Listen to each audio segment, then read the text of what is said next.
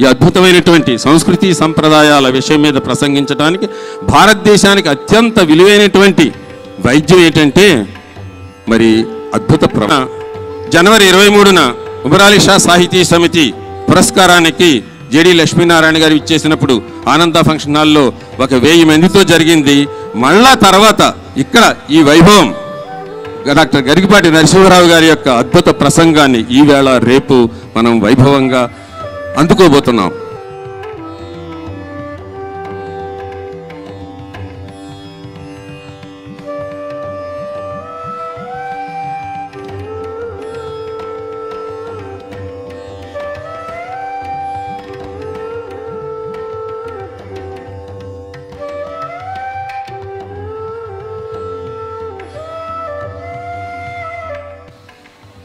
Annapurna degree college తరఫున జ్యోతి Swaroop educational society తరఫున అందరికీ కూడా హృదయపూర్వక ఇలాగ కార్యక్రమాలు చేయాలి అన్నది మా అమ్మగారు దివంగతులైన టూ థౌజండ్ సిక్స్ నుంచి అన్నపూర్ణ మెమోరియల్ మ్యూజికల్ అకాడమీ అని చెప్పేసి అమ్మ పేరుతోటి స్టార్ట్ చేయడం జరిగింది. భారతీయ సంస్కృతి సాంప్రదాయాల మీద మాట్లాడాలంటే ఏకైక వ్యక్తి భారతదేశంలో ఉన్నారంటే ఆయన గరికపాటి నరసింహరావు గారు మాత్రమే. ఆయన ఈరోజు ప్రసంగించడానికి మన గునుపూడి భీమవరం ఇచ్చేసినందుకు సర్వదా కృతజ్ఞులై ఉంటామని చెప్పేసి తెలియజేసుకుంటూ అలాగే చంద్రరాజు గారి ఆశీర్వచనంతో అలాగే పుర ప్రముఖులు అందరూ కూడా ఇచ్చేయడం అన్నది మా యొక్క పూర్వజన్మ సుకృతంగా భావిస్తున్నాం. మేము ఈ కార్యక్రమానికి మెయిన్ ప్రోత్సాహం మా అన్నయ్య గారు చంద్రపట్ల శ్రీనివాస్ గారు. మాతృదేవోభవ. రెప్పల తుమ్మెదల్ మధుకరీయము భోని అమ్మ రెప్పల తుమ్మెదల్ మధుకరీయము బోని ప్రపంచమంతయుందప్పక సంచరించి వసుధన్ సుధలేమి గ్రహించి ఏడ్వగా. అమ్మ రెప్పల తుమ్మెదల్ మధుకరీయము బోని ప్రపంచమంతయుందప్పక సంచరించి వసుధన్ సుధలేమి గ్రహించి ఏడ్వగా చిప్పులు నశ్రుబిందులో అభిషేకము చేయగ చిప్పిలు నశ్రుబిందులో అభిషేకము చేయగ నీ పదంబుజం అప్పుడు కానుపించినది అమ్మరో. రెప్పల తుమ్మెదల్ మధుకరీయము బోని ప్రపంచమంతయుందప్పక సంచరించి వసుధన్ సుధలేమి గ్రహించి ఏడ్వగా చిప్పిలు నశ్రుబిందులు చిప్పిలు నశ్రుబిందులభిషేకము చేయగ నీ పదంబుజంబప్పుడు కానిపించినది అమరో. నాకు కొరంతలేదికన్ పద్యం చదవగానే అర్థమై చప్పట్లు కొట్టేవాళ్ళు కొంతమంది అయినా ఉన్నందుకు నమస్కారం. ఆ తరం వెళ్ళిపోతుంది అని చాలా బాధపడుతున్నాం. కనీసం కొంతమంది భీమవరంలోనైనా ఉన్నారు సంతోషం. పశ్చిమ గోదావరి జిల్లా భీమవరంలో చంద్రాభట్ల వారి కుటుంబం ఆధ్వర్యంలో వారి మాతృదేవి కీర్తిశేషురాలు చంద్రభట్ల అన్నపూర్ణమ్మ గారి దివ్య ఆశీస్సులతో ఆవిడ పతిదేవుని సమక్షంలో జరుగుతున్నటువంటి రెండు రోజుల సమావేశంలో మనం భారతీయ సంస్కృతి సంప్రదాయాల గురించి మాట్లాడుకోబోతున్నాం. తల్లికి సంబంధించినటువంటి ఒక దివ్య స్మృతికి భారతీయ సంస్కృతికి సంబంధం ఏమిటి అంటే మాత దేశమాత గోమాత జగన్మాత. వీటన్నింటిలోనూ సమానమైన మాట మాత. మన తల్లిలోనూ ఉన్నది మాత. గోమాతలోనూ ఉన్నది మాత. దేశమాతలోనూ ఉన్నది మాత. జగన్మాతలోనూ ఉన్నది మాత. ఎటొచ్చి గోవు జగత్తు దేశము ఇవి చేరినటువంటి విశేషణాలు. తప్పితే మాత అనేది అన్నిటికీ వర్తిస్తుంది తల్లి అర్థమైతే తప్ప ఈ సృష్టి అర్థం కాదు. కారణం సృష్టికి కారణము తల్లి. తల్లి నుంచే మనం బయటపడ్డాం. ఆ బొడ్డుతాడు ఒక్కటి కనుక కత్తిరించకపోతే ఇప్పటికీ వేలాడుతూ ఉండవలసిందే. ఆవిడ మొయిలేకి ఇబ్బంది పడవలసిందే. అంచేతన తల్లి అర్థమైతే తప్ప సృష్టి అర్థం కాదు. ఆ తల్లిని తల్లి నుంచి సృష్టి ఎలా ఏర్పడుతుందో బిడ్డ ఎలా పుడుతున్నాడో అర్థం చేసుకుంటే శ్రీమన్నారాయణమూర్తి పాలసముద్రంలో శయనించడం ఆయన నాభి నాళంలో తామర పువ్వు పుట్టడం ఆ తామర పువ్వులో బ్రహ్మ పుట్టడం అర్థమవుతుంది. దాన్నే మన వాళ్ళు పౌరాణికంగా చెప్పారు. అక్కడ సృష్టి మొత్తానికి ఆధారభూతమైనటువంటి తల్లే శ్రీమన్నారాయణమూర్తి. ఆయన నాభీనాళమే తల్లి లోపల ఉండే బొడ్డు తాడు. నాభీనాళము అంటే తెలుగు మాట బొడ్డు తాడు. నాభీనాళం అంటే సంస్కృతం బొడ్డు తాడు అంటే తెలుగు. ఆ తర్వాత కమల పుష్పం ఉంది అదే జన్మస్థానం. ఆ పుష్పం నుంచి పుట్టినటువంటి బ్రహ్మదేవుడు ఇక్కడ పుట్టినటువంటి శిశువు. ఈ సృష్టికంతటికీ ఆయన్ని తల్లిగా భావించారు. తల్లి అనగానే స్త్రీ అని తండ్రి అనగానే పురుషుడని ఇవి మామూలు మన మానవలోకంలో వర్తిస్తాయి వైకుంఠంలో ఇవన్నీ వర్తించవు. ఆయనే తల్లి ఆయనే తండ్రి నీవే తల్లియు తండ్రియు. అక్కడ రెండు మాటలు ఉండవు ఇంకా ఒకరే. ఆది ఆది పరాశక్తిని వర్ణించేటప్పుడు తల్లి ఆవిడే తండ్రి ఆవిడే. ఆవిడ తల్లి మాత్రమే కాదు తండ్రి కూడాను. ఆ పరమేశ్వరుడు అన్నవాడు ఆవిడ నుంచే వచ్చాడు. అలాగే మహావిష్ణువును పరమశివుణ్ణో వర్ణించేటప్పుడు పార్వతీదేవి అయినా లక్ష్మీదేవి అయినా వాళ్ళ నుంచే వస్తారు. అర్ధభాగం. ఈ శాస్త్రీయమైన దృష్టిని అలవరచడానికి మన వాళ్ళు పూర్వం పురాణ కథల రూపంలో చెప్పారు. దాన్ని మనం పురాణాన్ని శాస్త్రీయ విజ్ఞానం దృష్టితో చూడడం మానేసి చాలా కాలం అయిపోయింది. ఇంచుమించు కలియుగం మొదలైనప్పటి నుంచి ఈ జాడ్యం అలవాటైందని నాకు బాగా అర్థమవుతోంది. ద్వాపర యుగంలో కూడా వ్యాసుని కాలంలో కూడా ఇంత చేదస్థం లేదు ఇంత జాడ్యం లేదు. పురాణ కథను పురాణ కథగానే చూసేటువంటి జాడ్యం అప్పుడు లేదు. పురాణ కథ అనగానే పురాణ కథ అనడం దాని మీద ఏదో పుణ్యాలు మహిమలు మాయలు అన్నీ దాని చుట్టూ అల్లేయడం మొత్తం. అది వింటే పుణ్యం ఉండడం కంటే పుణ్యం వండం ఇది వీళ్ళు వినాలి అది వాళ్ళు వినాలి అంటే సరిగ్గా మన మానవ మనస్సు ఎలా ఉంటుందంటే ఆ వినడం మాత్రమే చేస్తాం. వింటే పుణ్యం అని మీరు అన్నాక వింటే వాడు ఊరుకుంటాడు ఇంకేం చేయడు. వాడు కావలసిన పుణ్యం వాడికి వచ్చింది ఇంకెందుకు చేస్తాడు? నీకు వింటే ఏమీ రాదు చెవులు నొప్పి తప్ప. చెప్పేవాడికి నోరు నొప్పి నీకు చెవి నొప్పి తప్పితే ఏమీ రాదయ్యా. వినడం అనేది చాలా ప్రాథమికమైన విషయం అది. ఇప్పుడు ఇన్ని వందల మంది కూర్చుని ఇక్కడ వింటున్నారు. నేను నడిచి వెళ్ళడానికి కూడా దారి లేకుండాను. ఎవరికి ఏమవుతుందంటే ఎవరు చెబుతారండి? ఒక్కొక్కడ దూరం నుంచి ఎక్కడో ఉండి రెండు గంటలు నిలబడి ఉన్నవాడు కూడా తక్షణం దీన్ని ఆచరణలో పెట్టచ్చు మహత్తరమైన జ్ఞానాన్ని పొందొచ్చు జీవితంలో అన్ని దుఃఖాలకి అతీతులుగా ఉండొచ్చు. ఇక్కడ నా ఎదురుగా ఉన్నటువంటి వాళ్ళు కానీ లేదు నేను కానీ ప్రత్యేకంగా ఇలా చెబుతూనే ఉండొచ్చు జీవితం అంతా. వృధా కంఠక్షోభం వహస తరస తర్కవచస అని శంకరాచార్య స్వామి చెప్పినట్టే. కంఠక్షోభం మిగులుతుంది చివరికి. ఏం చేసామంటే చెప్పి చెప్పి చెప్పి డబ్బులు సంపాదించాం అంతే. లేదా గౌరవాలు సంపాదించాం. అంతకుమించి మన జీవితంలో ఆచారంలో పెట్టకపోతే జరిగేదేం లేదు ఇక్కడ. అంచేత జిడ్డు కృష్ణమూర్తి గారు చెబుతారు మహానుభావుడు మీరు మెట్లు ఉన్నాయి అని మీరే చెబుతున్నారు. భగవత్ మోక్షం పొందడానికి దానికి మెట్లు ఉన్నాయని మీరే చెబుతున్నారు. ఆ మెట్లలో భాగం విగ్రహారాధన అంటారు. మెట్టు మెట్టు ఎక్కాలి బాగానే ఉంది. మొదటి మెట్టే గొప్పదని చెప్పకుండా అక్కడే కూర్చుంటాడు అన్నాడు ఆయన. మెట్లు ఉన్నాయన్నప్పుడు పదహారు మెట్లుంటే పదహారు ఎక్కాలని చెప్పాలి. పదహారు రోజుల్లో ఎక్కుతావా పదహారు ఏళ్ళలో ఎక్కుతావా పదహారు జన్మల్లో ఎక్కుతావా వేరే విషయం. మొత్తం మీద ఎక్కాలి కదా. చివరి మెట్టు ఎక్కితే కానీ మేడెక్కినట్టు కాదు కదా. పదహారు మెట్లు ఉన్నప్పుడు పదమూడో మెట్లు నిలబడి కూడా మేడెక్కానంటే ఎవరు ఒప్పుకోరు. పదహారు మెట్లు ఎక్కాల్సింది. కానీ ఆశ్చర్యం ఏమిటంటే తెలుగు భాష అర్థమైనా మొత్తం తత్వం అంతా అర్థమవుతుంది. మేడ ఎక్కాడు మెట్లన్నీ ఎక్కాడు. ఎక్కాక మేడ ఎక్కానంటాడు మెట్లు ఎక్కానంటాడు ఎక్కింది మెట్లు అబద్ధం. తెల్లారులు ఇస్తే అన్ని అబద్ధాలే మనకి. మెట్లు ఎక్కానంటే నాన్న కదా మెట్లు ఎక్కింది మెట్లండి. మేడ ఎక్కడెక్కాడు? ఎక్కాక మేడ అంటున్నాడు. ఎక్కువచ్చిందేమో మెట్ల పదహారైనా ముప్పై రెండు అయినా ఎక్కాక మాత్రం మేడ ఎక్కానంటున్నాడు అంటే అతని భావన మేడ ఎక్కడానికి అవసరమైన మెట్లు ఎక్కాననే కదా. దాన్ని అలా చెబుతున్నాడు ఆయన అబద్ధం చెబుతున్నాడు కాదు అక్కడ అర్థం. మనకి స్థూ- స్థూలంగా చూస్తే అబద్ధమే. మెట్లు ఎక్కడం ఏంటి? మెట్లు ఎక్కాడు మేడ ఎక్కడెక్కాడు అంటే ఏమిటి? మేడ మోక్షం మేడ జీవన్ముక్తి మేడ ఆత్మజ్ఞానం. ఈ ఆరాధనలు ఉపన్యాసాలు శ్రవణాలు మననాలు నిధిధ్యాసనాలు ఇవన్నీ మెట్లు. నువ్వు అది ఎక్కేకి ఇవన్నీ వదిలేయాలి ఇంకా. ఇక మేడెక్కే కూడా మళ్ళీ ఎన్ని మెట్లు ఎక్కొచ్చాను లెక్క కట్టుకు లెక్క పెట్టుకుంటే ఆయాసం పెరుగుతుంది. ఎక్కేసాక ఎక్కి కూర్చుని అక్కడ ఆటో పాటో ఏం చేస్తావో చేసి మెట్లు ఎక్కెట్టకూడదు ఎక్కితే ఇన్ని మెట్లు ఎక్కానా? అసలు నా జీవితంలో ఎప్పుడు ఎక్కానా అని ఆలోచించి గుండెపోటు వచ్చి పడతాడు అక్కడ. ఎక్కేసేవి అయిపోయింది అక్కడ. ఎవరెస్ట్ శిఖరం ఎక్కినవాడు ఆ మెట్లన్నీ లెక్క పెట్టుకుని ఎన్ని రోజులు పట్టిందో ఎంత సమయం పట్టిందో అంతా లెక్కెట్టుకుని పైన కూర్చుని కిందకు పడేవాడు. అది లెక్కెట్టుకోలేదు. వాడు జెండా ఏదో పాతేశాడు వచ్చేసాడు అక్కడ. అది అక్కడ విషయం అక్కడ వదిలేయాలి. ఈ లెక్కల్లోకి వెళ్ళకూడదు. అందుకని మనం పురాణ కథల్ని పురాణ కథలుగా వదిలేయకుండా వాటి వెనకాల విజ్ఞానం ఏమిటో తెలుసుకుంటే భారతీయ సంస్కృతి సంప్రదాయాల్లో ఉండే విశేషమంటా అర్థమవుతుంది. అప్పుడు మనం పాశ్చాత్య సంస్కృతిని ఎందుకు అనుసరించకూడదో మన సంస్కృతిని మనం ఎందుకు అనుసరించాలో కూడా అర్థమవుతుంది.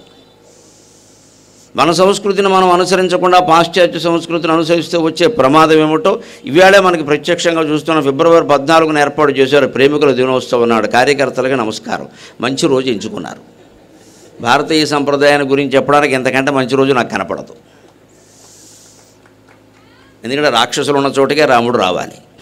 రాక్షసులు లేదే రాముడు ఎందుకు?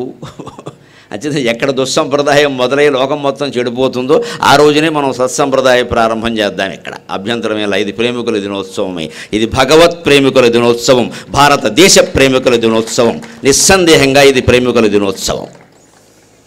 దిక్కుమాలని ఆలోచన ఏమిటంటే ప్రేమ అనగానే వయసులో ఉన్న అమ్మాయి వయసులో ఉన్న అబ్బాయి. కుక్క పిల్లలకు కూడా ప్రేమలు ఉంటాయండి. ప్రేమ గురించి తెలియకుండా మాట్లాడద్దు. కుక్కలు కూడా ప్రేమించుకుంటాయి. ప్రేమించుకుంటున్నాం అన్నవాడు అంతకంటే గొప్పగా ఏం ప్రేమించుకోవట్లేదు. నిజంగా దాడి జరగాల్సింది దీని మీదే. ప్రేమకు అర్థం మార్చాలి మనం ఇవాళ. ఇవాళ దేశాన్ని ప్రేమించు దేహాన్ని కాదు.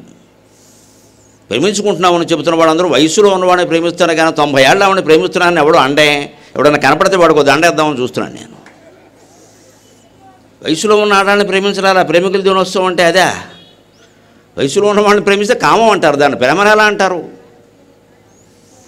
మరి ఇంత గొప్పగా ప్రేమించేసుకున్నామని చెప్పేసి ఏడు రోజులు పైగా ఇవాళ పత్రికల్లో చూశాను భాగవత్ సప్తాహంలాగా దీన్ని ఏడు రోజులు చేసుకోవాలట. అయ్యి బాబు ఇది కూడా అని అనుకున్నాను నేను.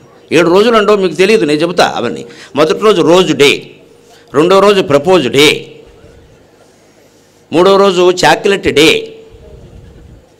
నాలుగో రోజు ప్రామిస్ డే. ఇలా మొత్తం ఏడు రోజులు తద్దినాలు పెట్టినట్టే వరుసగా. అంటే ఇది ఒకరోజు భాగవతం కాదు ఇంతవరకు నేను ఒకరోజు భాగవతమే అనుకున్నా. వాలంటైన్ డే అనేది పద్నాలుగో తేదీ చివరి రోజు. ఈ తద్దినం ఎనిమిదో తారీఖే మొదలైంది.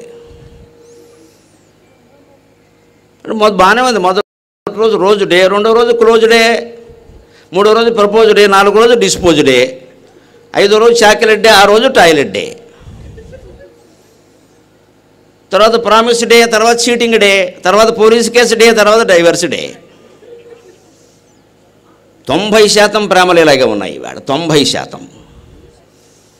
జీవితాంతం నిలబడిన ప్రేమికులు ఎవరన్నా ఉంటే వారు సీతారాములు వారు పార్వతీ పరమేశ్వరులు వారికి నమస్కారం. ఇదివరకు కూడా జరిగే ఈ ప్రేమ పెళ్ళిళ్ళు మా చిన్నతనం నుంచి ఉన్నాయి. కులాంతరాలు మతాంతరాలు ఒకే కులంలో ప్రేమ పెళ్ళిళ్ళు రకరకాలు జరిగాయి. మా చిన్నతనం నుంచి ఉన్నాయి పెద్ద విషయాలకు. కానీ అప్పట్లో కట్టుబడి ఉండేవారు. ఆ ప్రేమ కట్టుబడి ఉండేవారు వారు. మనసా వాచా కర్మణ ఒక కాగితం రాసుకుని పెళ్ళి చేసుకున్న వాళ్ళని నేను చూశాను. వాళ్ళు కట్టుబడి ఉన్నారు. వీళ్ళు ఏం చేస్తారంటే విచిత్రంగా ప్రేమ అంటున్నారు మళ్ళీ సంప్రదాయబద్ధంగా వివాహం చేసుకుంటున్నారు పురోహితుని పెడుతున్నారు శుభలేఖలు పెడుతున్నారు అన్నీ పెడుతున్నారు అన్నీ చేస్తున్నారు మళ్ళీ ఏడాది అయ్యేసరికి దెబ్బలాడుకుంటున్నారు అంటే మనం దేన్ని చూసి ప్రేమించామో అర్థం చేసుకోవాలి. అంటే నిజంగా సంస్కృతి సంప్రదాయాల గురించి చెప్పడానికి ఈ రోజే చాలా మంచి రోజు. అందుకే ఇప్పుడు చెబుతున్నాను వారు ఇవ్వలేదు ఈ డేట్ నేనే ఇచ్చాను వారికి. నా నోట ఎందుకు వచ్చిందో నాకు తెలియదు. అప్పటికి నాకు అవసరమైంది అనుకూలమైనది ఏదో నా ఖాళీని బట్టి నేను చేసుకున్నా. అనుకోకుండా ఇవాళ భీమవరం వచ్చిన తర్వాత మా గొప్ప రోజులు ఇచ్చాను రా బాబు డేట్ అనుకున్నాను నేను. ఇవాళ పత్రికల్లో పొద్దున్న చూశాక ఓహో ఇదా అని చెప్పేసి గొప్ప రోజున ఇచ్చామరా. చెప్పాల్సిన మాటే శుభ్రంగా వేయాల్సిన వాయింపు అంతా వేసి ఇచ్చలే అనుమానం లేదనుకున్నాను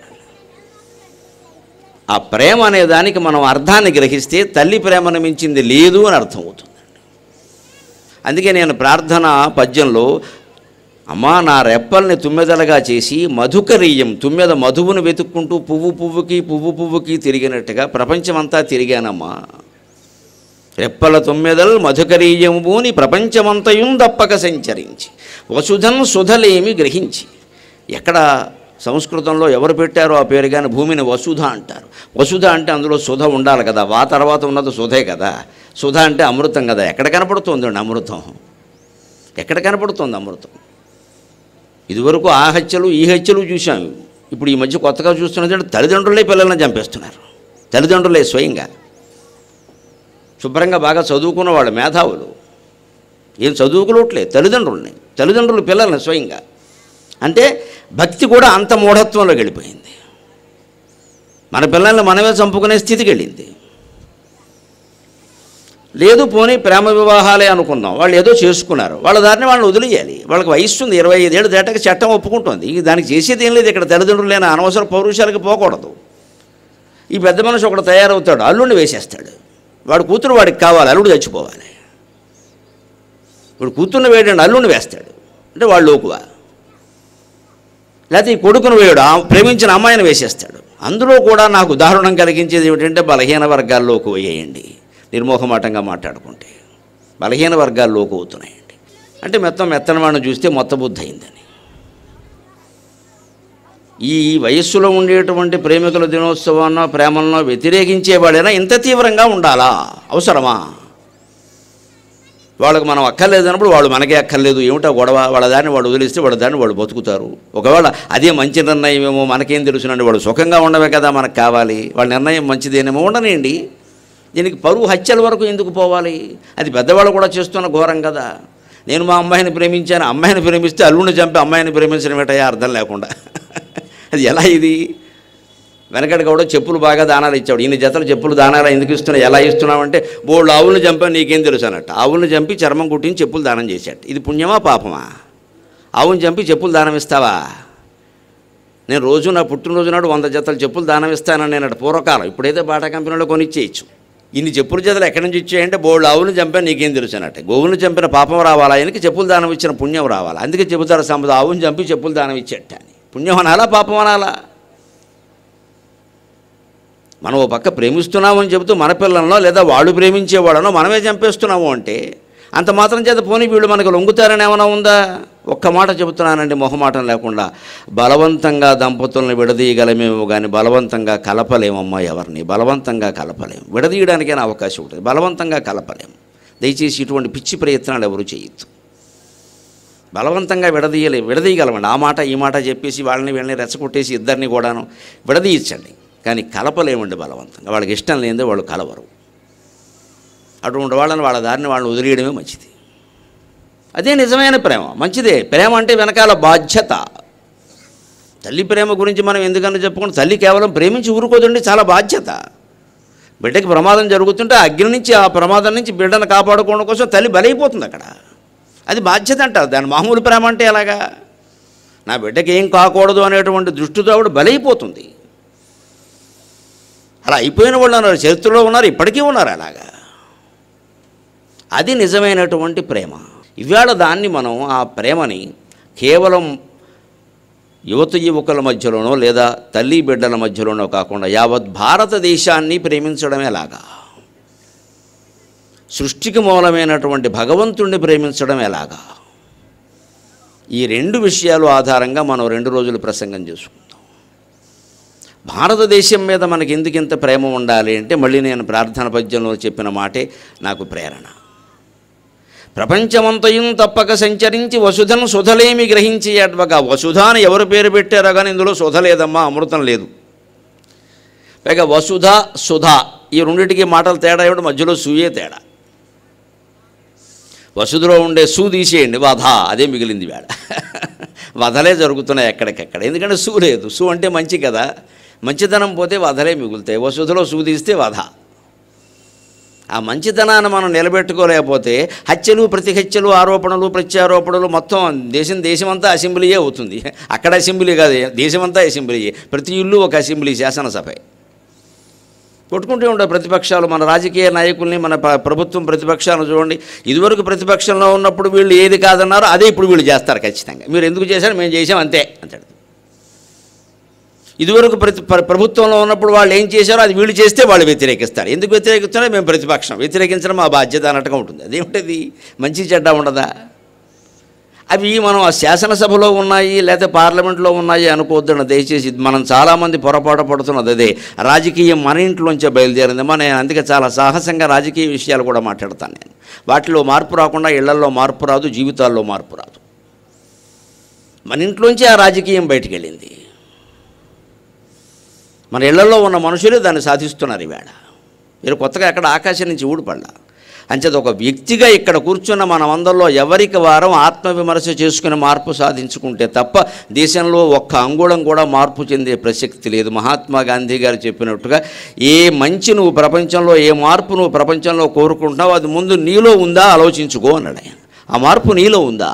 ఊరికే వారు మారాలి వీరు మారాలి వీరు మారాలి. ఎందుకు మారతారు? నువ్వు మారందే. నీకు మారకపోవడానికి ఏ కారణాలు ఉన్నాయో వారందరికీ అవే కారణాలు ఉన్నాయి.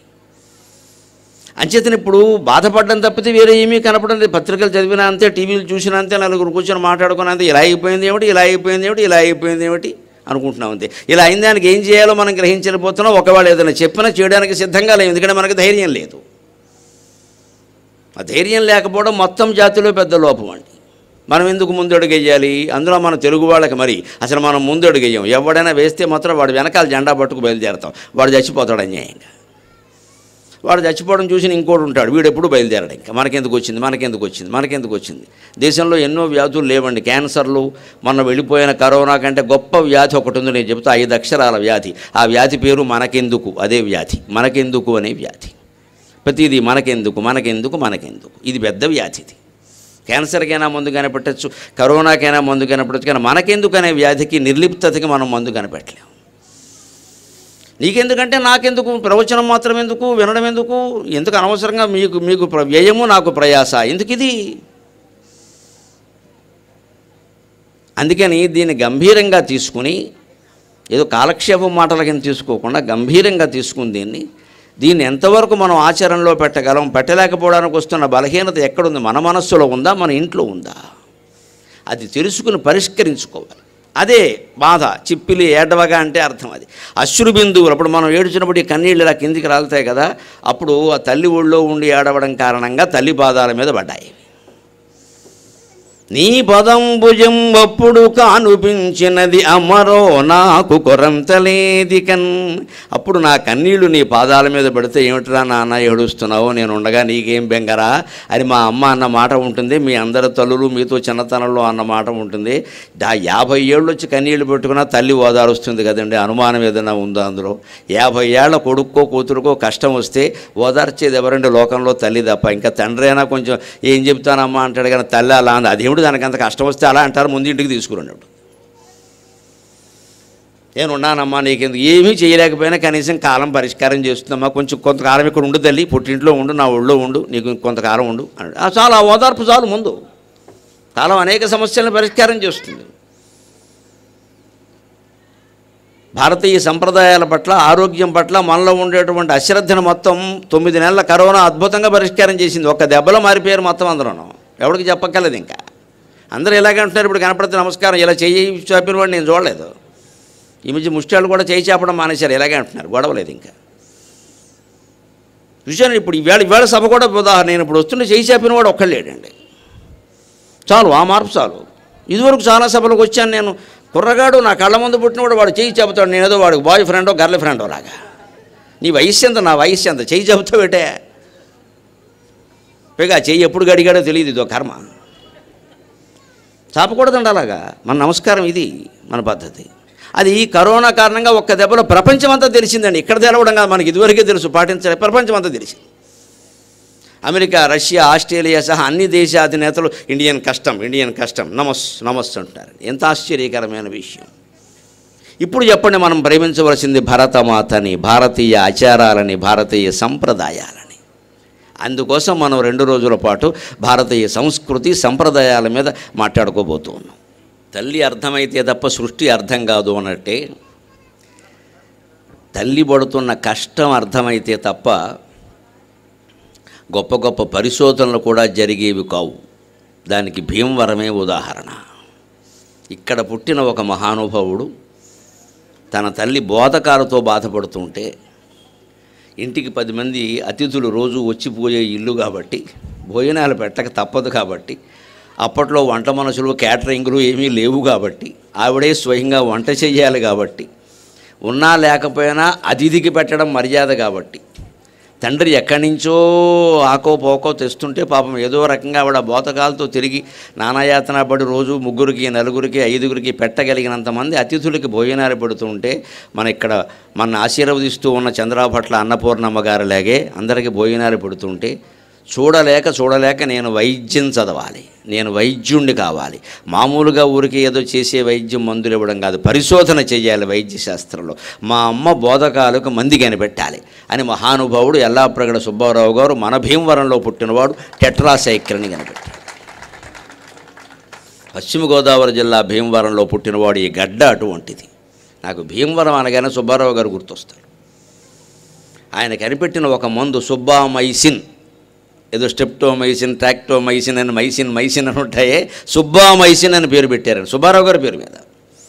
ఫిస్కే సుబ్బారావు అని అమెరికన్ ఫిస్కే ఆంధ్ర సుబ్బారావు ఇద్దరూ కలిసి పరిశోధన చేశారు. ఆ ఫిస్కే గారు అన్నట్ట మా పేర్లు చాలా ఉంటాయి అని ఈ పేరు పెట్టు సుబ్బామైసిన్ బాగుందన్నట్టు ఆ మందు బోధకాలకి ప్రత్యేకమైన టెట్రాసైక్లిన్ మందు సుబ్బామైసిన్ ఒకటి ఆయన కనిపెట్టు.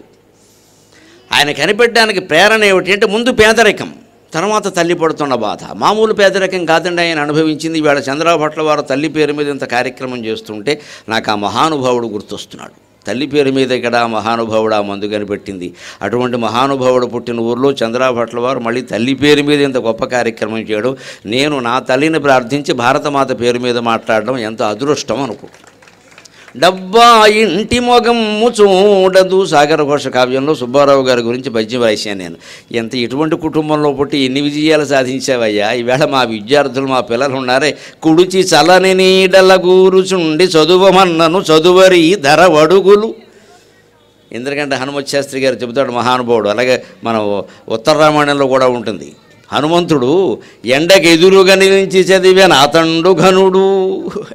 సూర్యనారాయణమూర్తికి ఎదురుగా నిలబడి ఆ ఎండంతా భరిస్తూ చదువుకున్నట్టు హనుమంతుడు నవవ్యాకరణాలను. మన పిల్లలకు శుభ్రంగా AC hostel AC bus AC class room అన్నీ ఇస్తే చివరికి ఏమిటంటే ర్యాంక్ రాలేదు ఏమిటంటే నేను మంచి ముహూర్తంలో చేరలేదు మమ్మీ అని జాతకాల వాళ్ళ మీద గెంటెత్తున్నారు ఇది తేడా.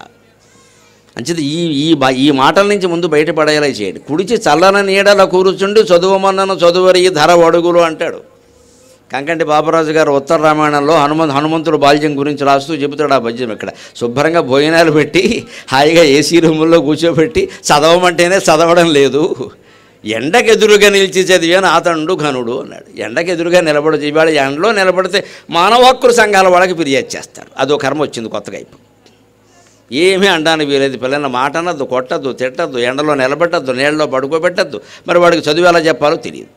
నేను అప్పుడప్పుడు అనుకుంటా అందుకే పదేళ్ళ క్రితమే ఉద్యోగం మానేయడం మంచిదే ఇందిరా బాబు అనుకుంటాను. ఇంకా రిటైర్ అవ్వకముందే యాభై ఏళ్ళ వయసులోనే మానేశాను నేను. ఇది చేసి వృత్తి కదిరా బాబు. ఎందుకంటే ప్రవచనాలు చెప్తే ఎవరిని కొట్టక్కర్లేదు ఎవరు నన్ను కొట్టరు వెళ్ళిపోవచ్చు ఇంటికి గొడవలేదు టీచర్ వృత్తిలో ఉన్నాక తప్పదండి. నేను ఈ వృత్తిలో ముప్పై ఏళ్ళు ఉన్నాను. మీరే ఆలోచించండి తల్లిదండ్రులు ఓ దెబ్బ ఇవ్వకుండా ఓ మాట అనకుండా ఎలా చెప్పేస్తారండి చదువు? ఆ మాత్రం స్వేచ్ఛ ఉపాధ్యాయులకు ఇవ్వద్దా మనం? ఈ మాట నేను అంటే కూడా పెద్ద యుద్ధమైంది. కానీ నా బుద్ధి ఏమిటో మళ్ళీ మళ్ళీ అదే మాట అంటూ ఉంటాను నేను. ఎందుకంటే అది నాకు సత్యం అని తెలుసును కాబట్టి ప్రాణం పోయినా వదలనమాట మా అబ్బాయిని కొడతావా మా అబ్బాయిని తిడతావా అని తల్లిదండ్రులు వెళ్ళి పాఠశాలల్లో ఉపాధ్యాయులను నిలదీసినంత కాలం విద్యా వ్యవస్థ బాగుపడే సమస్య లేదండి మీకు నచ్చినా మంచిది నచ్చకపోయినా మంచిది. ఇది సత్యం పరమ సత్యం. ఆ- ఆ ముందు ఈ పిచ్చి ప్రేమలు పిచ్చి గారాబాలు తగ్గవలసింది. వాడు వచ్చి ఏమైనా ఉపాధ్యాయులు ఓ మాట అన్నారో కొట్టారో అంటే ఇంకో దెబ్బ మనం కొట్టాలి అక్కడ నోరు మూసుకోకుండా మళ్ళీ మాకు చెబుతున్నాం ఇక్కడనే. మేస్టర్ అన్నాక ఏమి అనరా? అనకుండా చదివేలా వస్తుందండి?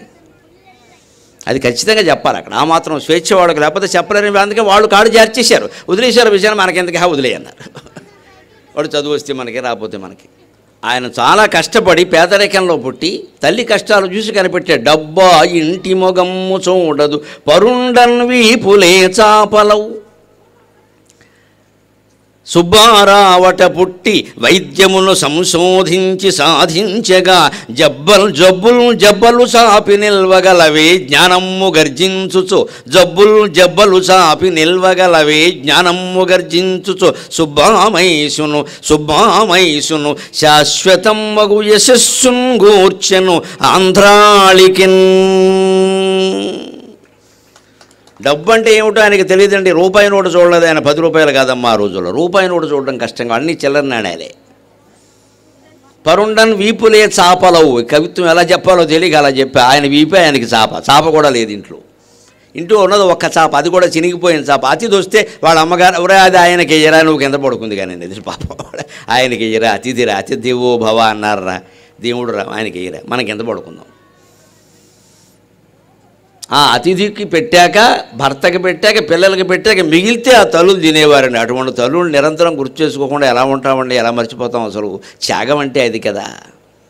హక్కుల గురించి మాట్లాడేవాడు చాలామంది ఉన్నారు. త్యాగం గురించి మాట్లాడేవాడు ఏడి? అది మనం చెయ్యాలి. మన ఇంటికి వస్తున్నామంటే అతిథి గౌరవం ముందు చూడాలి.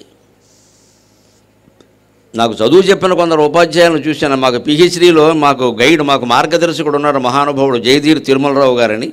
తెలుగు విశ్వవిద్యాలయంలో ఆచార్యులుగా చేశారు. తర్వాత ఏదో పురావస్తు శాఖలో చేస్తున్నారు ఆయన. ప్రాచీన లిఖిత భాండాగారం నేను పిహెచ్డి రాసి ఆయనకి ఏదైనా చూపించడానికి ఇంటికెడితే ఆయనకి ఎంత పడుకుని నన్ను మంచం పడుకోమని.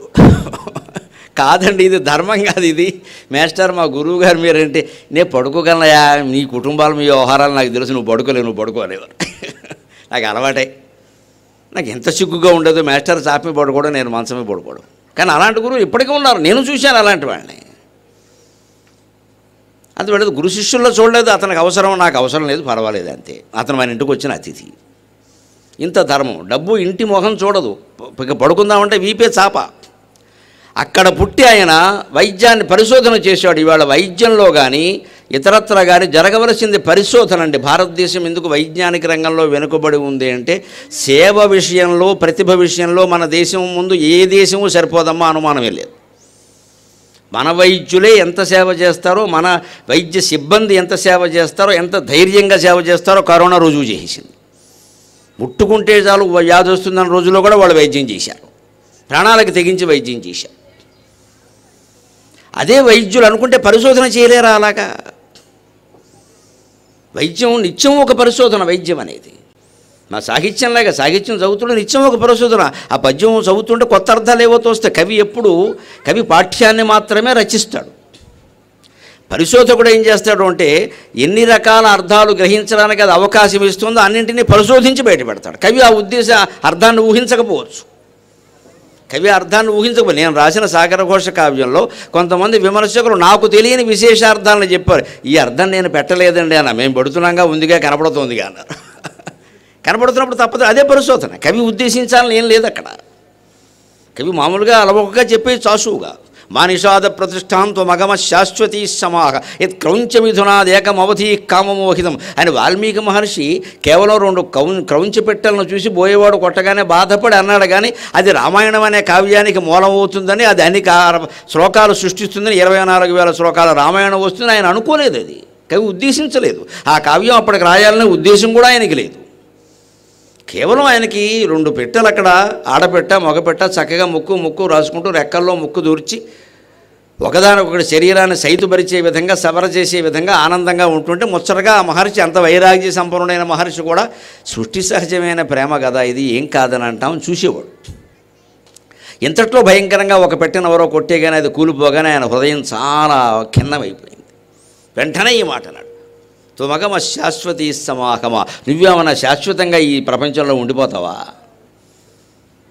యత్ క్రౌంచమిథునాది ఏకం అవధి కామం ఓకితం పోగా పైగా ఓ బోయేవాడ. నువ్వు బోయేవాడివైతే కావచ్చు పెట్టెన కొట్టడం నీ వృత్తి ధర్మం అయితే కావచ్చు నేను కాదని అనడం లేదే కానీ మీ వృత్తి ధర్మంలో కూడా ఒక పద్ధతి ఉంది కదా. ఏమిటి పెట్టెలను కొట్టినా మృగాలను వేటాడనా ఎప్పుడు ఆ రెండు జంతువులు కలిసి ఉండగా అవి ముద్దెట్టుకుంటూ ఉండగా శృంగార క్రీడలో ఉండగా అన్యోన్యంగా ఉండగా కొట్టకూడదు మన ధర్మశాస్త్రం అది. అసలే కొట్టద్దని చెప్పలేదు. కొట్టక తప్పదు కాబట్టి. ఏ పని కోసమేనా. పెట్టెలను కొట్టి వాళ్ళు బతుకుతారు మృగాలని కొట్టి వీళ్ళు బతుకుతారు తప్పదు అది అందుకే మన భారతీయ సంస్కృతి ఎటువంటిది అంటే మనిషి బలాంతో పాటుగా బలహీనతను కూడా కనిపెట్టిన ఏకైక సంస్కృతి భారతీయ సంస్కృతి. బలహీనతను కూడా. ఇది పాపం ఇది చేయడానికి వీలు లేదు. అసలు కామవాంఛ అనేదే పాపం. ఆ ఆలోచన కూడా రాకూడదు. ఈ దిక్కుమాలిన మాటలు ఎక్కడ ఉపనిషత్తుల్లో కానీ వేదాల్లో కానీ శాస్త్రాల్లో కానీ ఉండవు. ఇవి దిక్కుమాలిన మాటలు ఇవి. నువ్వు మనస్సులోకి రావడానికి వీల్లేదు కుదరదండి వస్తుందండి. మనసులోకి వస్తుందండి. అది సహజం అది. మనస్సు అంటే గాలి. గాలి గాలి వీసినట్టే ఆలోచనలు వస్తాయి. రావద్దంటే అలాగా వచ్చినంత మాత్రానే వాడిని పాపాత్ముడు అన్నాం అనుకో జీవితంలో నాకు ఇవన్నీ వచ్చేస్తున్నాయి. ఆలోచనలు బాబోయ్ నేను పాపాత్ముడు ఇంకా వాడు అలాగే ఉండిపోతాడు. వాడు డిప్రెషన్ నిరాశ నిస్పృహలోకి వెళ్ళిపోతాడు. అది గాలిరా వస్తూనే ఉంటాయని నువ్వు దాని ఊరికి పునరుక్తి చేయక మళ్ళీ ఇంకా. దాని ఊరికి మళ్ళీ ఇలా వచ్చింది ఏమిటని ఆలోచించక వదిలేయి. ఆ విషయాన్ని అక్కడ వదిలేయాలి. జీవితంలో సుఖంగా ఉండాలంటే మూడు మాటలు గుర్తుపెట్టుకోండి. ఇదివరకు చెప్పాలా? ఇప్పుడు చెబుతున్నా రాసి పెట్టుకుని చేయండి. మీకు దుఃఖం వస్తే నాది పూచి. కానీ ఖచ్చితంగా చేయాలి. ఒకటి ఎప్పటి పనులు అప్పుడే చెయ్యాలి. రెండు ఎక్కడ వస్తువులు అక్కడే పెట్టాలి. మూడు ఎక్కడ విషయం అక్కడే వదిలేయాలి. ఈ మూడు చేస్తే సుఖంగా ఇందులో మొదటి రెండు చేయగలుగుతాం. మూడోది చాలా కష్టం. మొదటివి కూడా కష్టమైన వాళ్ళు ఉంటే నమస్కారం. నాకంటే గొప్పవాళ్ళు. మీ ఇంట్లో ఎక్కడ వస్తువు అక్కడే పెట్టండి. పది రోజుల తర్వాత చూడండి మీ ఇల్లు ఎలా ఉంటుందో. మంచినీళ్ళ గ్లాసు తాగాం అక్కడే పెట్టండి. దాన్ని ఇంకో చోట పక్కకి పెట్టకండి. మళ్ళీ వెతుక్కోవాల్సి వస్తుంది దాన్ని. ఓ దువ్వెనతో తల దువ్వుకున్నాం నాకు లేదా భాగ్యం మీ అందరికీ ఉందిగా? ఆ దువ్వెన ఎక్కడ తీసారో అక్కడే పెట్టండి. ముఖ్యంగా ముఖ్యంగా మహిళాములు నమస్కారం. లేకపోతే మాకు పని ఇక్కడ వెనకాల ఆ దువ్వెన ఎక్కడ పెడతారు? మళ్ళీ తర్వాత ఏమిటో కనపడలేదు. ఏం కనపడుతుంది? అది అక్కడ పెట్టవలసిన చోట పెడితే ఆ ఆందోళనలో ఉంటారు. అది కనపడలేదని అప్పుడు పాలు పొంగిపోతూ ఉంటాయి. అప్పుడు పాలవాడు బిల్లు కోసం వస్తాడు. అయిపోయింది ఇక్కడ. పెద్ద కురుక్షేత్ర కలహం అయిపోయింది. ఇప్పుడే రమ్మనా? ఇప్పుడే రావాలా? ఏమిటో పనిలో ఉండగానే అందరూ వస్తారు. నువ్వు పనిలో ఉన్నావని వాడికి తెలుసా? లేదా ఫోన్ వస్తుంది. ఏమిటో నేను పనిలో ఉన్నప్పుడే ఫోన్ చేస్తారు. ఖాళీగా ఉన్నప్పుడు చేయరు. ఖాళీగా ఉన్నాను అందరికి ఒక మెసేజ్ పెట్టామా చేస్తారు. ఇది కుదిరే పని ఇది. మనం ఎలా ఉన్నామో వాళ్ళకి తెలియదు కదండి. వాళ్ళు చేశారు అయిపోయింది. మనం ఏం చేయాలో మనం నిర్ణయించుకోవాలి కానీ ఖాళీగా ఉన్నప్పుడు ఫోన్ చేయని ఏమిటంటే ఖాళీగా ఉన్నామని అందరికీ పేపర్లో ప్రకటించు. లేదా వాట్సాప్లో పెట్టి నేను ఖాళీగా ఉన్నాను దయచేసి ఎవరైనా ఫోన్ చేయండి. అటువంటి మెసేజ్లు కూడా వస్తున్నాయండి. చెబితే బాగుండదని. ఖాళీగా ఉన్నాం అని. జరిగేది. దాన్ని బట్టి మనం పరిస్థితులకు అనుగుణంగా మనం మన మనస్సును మార్చుకోవాలి కానీ మన బట్టి పరిస్థితులు మారవు కదండి. సందర్భాన్ని బట్టి చట్టాన్ని అన్వయం చెబుతారు. న్యాయవాదులు ఎందుకు ఉండడం? చట్టం ఉంది. పోలీసులు ఉన్నారు. న్యాయవాదులు ఎందుకంటే మధ్యలో? ఆ చట్టాన్ని ఈ సందర్భానికి అన్వయం చేయాలంటే లాయర్ ఉండాలి. అది పోలీసు ఏం చేయడు. చట్టం ప్రకారం అరెస్ట్ చేస్తాడు పోలీసు. నేను చేశానని నా పని అంటాడు. అది న్యాయమో కాదో అతనికి వర్తిస్తుందో వర్తించదో అసలు నిజమో కాదో దానికి ఏమైనా సాక్ష్యాలు ఏమున్నాయో అతను చూపించిన సాక్ష్యాలు సరైనవో కాదో న్యాయవాదులు ఆగుతాడు. పోలీసు ఆ పని చేయడు. సాక్ష్యాలు చూపించడం వరకు ఆయన పని పోలీసుల పని. అది సాక్ష్యం నిలబడుతుందా లేదా అనేది న్యాయవాది పని. మంచిది ఎవరి పని వాడు చేయాలి కదా. అప్పుడు ఈ న్యాయవాదులు ఏం చేస్తారు? చట్టం చట్టమేనయ్యా ఉంది. కానీ ఇది ఈ సందర్భానికి వర్తించదు. అంటే చట్టం ప్రకారం చట్టాన్ని బట్టి సందర్భం మారదు. సందర్భాన్ని బట్టి చట్టాన్ని అన్వయం చేయాలి. దానికి న్యాయవాది. మనం ఎక్కడ వస్తువులు అక్కడ పెట్టడం ముందు చాలా తేలికైన విషయం అది. ఎప్పటి పని అప్పుడు చేయడం కంటే కొంచెం తేలిక. వస్తువు పెట్టడమే కదా ఏముంది? విడిచిన బట్టలు వెంటనే ఎక్కడో ఓ ఓ బొట్టలో బారేయడం మళ్ళీ ఎక్కడో అక్కడ ఇక్కడ పెట్టద్దు ఇంకా. ఆరేసిన బట్టలు మళ్ళీ ఎక్కడో ఓ చోట పెట్టుకోవడం మడతెట్టు లోపల పారేయడం. లేదా ఆభరణాలు ఏవో తీసాం. వెంటనే ఎక్కడ పెట్టాలో అక్కడ పెట్టడం ఓ తాళం వేయడం. ఆ తాళం మళ్ళీ ఓ చోట్లో పెట్టుకోవడం. మళ్ళీ గిరగిర పట్టుకుని తిరగద్దు. ఇది చేసి చూడండి ఒక పది రోజుల్లో మీ ఇల్లు మీకు స్వర్గంలా ఉంటుంది సగం బీపీ తగ్గిపోతుంది. తేలికైన పని. దీనికంటే కొంచెం కష్టం. అయినా సుఖంగా ఉండేది ఏమిటంటే ఎప్పటి పనులు అప్పుడే చేయడం. ఉదయం పది గంటలకు ఓ పని చేయాలంటే పది బావ అయితే పర్వాలేదండి పదకొండు బావ అవ్వద్దు. గంటం బావ ఆలస్యం కావద్దు. పది నిమిషాలు అటు ఇటు అవుతుంది పర్వాలేదు. అటే అవుతుందిలేండి. ఇటు ఎందుకు అవుతుంది? అటు ఇటు అంటాం కానీ ఎప్పుడూ అటే. కానీ అవన్నీ పర్వాలేదు. పది నిమిషాలు పర్వాలేదు. కానీ పదకొండు బాబు అయిపోకూడదు. పన్నెండున్నరకు భోజనం చేయాలి అనుకుంటే పన్నెండున్నర బదులు పోని పావు పావు తక్కువ ఒంటి గంట ఒంటి గంటకి చేయండి. కానీ మూడింటికి చేస్తే ఎలాగా? అంటే మనం సమయం పాటించలేకపోతున్నాం. ఆ ఎప్పటి పనులు అప్పుడు చేసామనుకోండి చాలా ఆందోళన ముఖ్యంగా సాఫ్ట్వేర్ ఉద్యోగులు నా సోదరులు లాంటి వాళ్ళ కోసం చాలా ఆందోళన పడుతున్నారు వాళ్ళు. అటు ఉద్యోగం మహిళలైతే మరి అటు ఉద్యోగం చేసుకోవాలి ఇటు ఇంట్లో పైగా ఇప్పుడు వర్క్ ఫ్రమ్ హోమ్ అని ఇంట్లోనే తద్దినం ఒకటి వచ్చింది ఇక్కడ. స్వగృహే అని ఆచమనం చేసి తద్దినం పెట్టచ్చు ఆయన. వర్క్ ఫ్రమ్ హోమ్ అంటే ఇంట్లో పెట్టే తద్దినం ఆశ్రమంలో పెట్టక ఆశ్రమంలో తద్దినాలు పెట్టడం కూడా వచ్చింది ఈ మధ్యన. సుఖపడుతున్నాం కాస్త. ఏదో ఆ సమయానికి భోజనానికి వెళ్ళినట్టే పదిన్నరకి చెంపించుకుని వెళితే వాళ్ళు పెట్టేస్తారు మొత్తం అంతా. మన ఊరికి ఇలా అంటే సరిపోతుంది అందులో నేను తమ్ముడిని తదినం పెట్టేవాడు తమ్ముడు కూడా నేను కింద చేయడతాను. నాకు ఆ పని కూడా మా అన్నయ్య పెడతాడు వాడు చేయి కింద నేను పెడతాను గొడవలేదు మంచి తద్దినాలు బట్టి ఇప్పుడు చాలా సుఖంగా మారింది హైదరాబాద్లో. ఏమంత ఇబ్బంది. ఇదివరకు ఆడాడు నా నా యాతన పడిపోయారు. ఆ పిండి రొబ్బలేక పప్పు రొబ్బలేక ఓ తెల్లారకట్ లేచి ఏం తినకూడదు పైగా. ఏం తినకూడదు. ఏమీ తినకుండా చే- వీళ్ళు తినేసి మొత్తం ఇవన్నీ బ్రాహ్మణ భోజనాలు చేసేసి నాలుగు అవుతుంది. అప్పటికి ఏమి ఉండవు ఇక్కడ. మేమే తింటాక మిగిలిన వాళ్ళే తింటారు. అలాగే ఉండేది. ఇప్పుడు అది ఏమీ లేదు. అంతా కలిసి శుభ్రంగా పదిన్నరకి ఆశ్రమానికి వెళ్ళడం అక్కడ పెట్టేస్తారు శుభ్రంగా ఆ సమయానికి కర్త మేమే మొగాడికే పని ఇప్పుడు ఆడవాళ్ళకి పని లేదు. అక్కడ కూర్చుని రెండు గంటల కృతువు నడిపించడం తర్వాత భోజనాలన్నీ అంటే శుభ్రం కూర్చోవడం అంటే ఎప్పటి పని అప్పుడు చేయడం అనేది అలవాటు ఉందనుకోండి. ఈ వర్క్ ఫ్రమ్ హోమ్ వచ్చిన తర్వాత మరింత ముఖ్యం అది. దీని ఈ సమయం దీనికి మహా అయితే ఇంకో పావు గంట కేటాయితే మళ్ళీ మనకి వేరే సమయం ఉండాలి కదా స్నానానికి భోజనానికి నిద్రకి అన్నిటికీ ఉండాలి. ఆ పని మధ్యలోనే ఓ గంట విశ్రాంతి కూడా తీసుకోవాలి. లేకపోతే మళ్ళీ చేయలేం కదా. అంచేది ఎక్కడి వస్తువు అక్కడ పెట్టడం మొదటిది రెండవది ఎక్కడ ఎప్పటి పని అప్పుడు చేయడం రెండవది మూడవది ఎక్కడ విషయం అక్కడ వదిలేయడం. ఇది చాలా కష్టమే కానీ నెమ్మది నెమ్మదిగా నెమ్మది నెమ్మదిగా ఆచరించండి.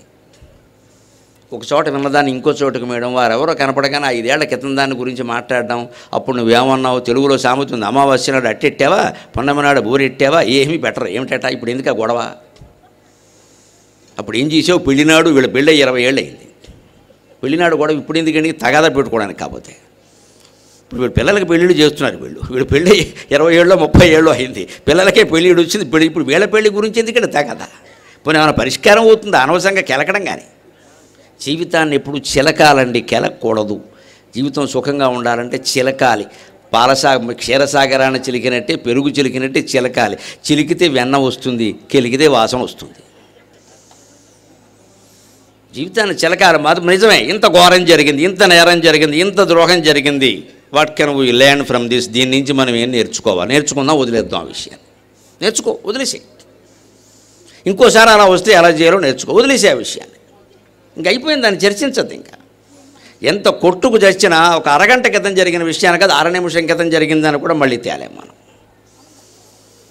ఇది ముందు మన ఋషులు మన సంస్కృతిలో కొన్ని వేల ఏళ్ళ పాటు ప్రాణాయామం ద్వారా ఆరోగ్యంతో ఎందుకు ఉండగలిగారు అంటే వాళ్ళకి ఎక్కడ వస్తువులు అక్కడ పెట్టడం ఎప్పటి పని అప్పుడు చేయడం పెద్ద విషయం కాదు. అది వెంట్రుకవాసి. వాళ్ళకి మామూలుగా అలవాట్లో భాగం అది. ఎక్కడ విషయాన్ని అక్కడ వదిలేసేవాళ్ళు వాళ్ళు. మనలో చాలామందికి లేని అలవాటు అది. ప్రతి దాన్ని పట్టుకుని బీకానాం లాగానాం బీకానాం లాగానాం. దా కొట్టుకుందాం అంతే ఇంకా. ఎప్పటికీ తమది ఇది నేను గొప్ప అంటే నేను గొప్ప. దీనికి మనం స్వస్తి పలకగలగాలి. అప్పుడు మన దృష్టి పూర్తిగా పరిశోధన మీద ఉంటుంది. జీవితాన్ని కూడా మనం పరిశోధిస్తాం. మహాతత్వవేత్తలు చెబుతారు నువ్వు ఎన్ని గ్రంథాలు చదివినా సరే జీవితాన్ని నిర్భీతుడవై చదవకపోతే నీ జీవితం దండగే. ఈ తిరునళ్ళ పుస్తకములేమి పఠింతువు? ఈ తిరునళ్ళ పుస్తకములేమి పఠింతువు? జీవితము నిర్భీతుడవై పఠించి సవరించుకొనందగు నిన్ను నీవు ప్రాభాతిక ముక్తి మందిర కవాట విపాటన సాధనము నీ ప్రాభాతిక ముక్తి మందిర కవాట విపాటన సాధనము నీ చేతన జిడ్డు వదల్చెను కృష్ణమూర్తి. జిడ్డు కృష్ణమూర్తి గారి పుస్తకాల సారాంశం అంతా ఇదే సాగర ఘోష కావ్యంలో రాశాను నేను. ఎన్ని చదువుతావయ్యా? ఆ పురాణం అంటావు ఈ పురాణం అంటావు యోగ వాసిష్టం అంటావు ఇంకోటి అంటావు అష్టావక్ర గీత ఇంకా బాగుంటుందని అంటే అభ్యాసాలు వారెవరో ఇంకా బాగా చెప్తారని ఎన్ని వింటావు ఎన్ని చదువుతావు ఎక్కడికి అంతు ఇది? ఈ చదివిన గ్రంథం నుంచి లేదా ఉన్న ప్ర- విన్న ప్రవచనం నుంచి దాన్ని అన్వయం చేసుకుని జీవితాన్ని చదువు. పొద్దున్నుంచి లేచింది మొదలు మనం ఏం చేసాం ఇవాళ? ఇందులో మనకు కలిసి వచ్చింది ఏమిటి? చేసిన పనే చేసిన పనే మళ్ళీ చేస్తున్నాం కదమ్మా. చేసిన పనే చేసిన పనే మళ్ళీ చేస్తున్నాం. యోగ వాసిష్టంలో చెబుతారు చాలా విచిత్రమైన అనమాట పునరాలింగ్యతే కాంత పునరేవచ భుజ్యతే పునరాలింగ్యతే కాంత పునరేవచ భుజ్యతే పునస్తాన్యేవ కర్మాణి లజ్జాయై నచతుష్టయి అదే రకమైన కామోపభోగాలు స్త్రీ పురుషులు ఎన్నేళ్ళు వచ్చినా పొందుతున్నామా లేదు? అదే భోగాలు. ఏమిటిది? ఎంతకాలం ఎప్పటికైనా ఓ విరక్తి రావద్దా? పునరేవచ భుజ్యతే. వంకాయ అల్లం కొత్తిమీర పెట్టి తినాలని ఉందా? ఓ వంద సార్లు తిన్నాం ఇప్పటికి. ఇప్పుడు తిని ఏమిటి చేస్తావు? ఆ తిని చాలా రోజులైంది ఎన్ని రోజులు మళ్ళీ తిని ఏమిటి చేస్తావు? మళ్ళీ చాలా రోజులు అయ్యే వరకు తినవు అంతేనా? తినేం చేస్తామంటే మళ్ళీ చాలా రోజులు అయ్యే వరకు తినం మళ్ళీ తింటాం. ఆ కొత్తిమీర కారం సరే కానీ అసలు జీలకర్ర కారం వేరు అదో లెక్క అనమాట మళ్ళీ. ఎన్నైనా వేపుడు వేపుడైనా అయ్యా మళ్ళీ అదోటి ఇక్కడ. ఈ ఎప్పటికిది అంతు పునరేవచ బుజ్జితే అదే బొబ్బట్లు అదే పులిహార అదే బూర్లు అదే కన్నమెట్టావు అదే నెయ్యి చేసావు ఓ బూరు బూరు పడంగా ఇంకో ఇంత బూరు బొగ్గలు వేసుకుని. ఏమైంది? అరవై ఏళ్ళ పాటు తింటూనే ఉన్నాం ఇవన్నీ. దీనికి ఎక్కడ పులుస్తా పో చుక్కలేదా? ఇక రోజు అదే కాంక్ష. పునరేవచ భుజ్యతే పునరాలింగ్యతే కాంత. పునఃస్థాన్యేవ కర్మాణి. పొద్దున్న లేవగానే అదే మొహం గడగడం అదే మంచం మించి లేవడం అదే నిద్ర ఆవరిస్తూ కూర్చోవడం ఇక్కడ పక్క వాళ్ళు లేచారా లేదా అన్న వాళ్ళని తిడుతూ కూర్చోవడం అక్కడ. అదే మళ్ళీ మొహం కడుక్కుంటూ ఉండడం అదే కాలకృత్యాలు అదే స్నానం. అది మళ్ళీ అలాగే వేసుకున్న బట్టలే మళ్ళీ వేసుకుంటూ ఉండం. మళ్ళీ అలాగే ఏదో పూజ పురస్కారం చేసినా చేయకపోయినా చేసినా అదే చేయకపోయినా అదే. చేసేవాడికి అదే మళ్ళీ చేయగిన వాడికి అదే మళ్ళీ. ఇలా మొత్తం గడిచిపోతుందండి. ఈ విసుగొచ్చేటువంటి నిత్య జీవిత క్రమాన్ని సంప్రదాయబద్ధంగా సంప్రదాయ సారాంశాన్ని మనం తెలుసుకుని గడపగలిగితే విసుగు రాదు. పైగా అది విసుగు నుంచి మనకి వైకుంఠానికి దారి చూపిస్తుంది. ఆనందంగా ఉండడం ఎలాగో చెబుతుంది. మన సంస్కృతి సంప్రదాయంలో విశిష్ట ఈ విసుగొచ్చేటువంటి నిత్య జీవిత క్రమాన్ని సంప్రదాయబద్ధంగా సంప్రదాయ సారాంశాన్ని మనం తెలుసుకుని గడపగలిగితే విసుగు రాదు. పైగా అది విసుగు నుంచి మనకి వైకుంఠానికి దారి చూపిస్తుంది. ఆనందంగా ఉండడం ఎలాగో చెబుతుంది. మన సంస్కృతి సంప్రదాయంలో విశిష్టతది అందుకే మొట్టమొదట లేచింది మనిషి లేచింది మొదలు పడుకునే వరకు ఉండే క్రియల్లో ఏ పని ఎలా చేయాలో మన సంస్కృతి సంప్రదాయం ఎలా చెప్పిందో తెలుసుకునేటువంటి ప్రయత్నం చేద్దాం. ముందు లేవగానే ఇలా కాలు కాలు నేల మీద పెట్టాం. పెట్టేయకూడదు అలాగా. సముద్రవసనే దేవి పర్వతస్తన మండలే విష్ణుపత్రి నమస్తుభ్యం పాదస్పరిశం క్షమస్వమే. ఈ ప్రార్థన చేసి కాలు పెట్టమన్నారు. నీకు ప్రార్థన చేత కాకపోతే తెలుగులోనైనా మాట్లాడేం పర్వాలా ఈ అడుగు భూమి మీద పెడుతున్నామంటే భూదేవిని క్షమాపణ కూడా నువ్వెవడవయ్యా? భూదేవి మీద కాలు పెట్టడానికి భూదేవి అంటున్నాం కదా విష్ణుపత్ని నమస్తుభ్యం అంటున్నాం కదా శ్రీదేవి భూదేవి సమేత శ్రీ వెంకటేశ్వర స్వామి కళ్యాణం. మరి భూమి మీద కాలు పెడుతున్నామంటే భూదేవి ఒంటి మీద శరీరం పెడుతున్నట్టే కదా విష్ణుమూర్తి ఊరుకుంటాడా? ఈ భావన రావాలి. పౌరాణిక పురాణాల వల్ల ప్రయోజనం అది. అక్కడికి వచ్చేసరికి మనం ఏమంటామంటే ఆ భూమి ఒక ఊరికే గోళం కదండి అలా భూ- విష్ణుమూర్తి పెడదామనుకుంటే ఏం చేయలేం కదండి మనం కాలు పెట్టలేం కదండి భూమి ఒక గోళం. సరేనమ్మా భూమి గోళమే. దాన్ని ఎక్కడ కలుషితం చేయకూడదు. భూమండలాన్ని మొత్తం జాగ్రత్తగా చూడాలంటే అవన్నీ మా వల్ల కాదంటే మేము గుళ్ళోకెళ్ళి శ్రీదేవి భూదేవి శ్రీమతి వెంకటేశ్వర కళ్యాణానికి వెయ్యి నూట పదహారులు ఇచ్చామండి కాబట్టి పుణ్యం అంతా మాదే. ఎంతకంటే అజ్ఞానం లేడు ఎంతకంటే మోసగాడు కూడా లేడు ఇప్పుడు భూమండలా మొత్తం కలుషితం చేస్తాడు భూదేవి కళ్యాణం చేయించి ఎవరికయ్యా నీ కళ్యాణం కావాలి భూమి అంతా క్షవరం అయిపోతుంటే. భూమి కలుషితం కాకుండా చూడకుండా భూదేవి కళ్యాణం అంటే దాని అర్థం ఏమిటి? భూమిని కలుషితం కాకుండా ఉంచండి అదే భూదేవి. భూదేవిని గౌరవించడం ఉండేది. అదే శ్రీదేవిని గౌరవించడం డబ్బు ఎలా సంపాదిస్తున్నాం ఆలోచించుకోసారి లక్ష్మీం క్షీర సముద్రరాజతనయాం తనయాం పాలసముద్రంలో పుట్టింది లక్ష్మీదేవి. పాపాల సముద్రంలో పుట్టలేదు. మనం సంపాదించే ప్రతి రూపాయి పాల సముద్రంలో పుట్టాలి. పాపాల సముద్రంలో పుట్టకూడదు. ఇలా మనం డబ్బు విషయంలో ఆలోచించుకుని భూమి విషయంలో ఆలోచించుకుని మన భూమి ఏదో మనం అట్టి పెట్టుకుని ఇతరుల భూమిని ఆక్రమించకుండా భూమిని కలుషితం కాకుండా వీలైనంత కలుషితం చేసే పదార్థాల వాడకం మొత్తం మానేయలేకపోయినా కనీసం కొంతైనా తగ్గిస్తే మనం అందరం శ్రీదేవి భూదేవి సమేత వెంకటేశ్వర స్వామి కళ్యాణం చేసినట్టే చూసినట్టే. ఆ పైన గుళ్ళోకి వెళ్ళి చూస్తే మరీ పుణ్యమేనండి అనుభూతి కలుగుతుంది కదా చేసి చూస్తున్నాం కదా. చేసి చూస్తున్నామండి. పిల్లలు పెళ్ళి చేసామమ్మా మనం పీటల మీద కూర్చొని పిల్లకో పిల్లాడికో పెళ్ళి చేసాం అప్పుడు కలిగే ఆనందం వేరు. ఓ ఏడాది అయ్యాక వాళ్ళు మనవనో మనవరాలనో పట్టుకొచ్చి మనకి ఇచ్చారనుకోండి. ఆ ఆనందం వేరుగా మన కళ్ళ ముందు పుట్టారు. అప్పుడే పెళ్ళి అయిపోయింది మనవాడు కూడా వచ్చేసాడు. ఈ ఆనందం వేరు కదండి. అలాగే మనం భూమిని కలుషితం కాకుండా పర్యావరణ పరంగా ఏ జాగ్రత్తలు తీసుకోవాలో అవి తీసుకుని డబ్బు కూడా కలుషితం కాకుండా సక్రమంగా సంపాదిస్తున్నామా లేదా అని ప్రతి రూపాయి విషయంలో మనం ఆలోచించాక అప్పుడు వెంకటేశ్వర స్వామి గుళ్ళోకి వెళ్ళి శ్రీదేవి భూదేవి కళ్యాణం చూస్తే మనకంటే పుణ్యాత్ముడు ఉంటాడా? ఆ అనుభూతి అప్పుడు కలుగుతుంది. ఇవేవి చేయకుండా కలగమంటే ఏమవుతుంది? నేను ముందు కూర్చున్నా నేను లక్ష రూపాయలు ఇచ్చా ఆ విగ్రహం నేనే చేయించా. ఇవన్నీ అక్కడెక్కడ రికార్డులు లేవు. స్పీకర్ గారు రికార్డులు తొలగిస్తారు మొత్తం.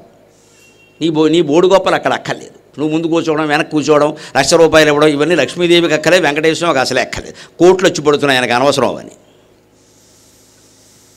ఇవన్నీ మనం గొప్పలు చెబుతామండి మేము ఎప్పుడు తిరుపతి వెళ్ళినా సరే మాకు ముందే ఎందుకు ఈ గొడవ? అసలు మాకు ముందే అని అంటున్నావు అంటే ముందు తిరుపతి వెళ్ళడం అనవసరం. ఆ అహంకారం పోనప్పుడు మనం గుళ్ళోకి వెళ్ళి ఉపయోగం లేదు. ఆ అహంకారం పోవడానికి తల తీయమంటే ఎవడు తీయడు కాబట్టి తల నీలాలైనా తీయండియా బాబు అన్నాడు మనం నీరాలు తీయడానికే వెంట్రుకలు తీయడానికే పెద్దదో వేల కోట్ల రూపాయలు వెంకటేశ్వరకి దానం ఇచ్చినట్టు మాట్లాడుతున్నాను అక్కడ నేను ప్రతి నెలా గీయించేస్తా. ఎంతమంది గీసేవో చెప్పు నువ్వు గీయించుకోవడం కాదు. చాలామంది గీసేసి ఉంటావు ఈ పాటికి. నీ వల్ల చాలా తిరుక్షావరం అయిపోయి ఉంటుంది కుటుంబాలకి. ఎంతమందికి మనం గుండు గీసామో చెప్పండి. నేను గీయించుకున్నా నేను గీయించుకున్నా. ఎవడికి నువ్వు గీయించుకుంటే ఇక్కడ? నేను నెల నెల గీయించి బారేస్తా పెద్ద విషయం ఇక్కడ. దాని మీద వెంకటేశ్వర ఈయన గుండు చూడడం కోసం కూర్చున్నాడు అక్కడ. వీళ్ళు నెల నెల వస్తాడు నెల నెల నాకు పరమ భక్తుడు. గుండు గీయించుకున్నవాడు భక్తులు ఏమిటండి? వీడు ఎంతమంది గుండు గీసాడో ఎంక్వైరీ చేయిద్దా? ఈ టెక్నికల్ సాంకేతికమైన విషయాలకి మనం ప్రాధాన్యం ఇచ్చి వాటిని గొప్పగా చెప్పుకుని నేను నెల నెలా పెడతా నేను ఏటా పెడతా నేను కాశీ పసిసార్లు వెళ్ళా అనవసరమైన విషయం అది. అదంత గొప్పగా చెప్పాల్సిన విషయం కాదు నువ్వు వంద సార్లు వెళ్ళా అనవసరం. శివుడు కూడా తనలేపి వెళ్ళడం మానయ్య సుఖంగా ఉంటాడు. కాశీ వెళ్ళిన త్యాగం మనం గమనించామా? కాశీ ఎందుకు వెళ్ళమన్నారో తెలుసుకున్నాం అప్పుడు మొదలవుతుంది. అందుకే నేల మీద అడుగు పెడుతూ ఏం చెప్తున్నాం సముద్రవసనే దేవి. శ్రీది భూదేవిని ఒక స్త్రీగా భావించమన్నాడు. ఆవిడ్ని విష్ణుమూర్తి యొక్క భా భార్యగా భావించబడు మన గౌరవం కలుగుతుందా కలగదా? ముందు స్త్రీగా భావించ అని అనగానే మన మనసులో ఒక లాలిత్యం ప్రవేశించింది స్త్రీ అంటే లాలిత్యం పురుషుడు అంటే గాంభీర్యం. స్త్రీ అంటే లాలిత్యం. స్త్రీ కూర్చుంటే కూడా లలితంగా కూర్చోవాలి. పురుషుడు కూర్చుంటే గంభీరంగానే కూర్చోవాలి.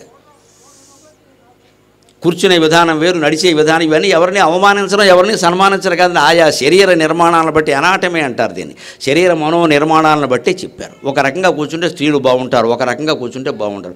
పురుషులు ఒక రకంగా కూర్చుంటే బాగుంటారు. ఈ రెండు కాళ్ళు కుర్చీలు వేసి ఇలా వేరుశనకాయలు కొట్టుకుంటే బాగుండదు. ఎలా కూర్చుంటే నీకే అనకూడదు. పురుషుడు కూర్చునే విధంగానే కూర్చోవాలి. పురుషుల్లో గాంభీర్యం ముఖ్యం స్త్రీలో లాలిత్యం ముఖ్యం. వాళ్ళ శరీర నిర్మాణాన్ని బట్టి మనో నిర్మాణాన్ని బట్టి చెప్పారు. అప్పుడు వాళ్ళ జీవితం కూడా బాగుంటుంది. అంతే భూ స్త్రీని స్త్రీగా భావించావు. సముద్ర వసనే దేవి. వసనం అంటే వస్త్రం ఇక్కడ. వసించడం కాదు. చుట్టూ ఉన్న సముద్రం భూదేవికి వస్త్రం. అంటే భూమి కట్టుకున్న బట్ట సముద్రం. ఆ సముద్రం పాడైతే భూదేవికి వస్త్రాపహరణం చేసినట్టేగా మనం అనుమాన వేదన ఉందా? ఇది మన పురాణాలు అందిస్తున్న సందేశం. అంతేకాని భూదేవికి సముద్ర వస్త్రం అంటే అంటే నేను సముద్రం అంత బట్ట పట్టుకెళ్ళి ముప్పై ఆరు తాళ్ళు పట్టుకెళ్ళి గుళ్ళో బారేస్తా అనవసరమైన విషయం అది. గోదావరి పుష్కరాలప్పుడు అలాగే చేశారు. నేను ఆశ్చర్యపోయిన. అజ్ఞానం ఎంత వ్యాపించే పదహారు వందల గజాలు ఏదో పెట్టారని చీర. పదహారు వందల గజాలు ఏకంగా ఏదో. అది నూట నలభై ఐదు నూట నలభై నాలుగు పుష్కరం అన్నారు కదా. నూట నలభై నాలుగు గజాలు నూట నలభై నాలుగు వందల గజాలు వచ్చి ఇంత పెద్ద చీర పట్టి గోదావరి నదంతా కప్పేసేసి లోపల వదిలేశారండి. ఎన్ని జీవులు చచ్చిపోయి ఉంటారేమో ఆ చీర మడతల్లో. ఆలోచించారా ఎవరైనా?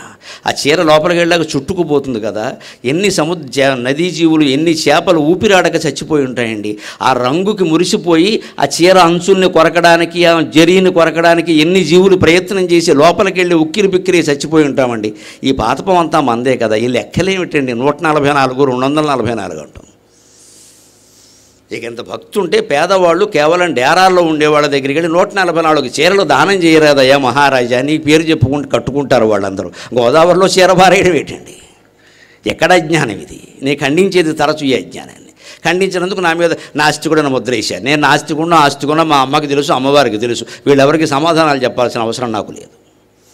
ఏది నాస్తికత్వమో ఏది ఆస్తికత్వమో మీరే ఆలోచించండి. గోదావరి పేరు మీద నూట నలభై నాలుగు చీరలు మీరు దానం చేస్తారా? నూట నలభై నాలుగు గజాల చీర పట్టుకెళ్ళి గోదావరిలో ఉంచుతారా ఏది ఆచారం ఏది పద్ధతి ఏది సంప్రదాయం? సముద్రవసనే దేవి అంటే అర్థమేమిటి సముద్రం బట్ట బట్టగా కట్టుకుంది భూదేవి అంటే భూమండలాన్ని మీరు కలుషితం చేస్తే సముద్రాన్ని కలుషితం చేస్తే భూదేవికి వస్త్రాపహరణం చేసినంత పాపం అని చెబుతున్నారా లేదా? అడుగు పెట్టినప్పుడే చెబుతున్నారే? ఆలోచించుకోరా అని. పర్వత స్థన మండలి అన్నారు. వెంటనే బయలుదేరిపోతారు. నాస్తిక మేళం అంతా తయారవుతారు అమ్మవారి యొక్క స్థానాలను వర్ణించాడు వీడికి ఎందుకు అర్థం కాదు ఇది. అక్కడ బట్టను వర్ణించారా లేదా?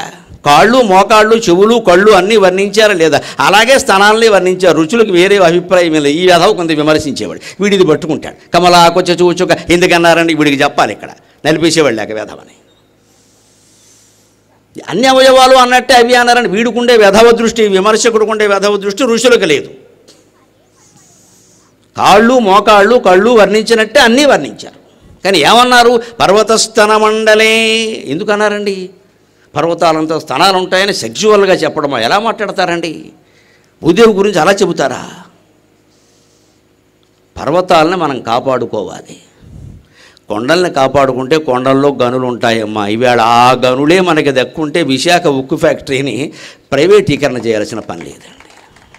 కొండలు నాశనం కాబట్టి గనులన్నీ ప్రైవేటు వ్యక్తులకు ఇచ్చేయబట్టి గవర్నమెంట్ పేరు మీద ఏ గనులు లేకపోబట్టే పూర్తిగా మంది కాదు కదా అని అందరూ అశ్రద్ధ చేపట్టి ఈవేళ మొత్తం ఆంధ్రుల హక్కు విశాఖ ఉక్కు అని పోరాడిన మహానుభావుల ప్రాణత్యాగాలు ముప్పై రెండు మంది ప్రాణత్యాగాలు వృధా కాబోతున్నాయి.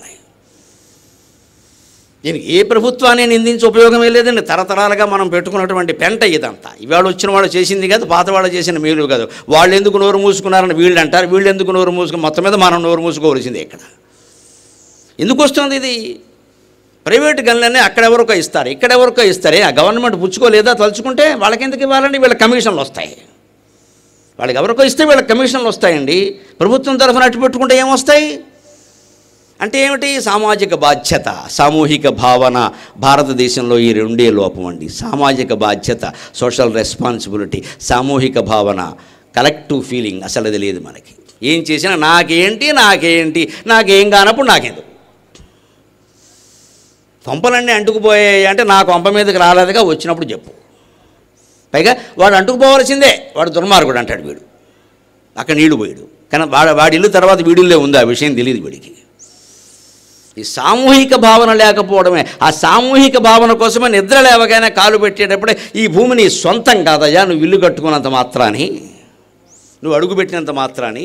దీని విలువ ఏమిటో తెలుసు ఇది సముద్ర వసనే దేవి. సముద్రం వస్త్రంగా ధరించినటువంటి తల్లి. సముద్రాన్ని భూమిని కాపాడుకోకపోతే ఈ తల్లి మీద అడుగుపెట్టే హక్కు నీకు లేదు. లేకపోతే అవన్నీ కాపాడితే తల్లి ఒళ్ళో పిల్లాడు అడుగుపెట్టినట్టే హాయిగా అడుగుపెట్టచ్చు తల్లి ఒళ్ళో మనం కూర్చునేటప్పుడు చేత్తో ముందు కూర్చుని చేయి ముందు పెట్టినా కాలు ముందు పెట్టినా తల్లి ఏమనుకోదు. గుండెల మీద కాలు పెట్టినా ఏమనుకోదు. నా బంగారు కొండ అంటుంది. అంత ప్రేమిస్తుంది భూదేవి మన నా బిడ్డ నన్ను బాగా చూసుకుంటున్నాడు. అంటే భూదేవికి ఆలయం కట్టడం విగ్రహం పెట్టడం అభిషేకం చేయడం కదా. భూమిని బాగా చూసుకోవాలి. పర్యావరణం అక్కడ ఉన్నది పర్యావరణం అమ్మ. కేవలం ఒక విగ్రహాన్ని ఆరాధించడం కాదు. మనం ఇందాక మనం చెప్పుకున్నట్టే మెట్టు దగ్గర ఆగిపోయాం. విగ్రహారాధన దగ్గర ఆగిపోయి. ఇంకా పైన అనవసరం అండి. పుణ్యం వచ్చేసింది కదండి. ఆ పై పర్యావరణం అనేదాన్ని మర్చిపోయాం అసలు. అదేదో సైన్సు. దానికి మతానికి సంబంధం లేదు. ఇదేదో మతం. ఈ ప్రార్థన శ్లోకమేమో మతం. అదేమో సైన్స్. ఇందులో ఉన్నదంతా సైన్సే.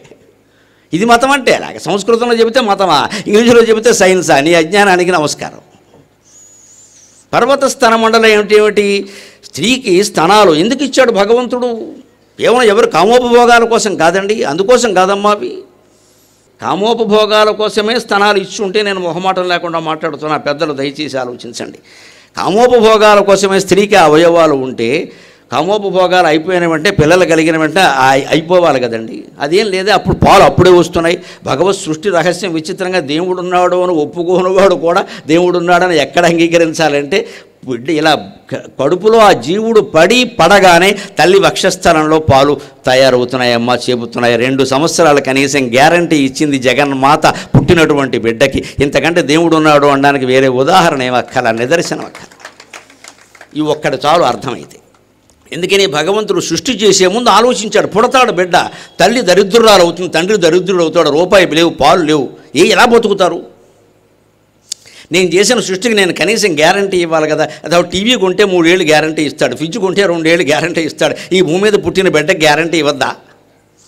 అని ఈవిడ తిన్నా తినకపోయినా ఎలా ఉన్నా ఈవిడికి పాలు చేపేలాగా ఆ చేపినటువంటి ముర్రు పాలు అంటారు. మొదటి మూడు రోజుల పాలు అయితే ముర్రు పాలు ఆ పాలు బిడ్డకి చాలా ఆరోగ్యం ఆన కలిగించేలాగా చేసినటువంటి భగవంతుడికి శతధా నమస్కారాలు సహస్రధా నమస్కారాలు. ఎన్ని నమస్కారాలు చేసినా మన రుణం తీరదు. ఈ ఒక్క మహిమ చాలు. ఇంకేం అక్కల మనకు కనపడుతున్న మహిమ. ఇదేం గారడీ కాదు ఇది. కనపడుతున్న మహిమ. అంతవరకు లేవే. ఆవిడ శరీరం శరీరంలాగే ఉంది. ఏవో అవయవాలు ఆకస్మికంగా పెరగడం ఆ ఎనిమిదేళ్ళ వయస్సు నుంచి ప్రారంభించి అక్కడ సరిగ్గా తల్లి వేసరికి అందులో పాలు రావడమా? బిడ్డ ఆ పాలు తాగడమా? పైగా తాగమని తాగే విధానం వీడికెవరు చెప్పారు? ఈ ఇవ్వక తప్పదని ఆవిడకెవరు చెప్పారు? ఇదేమైనా కోచింగా ఆవిడకి ఇవ్వక తప్పని పరిస్థితి ఉంది. అంతే కదా? లేకపోతే లేకపోతే నొప్పులు వస్తాయండి. అప్పుడు బాధ ఆవిడది. ఇవాళ ఆ నొప్పులు కూడా భరించి పిల్లలకి పాలిపోయిన తల్లులు ఉన్నారే? మహాతలులమ్మ వాళ్ళకి నమస్కారం. వాళ్ళని తల్లులు కదా మహాతల్లులు అంటారు. కోపం వస్తే మహాతల్లు అంటారు కదా? వీళ్ళందరూ మహాతల్లులు. నమస్కారం. నొప్పులైనా భరిస్తాం కానీ వాడు చచ్చినా మంచిదే కానీ మేము పాలివ్వం డబ్బా పాలయిస్తాం సీసా పాలు నేను ఎక్కడో అవధానం చేస్తుంటే అడిగారు మీరు బాగా అవధానాలు చేస్తున్నారు పద్యాలు చేస్తున్నారు మీలాంటి అవధానాలు మళ్ళీ పుడతారని. డబ్బా పాలు మానిపిస్తే పుడతారని చెప్పాను నేను. నేను ఎప్పుడు డబ్బా పాలు తాగల తల్లిపాలే తాగారు. పైగా నేను చివరవాడిని ఇంట్లో తొమ్మిదో వాడిని తొమ్మిదో వాడికి కూడా మూడు నాలుగు ఏళ్ళు పాలిచ్చింది ఆ తల్లికి నమస్కారం. తొమ్మిదో వాడికి కూడా. వాళ్ళందరికీ ఎలా ఇచ్చిందో ఇక నేను చెప్పక్కల అంత బలం అండి అంత బలం. ఇవాళ సీసా పాలు డబ్బా పాలు వచ్చి అవతల పారేశారు. ఏదో అమూల్ స్ప్రే ఎండ్రిన్ స్ప్రే ఎవరికి కావాలండి ఇది? ఈ మాట ఎవరు చెప్పాలి? సహజంగా భగవంతుడు నీకు ఇది ఎందుకు ఇచ్చాడు? స్త్రీ మనస్సు శరీర నిర్మాణాలు సంతానం కోసమే ప్రధానంగా. పురుషుడి యొక్క శరీర నిర్మాణం మనస్సు అన్ని సృష్టి అభివృద్ధి కోసమే. లేకపోతే స్త్రీ పురుషులుగా రెండుగా విడిపోవలసిన అవసరం పార్వతీ పరమేశ్వరుడికి లేదండి ఒక్కరే ఉండేవారు. సో వేదమే చెబుతున్నమాట ఏకోహం బహుశ్యాం ప్రజాయేతి స తపో అతప్యత స తపస్తప్త్వా తస్మాద్వా ఏతస్మాదాత్మన ఆకాశ సంభూత ఆకాశాద్వాయు వాయోరగ్ని అగ్నేరాపక అద్భ్య పృథివీ పృథివ్యామోషధయ ఓషధీభ్యో అన్నం అన్నాత్ పురుష సవాయేష పురుషోన్నర సమయక ఇత్యుపనిషతు అని సృష్టి రహస్యం చెప్పింది ఉపనిషత్తు. ఏకోహం భగవంతుడు మొట్టమొదటి సంకల్పించాట నేను ఒక్కడనే ఉన్నాను ఒక్కడనే ఉంటే ఆనందమే ఉంటుంది. బహుశ్యాం ప్రజాయేతి నేను అనేక విధాలుగా మారాలని సంకల్పించాడు. ఆయనే అనేక విధాలుగా మారాడు. ఆ మారడంలో మొదట పురుష భాగం వేరు స్త్రీ భాగం వేరు అయినాయి.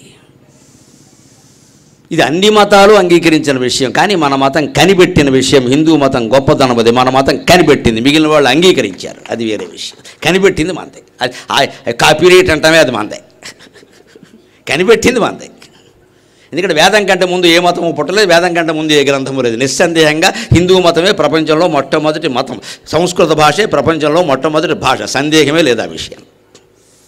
అంతకంటే ముందుందని ఎవడు దేని నిరూపించలేడు ఇక్కడ. ఆ మతాన్ని ఆ సంస్కృతిని పారదోలేసేసి వాళ్ళు మనం వేరే ఆచారాలు తెచ్చిపెట్టుకుంటే ఎక్కడి నుంచి వస్తాయి? నేను ఒక్కడనే ఉన్నాను బహు అనేకం కావాలని సంకల్పించడం సంకల్పమే సృష్టికి మూలం. అందుకే సృష్టి ఏర్పడడానికి ముందే ఉంటుందని ఈ కల్పం శ్వేతవరాహ కల్పం మేఘవాహన కల్పం పద్మ కల్పం బ్రహ్మ కల్పం అన్ని కల్పం. కల్పం అంటే కల్పన సంకల్పం అని అర్థం అది. కల్పన థియేటర్ కాదు.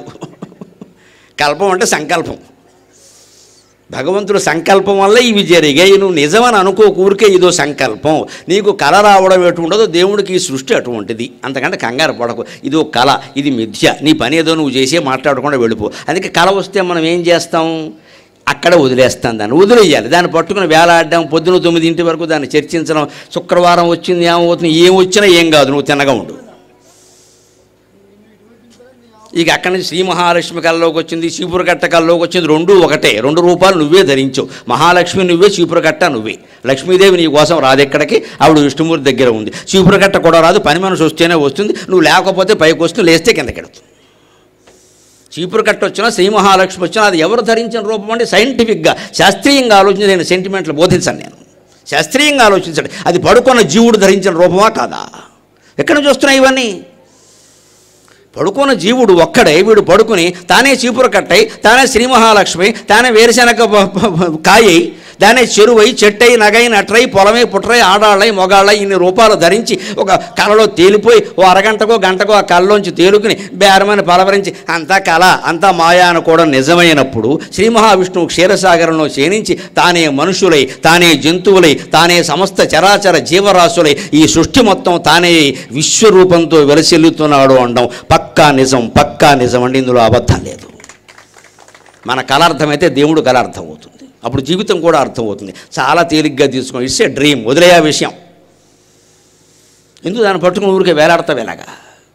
నువ్వు ఉండడం మిచ్చే నీ సంసారం మిచ్చే. వదిలే. కాతే కాంత అకస్తే పుత్ర సంసారోయం అతీవ విచిత్ర భజగోవిందంలో చెప్పిన మాట ఎవరి స్త్రీ ఎవరి పురుషుడు మళ్ళీ వీరిద్దరి వల్ల ఇంకో కొడుకు పడ్డేమటి ఇదో విచిత్రం ఇది. సంసారోయం అతీవ విచిత్ర అంటారు శంకరాచార్య. విచిత్రం ఎందుకన్నారు? కళార్థమైతే అది అర్థమవుతుంది. ఇది భగవంతుడు కంటున్న కళ. అందుకే నేను ఎప్పుడప్పుడు చెబుతూ ఉంటా తేలిగ్గా ఉండాలి. అమ్మవారిదమ్మ ఈ సృష్టి ఆవిడ చూసుకుంటుంది వదిలేయనంటాను. ఆవిడ వదిలేయను మీరు. మనం పట్టు కూర్చోకూడదు అలాగా. కుటుంబ యజమానికి కుటుంబ బాధ్యతలు వదిలేసినట్టే ఇంట్లో వాళ్ళు ఉంటారండి పిల్లలు ఆడవాళ్ళు ఎవరైనా. ఒక్కసారి ఏమంటారు ఆయన చూసుకుంటాడే బాబు నాకు ఎందుకు వచ్చిందంటారు. ఆయన చూసుకుంటాడన్న ధైర్యంతో వదిలేశారా లేదా? అలాగే ఈ మొత్తం కుటుంబానికి మహావిష్ణువు యజమాని అంటే వదిలేయండి ఆయనకి. వదిలేసి మళ్ళీ లాక్కూడదు ఇక్కడ వదిలేయాలి పూర్తి- పూర్తిగా వదిలేయాలి. మళ్ళీ వదిలేస్తాను కానీ ఇలా చేయ అనకూడదు ఎలా చేయాలో ఆయనకు తెలుసు. ఆ చేసింది అంగీకరించడానికి మనం సిద్ధంగా ఉండాలి. దుఃఖం ఎందుకు వస్తుందంటే ఇలా చేయాలి అలా చేయాలి ఇలా రూల్స్ పెడితే కుదరదు ఇక్కడ. ఎలా చేయాలో ఆయనకు తెలుసు. ఒక వంద మంది కర్మలకు కలిపి ఒక ప్రణాళిక రచిస్తాడు. ఆ ప్రకారం జరిగిపోతుంది అది. అందులో వంద మంది కర్మలు ఉంటాయి. ఒక్కోసారి కర్మ కాలితే మనం వదిలిన బాణం మనకే తగులుతూ ఉంటుంది వచ్చి. అది కూడా కర్మే అది కూడా కాలే. మనం వదిలిన బాణం మనకే తగులుతుందండి ఆశ్చర్యమేలా బాణమే తగులుతుంది నిజంగా. నన్నెచూరుడు కుమార సంభవంలో చెబుతాడు మన బాణం మనకి తగలడం ఏంటండి? తగులుతుంది. మన కర్మ కాలితే తగులుతుంది వి- విలుకాడు యొక్క నైపుణ్య లోపం వల్ల జరగదు. వాడు కుమార సంభవంలో వర్ణిస్తారు. తారకాసురుడికి కుమారస్వామికి యుద్ధం జరుగుతుంది. ఈ దేవతల తరఫున ఒక వీరుడు ఉన్నట్ట ఆయన బాణాలు వేస్తున్నాడు. ఒక ఏనుగు వచ్చింది. తారకాసురుడికి సంబంధించిన ఏనుగు. ఒక్క బా మూడు బాణాలు బాగా తీవ్రంగా లాక్కొట్టాయి. మూడు ఏనుగు కుంభస్థలం మీద తగిలాయి. మూడు. అయితే ఏం జరిగింది? బాగా తీవ్రంగా లాక్కొట్టాడేమో అవి దాని ముఖభాగం పాలభాగంలోకి దూరి శరీరంలోకి దూరి వెనక నుంచి బయటకు వచ్చాయి. అంత వేగంగా కొట్టాడు వాడు. రామచంద్రమూర్తి రామాయణ కాలంలో యుద్ధం చేస్తూ ఉంటే ఆ రాక్షసుల గుండెల్లో దూరి బాణాలు వెనక నుంచి వీపులోంచి బయటకు వచ్చి ఆ వెనకాల ఉన్న కోట గోడకో రాళ్ళకో తగులుకునేవిట క్రవ్యాదరగత్రకనద సుర్గాకన భవ్యకృత్ హవ్యకుచ్చోత్కృతములు అని ఆముఖ సమాజంలో కృష్ణ కృష్ణదేవరాయలు వర్ణిస్తాడు మీ గుండెల్లో బాణం గుచ్చితే వీపులోంచి బయటకు వచ్చి వెనకాల వాటికి తగులుకోవడం ఆశ్చర్యం లేదండి? లంకిణిని అలాగే గుద్దాడు. లంకిణి కాదు సింహిక. హనుమంతుడు సుందరకాండలో పైనుంచి దూకేటప్పుడు సింహిక అనే రాక్షసి నీడ రూపంలో అడ్డం వస్తే నువ్వేమిటే? నాకు అడ్డం వచ్చేది? అని పిడికిలి బిగించి ఒక గుద్దు గుండెల్లో గుద్దితే ఈయన పిడికిలి వీపులోంచి బయటకు వచ్చింది అది హనుమంతుడు. ఒక గుద్దు దాని గుండెల్లో గుచ్చితే గుడి ఆ పిడికిలి వీపులోంచి బయటకు వచ్చింది. అలాగే సరిగ్గా తారకాసుర యుద్ధంలో కుమారస్వామికి సంబంధించిన వీరుడు ఒకడు రాక్షసుల ఏనుగును చంపుదామని తీవ్రంగా బాణాలు వేసేట మూడు. ఆ మూడు బాణాలు దాని పాలభాగంలో దిగి లోపలికి వెళ్ళి వేగంగా బయట నుంచి వెనక నుంచి పృష్ఠభాగం నుంచి బయటకు వచ్చాయి ఈ లోపది ఏం చేసింది గమ్మత్తుగా? ఆ బాధగా తట్టుకోలేక వెనక్కి తిరిగింది. అంతే ఆ వెనక నుంచి బయటకు వచ్చిన బాణాలు వీడికి గుచ్చుకున్నాయి. వీడిపోయాడు శ్రీమద్రమారమణ గోవిందో అని అందుకని ఒక్కోసారి మన వదిలిన బాణం మనకే గుచ్చుకుంటుంది. తస్మాత్ జాగ్రత్త తస్మాత్ జాగ్రత్త. ఎంత గొప్పవండి మన పురాణాలు. ఎన్ని కథలు చెప్పే మనుషులు జాగ్రత్త పడతాడు నువ్వేదో గొప్ప వీరుణ్ణి నువ్వు బాణం వేసాను వదలకరా అబ్బాయి నీ బాణం తిరిగి నీకే వస్తుంది. ఎందుకంటే ఆ ఏను గిరగిర తిరుగుతుందని వీడు అనుకున్నాడా? దాని బాధ తట్టుకోలేక అది తిరిగింది. తిరిగే సమయానికి వీడు ఎక్కడే ఉన్నాడు? చూస్తున్నాడు నా బాణం నా బాణం అని. అది ఇటు తిరిగేసరికి ఏమైంది? వెనక నుంచి బయటకు వచ్చిన బాణం వీడు గుండెల్లో కూర్చుకుని వీడిపోయాడు ఇంత విచిత్రమైన విషయాలు నన్నే నన్నచూరుడు కుమార సంభవంలో వర్ణిస్తాడు మహానుభావుడు. కవులు చెప్పినటువంటి సాహిత్యము సంస్కృతి గురించి తెలుసుకుంటే మన జీవితాలు మనకు తేలిగ్గా అర్థమైపోతాయి. మన బాణం మన్నే బాధించకుండా జాగ్రత్తగా ఉండాలి అంటే భగవంతుడిని నమ్ముకోవాలి. మనం చేసే పని ఖచ్చితంగా దేశానికి మేలు చేసేదై ఉండాలి. అప్పుడు ఖచ్చితంగా మన బాణాలు కాదు ఎదుటి వాళ్ళు వేసిన బాణాలు కూడా మనకు తగలవు. ఏ శత్రువు ఏ బాణం వేయని మనకు తగలదు. ఎందుకంటే మనం దేశం కోసం పనిచేస్తున్నాం దైవం కోసం పనిచేస్తున్నాం.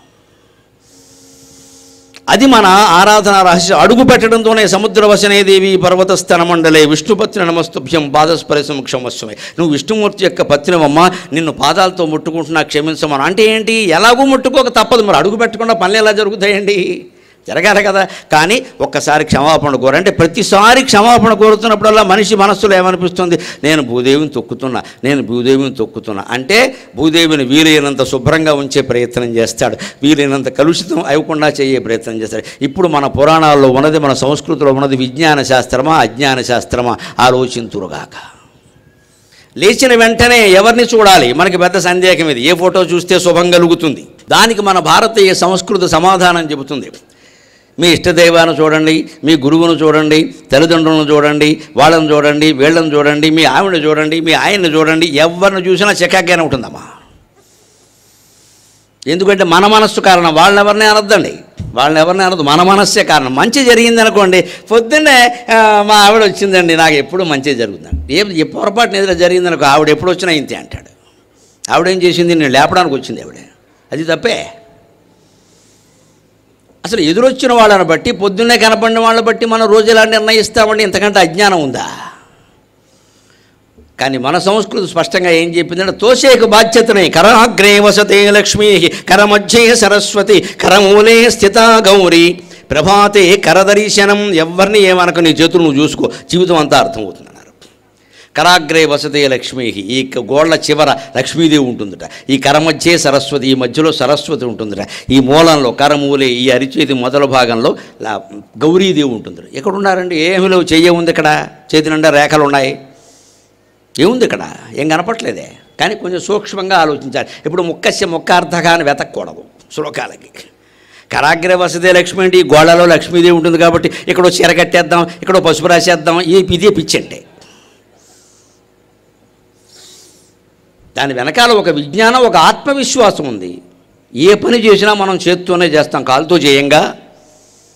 ఇప్పుడు నేను కూర్చుని ప్రవచనం చెబుతున్నా ఎక్కువగా చేతులు ఊగుతున్నాయి గమనించండి. కాళ్ళు ఊగమ్మ. కాళ్ళు ఊగుతూ నేను ప్రవచనం చెబితే మీరు శనంటారు అంటారు వెంటనే నాకు తెలుసు. కాళ్ళు ఊపుతున్నారు ఈయనే పది మందికి చెప్పాల్సిన అంట మాకు ఆశ స్వేచ్ఛ కూడా లేదు. నాకు ఎప్పుడైనా ఊపాలంటే ఇంట్లో కూర్చుని ఊపుకుంటా గొడవ లేకుండా. మా మేనత్త మొగుడు ఒక ఆయన ఉండేవాడు. ఆయన మా నాన్నగారితో మాట్లాడడానికి వచ్చినప్పుడల్లా ఇలా కూర్చుని ఇలా ఇలా ఇలా ఇలా ఊపేవాడు. మా మా మా నాన్నగారు సరదాగా అనేవారు బాబా ఓపక ఓపక ఇప్పటికే పద్నాలుగు ఎకరాలు ఊపావు ఇంకేం ఊపుతావు? అనేవారు. ఆయన పద్నాలుగు ఊపాడు. ప్యాకెట్లో పద్నాలుగు పోయి నేను అక్కడికే అడిగాను ఒకసారి మా నాన్నగారు లేని సమయం చూసి మావయ్య గారు పద్నాలుగు ఎకరాలు ఎలా పోయాయండి? ఆటకో సెంటు చొప్పున ఆడితే పద్నాలుగు వందల సెంట్లు కదా. కొన్ని ఆటలు మీరు గెలిచేవారు కదా. నీ అంత తెలివితేటలు నాకు లేవరా? ఆటకు ఎకరం చొప్పున ఆడేసాను అన్నాడు. మరి పోకేమవుతాయి? పైగా వీరావేశంతో అంతు తెలుసుకుందామని ఆడేసాడు అదే నా అంతు చూసింది అన్నాడు. అప్పుడు మాకు చిన్నతనంలో అర్థమైంది కాలు ఊపితే శని అన్నమాట అందుకే నాన్నగారు మావయ్య గారు అంటున్నారు ఇలాగ. పద్నాలుగు ఊపే బాబా ఇంకేం ఊపుతూ ఉంటాడు. ఊరికే చెప్పరమ్మా అవన్నీ కాళ్ళు ఒప్పకూడదు నిజంగానే. ఆ నరాలన్నీ బలహీనమైపోతాయి. దాన్ని అనవసరంగా శ్రమ పెడుతున్నారు మీరు. శరీరాన్ని శ్రమ పెట్టాలి. ఇలా కాదు. నడవండి శుభ్రంగా. పరిగెత్తండి అవసరమైతే. కూర్చోండి లేవండి. అలా శ్రమ పెట్టండి కానీ ఊరికే కూర్చుని ఇలా ఇలా ఓపడం ఏంటి? అది అనవసరపు శ్రమ. కానీ ఇప్పుడు నేను మాట్లాడుతున్నా కూడా చేతులు మీరు వద్దన్నా ఊగుతాయి గమనించండి. అది నేనేం ప్రయత్నం చేయట్లేదు ఇక్కడ. మాటలను బట్టి ఊగుతాయి. ఏ పని చేయాలని ఇక్కడ జరపాలంటే చెయ్యి కదండి. చేతిలో కూడా ఏ భాగం ఈ భాగంతో చేయమండి. పని చేసేటప్పుడు ఓపెన్ వేరు సీసా తీయాలంటే ఇలా చేయి పట్టుకుని తీస్తాం ఇక్కడ పట్టుకున్నప్పుడు చూడండి ఈ ఈ చివరి భాగాలే పనిచేస్తాయి ఎక్కువ ప్రధానంగా. ఇలా పట్టుకోం కదా ఇలా పట్టుకుంటాం. అంచేది ఏ పని చేసినా నువ్వు చేతులతో చేస్తావు. చేతి చివరి భాగాలే అందులో ప్రధాన పాత్ర వహిస్తాయి. కాబట్టి నీ చేతి గోళ్ళతో వేళ్ళతో నువ్వు ఎన్ని పనులు చేస్తే ఎంత కష్టపడితే అంత సంపద నీకు వస్తుంది కష్టే లక్ష్మి కష్టే లక్ష్మి. కష్టపడితే ఫలం వస్తుంది. ఇది కరాగ్రే వసతే లక్ష్మి. ఇప్పుడు మనం పొద్దున్నే లేవగానే చూసుకున్నామంటే కష్టపడాలని నిర్ణయించుకోవాలి. చూసుకుంటూ కూర్చోవడం కాదు ఇలాగా. పిచ్చెక్కింది అంటారు. ఎంతసేపు చూసుకోవడం మూడు సార్లు చూడాలి ఆరు సార్లు చూడాలి ఎన్నిసార్లు చూసినా ఒకటే కళ్ళు పోతాయి. విషయం తెలుసుకో వదిలే ఆ విషయాన్ని ఇంకా. కష్టపడడం నేర్చుకో గోడు చూసుకుంటే ఏమొస్తుంది కరమధ్యే సరస్వతి. ఇప్పుడంటే ఈ పెద్ద పుస్తక పుస్తకాలు వచ్చేయండి. ఇప్పటికి కూడా మీరు ఎంసెట్ లాంటి పుస్తకాలు ఉంటాయి. పెద్ద ఇంతంత ఉంటాయండి. పుస్తకాల్లో ఏముంటుందో నాకు తెలియదు కానీ పుస్తకం మాత్రం ఇంతలా ఉంటుంది. ఫిజిక్స్ ఎంసెట్ కెమిస్ట్రీ ఎంసెట్ అన్నీ మొత్తం త తలగడా కింద బ్రహ్మాండంగా మనకు వస్తుంది. అందులో ఇప్పుడు రైల్లో పక్కపట్లు తలగడాలు ఇవ్వట్లా. ఓ ఎంసెట్ పుస్తకం పెట్టుకుంటే గొడవ ఉండదు. తెల్లారిలోగా పుస్తకాల జ్ఞానం తలలోకి ఎక్కే అవకాశం కూడా ఉంది. ఏమో ఎక్కుతుందేమో ఎవరికి తెలుసు? ఈ పుస్తకాలు ఉన్నప్పుడు చూడండి మీరు ఇలా చేత్తో పట్టుకోక తప్పదండి. లేదా వ్యాసపీఠమైనా ఉండాలండి ఎదురుగా. అంటే పుస్తకం శ్రద్ధగా చదవాలంటే చేతుల మధ్యలో పెట్టుకుని చదవాలి. కర జే సరస్వతి. జ్ఞాపక శక్తి ఉండాలి అంటే గుర్తుండాలి అంటే పుస్తకం శ్రద్ధగా చదవాలంటే చేతుల్లో పెట్టుకుని చెరుకు పన్నెండు అంగుళాల లెక్క. మన కంటి చూపుకి పుస్తకానికి పన్నెండు అంగుళాల కంటే ఎక్కువ ఉండకూడదు తక్కువ కూడా మంచిది కాదు. ఆ మాత్రం ఉంటే ఎక్కువ ఎవరికి చత్వారం సుమారుగా రాదు. నలభై ఏళ్ళు దాటే వరకు రాదు కనీసం. తర్వాత సంగతి తర్వాత. ఇవాళ ఆరేళ్ళ పిల్లలకి ఆరో తరగతి పిల్లలకి వస్తుంది చత్వారం. కడదోడు వచ్చేసింది ముందు మార్కులు ఎలా ఉన్నా అంచేత కరమధ్య సరస్వతి నువ్వు బాగా శ్రద్ధగా చేతిలో పెట్టుకున్న పుస్తకం చదివితే నీకు చదువు వస్తుంది. కష్టపడితే సంపదలు వస్తాయి. ఇక్కడ కరమూలే సీతాగౌరి నేల మీద పడిపోయామండి. ఎక్కడ అనుకుంటాం? గోళ్ళ మీద ఆనుకోం. వీళ్ళు దెబ్బతింటాయి. మధ్యలో అనుకోం వీలు కాదు. సరిగ్గా ఈ భాగంలో అనుకుంటాం గమనించండి. ఈ భాగంలో ఇలా ఆనుకుని లేస్తాం మనం ఇక్కడ? తమ్మి భాగం అంటారే అడి అడి తమ్మి భాగం అడుగు భాగం. అక్కడ ఆనుకుని లేస్తాం. అంటే శక్తి. గౌరీదేవి అంటేనే శక్తి కదండి అమ్మవారిని ఎప్పటికీ జాతరల్లో శక్తి అంటారు. అంటే నీ చేతి కింద శక్తి ఉంది అంటే ఎప్పుడైనా నువ్వు జీవితంలో కింద పడితే నీ చేతుల మీద నువ్వు ఆనుకొని లే ఎవ్వరి సహాయం కోసం చూడకు. స్వయం శక్తి. స్వయం శక్తి. ఇప్పుడు ముగ్గురు దేవతలు ఎవరండి? లక్ష్మీ సరస్వతి శక్తి ధనశక్తి లక్ష్మీదేవి విద్యాశక్తి సరస్వతీదేవి శారీరక శక్తి గౌరీదేవి. ఈ ముగ్గురు నీ చేతుల్లో ఉన్నారు అంటే ఇలా చూసుకుంటూ కూర్చుంటావా? మూడు ఫోటోలు పెట్టుకుని. లేకపోతే నేను మూడు గుళ్ళు రోజు చూస్తా వద్దు ఈ పని చేయి చాలు. గుళ్ళకి వెళ్ళేవలేదో అది వేరే విషయం నువ్వు పని చేయి. డబ్బుకి నిన్నే నమ్ముకో చదువుకి నిన్నే నమ్ముకో శక్తికి నిన్నే నమ్ముకో. ఉద్ధరేద్ ఆత్మన ఆత్మానమున ఆత్మానం అవసాదయేత్. ఆత్మైవ క్షాత్మనో బంధుకు ఆత్మైవ రిపురాత్మన. భగవద్గీత ఆరోధ్యాయం ధ్యాన యోగంలో మాట. ఉద్ధరేద్ ఆత్మన ఆత్మానం నిన్ను నువ్వే ఉద్ధరించుకోవాలి. నా ఆత్మానం అవసాదయేత్. ఎప్పుడు నిన్ను నువ్వు కించపరుచుకోకు అవమానపరుచుకోకు. మన మనం పొగుడుకోవడం ఎంత తప్పో మన మనం కించపరుచుకోవడం కూడా అంతే తప్పు. అవసరం లేదు ఉన్నది ఏదో చెప్పు. నీకు వచ్చింది ఏదో చెప్పు రాంది ఏదో చెప్పు. అనవసరంగా పొగుడుకోనవద్దు అనవసరంగా తగ్గించుకోనవద్దు. ఓవర్ ఎస్టిమేషన్ మంచిది కాదు అండర్ ఎస్టిమేషన్ మంచిది కాదు. అసలు ఎస్టిమేషన్ చాలు. ఎందుకు ఆ గొడవ అంతా? ఉన్నదేదో చెప్పు నాకు ఇది వచ్చినా ఇది రాదు. అభ్యంతరం ఏముంది? అంచేత మన మీద మనం ఆధారపడడం కోసం కరాగ్రహించి పొద్దున్న లేవగానే ఇది చూసుకుంటే ఏమవుతుంది? నువ్వు కష్టపడి పనిచేయ డబ్బులు వస్తాయి. శ్రద్ధగా చదువుకో చదువు వస్తుంది. ఎక్కడికైనా పడిపోతే జీవితంలో నీ చేతి మీద నువ్వు నిలబడి లేచినట్టే అలాగే లేచే ప్రయత్నం చేయి. ఆ తర్వాత దంతధావనం చేసుకుంటా ఉండవెళ్ళి. నిజంగా దంతధావనంలో మన సంస్కృతిని మన సంప్రదాయాన్ని మన నాగరికతను మనం పాటిస్తే దేశంలో దంత వైద్యుల అవసరం చాలా తగ్గిపోతుంది. దంతవైద్యులు నన్ను మన్నింతురుగాక మీ వ్యాపారమునకు భంగం చేసినందుకు. తగ్గిపోతుందండి. వీళ్ళ మనం చేయట్లేదు ఆ పని వాడమని చెప్పారు. ఆ వేపల్లో మనం వాడడం కోసం ఏం చేశారు? గ్రామ దేవతల జాతరలో వేప వేపాకులు పెట్టారు. గ్రామ దేవత జాతర ఎక్కడ జరిగినా వేప రొట్టెలే వాడతారు మీరు గమనించండి. జాతర జరిగినప్పుడు పశువులను తీసుకొస్తారు అక్కడ ఖచ్చితంగా జాతర అంటే పశువులు వస్తాయి మనుషులే కాదు. ఆవులన్నీ తీసుకురావాలి గేదెలన్నీ తీసుకురావాలి మేకలన్నీ తీసుకురా అమ్మవారి కోపం వస్తుందంటారు. దాని వెనకాల ఉద్దేశం ఇది. వాటికి సామూహికంగా వచ్చే వ్యాధులకి వ్యాపాకుల ద్వారా వైద్యం చేస్తారు. అంత గొప్పగా భారతీయ వైద్యం నడిచింది ఒక రూపాయి ఖర్చు లేకుండా సమస్త జీవరాశులకి వైద్యం జరిగింది. ఇది ఈ- జాతి ఆలోచన. మానవులకు అర్థమవుతుంది అనేది ఋషులు దిగి రావాలి కానీ. జాతరకే గో- గోవులు మేకలను తీసుకురమ్మంటారు. జాతర నాడు గొర్రె ఒక్కో జాతరకి మేకలు ఒక్కో జాతరకి గొర్రెలు ఒక్కో జాతరకి గేదెలు ఇలా లెక్క ఉంటుందండి పల్లెటూళ్ళు. ఆ జాతరకు రావాలని తప్పకుండా. కింద అమ్మోరు జాతరలో కలిసాం మళ్ళీ కలుద్దాంరా అంటాడండి. వాటికి ఆ ఆ సందర్భంలో మీరు ఆ జాతరలు కూడా ఎప్పుడు జరుగుతాయో గమనించండి. శరన్నవరాత్రుల ప్రారంభం రోజుల్లో ఎక్కువ జరుగుతాయి శరత్కాలంలో. ఎందుకంటే ఋతువు మారుతోంది. ఋతువే కాదు సంవత్సరం కూడా సగం అయిపోయింది. చైత్రం వైశాఖం జ్యేష్టం ఆషాఢం శ్రావణం భాద్రపదం ఆరు నెలలు అయిపోయింది అప్పటికి. సరిగ్గా తర్వాత కదండి ఆశ్వీజ మాసం వచ్చేది. ఆశ్వీజమే కదా శరన్నవరాత్రులు అంటే. ఆశ్వీజ నవరాత్రులు. సగం మాసం అయిపోయింది. సగం సగం సంవత్సరం అయిపోయింది. ఇంకో సగం మొదలవుతుంది. ఋతువులు మారుతున్నాయి. అక్కడికి వర్ష ఋతువు అయిపోయింది. శర శరదృతువు ప్రారంభంగా అవుతుంది. వర్షం కారణంగా చిత్తడి నేల అయిపోయి ఉంటుంది. ఆ శరదృతువులోనేమో కీటకాలు విపరీతంగా పెరుగుతాయి. అబ్బ అందుకే అప్పుడు సరిగ్గా దీపావళి పండగ. దీపాలు వెలిగిస్తే చాలు. ఏదైనా బాణసంచా ఉంటే కొద్దిగా కాల్చచ్చు మరీ విపరీతంగా కాదు. మనమేమో ఫైవ్ హండ్రెడ్ వాలా థౌజండ్ వాలా టెన్ థౌజండ్ వాలా వీడో పనికిమాలిన వాలా అయ్యాడు అంత ఓవర్ యాక్షన్ అవసరం లేదు. మనం ఓవర్ యాక్షన్ చేసేసరికి ఏం చేశారు? ప్రభుత్వాల వాళ్ళు విపరీతమైన చట్టాలన్నీ పెట్టేసేసి దీపావళి బాణసంచా వల్లే భూమండలం అంతా పాడైపోయినట్టు మాట్లాడుతున్నారు ఇక్కడ.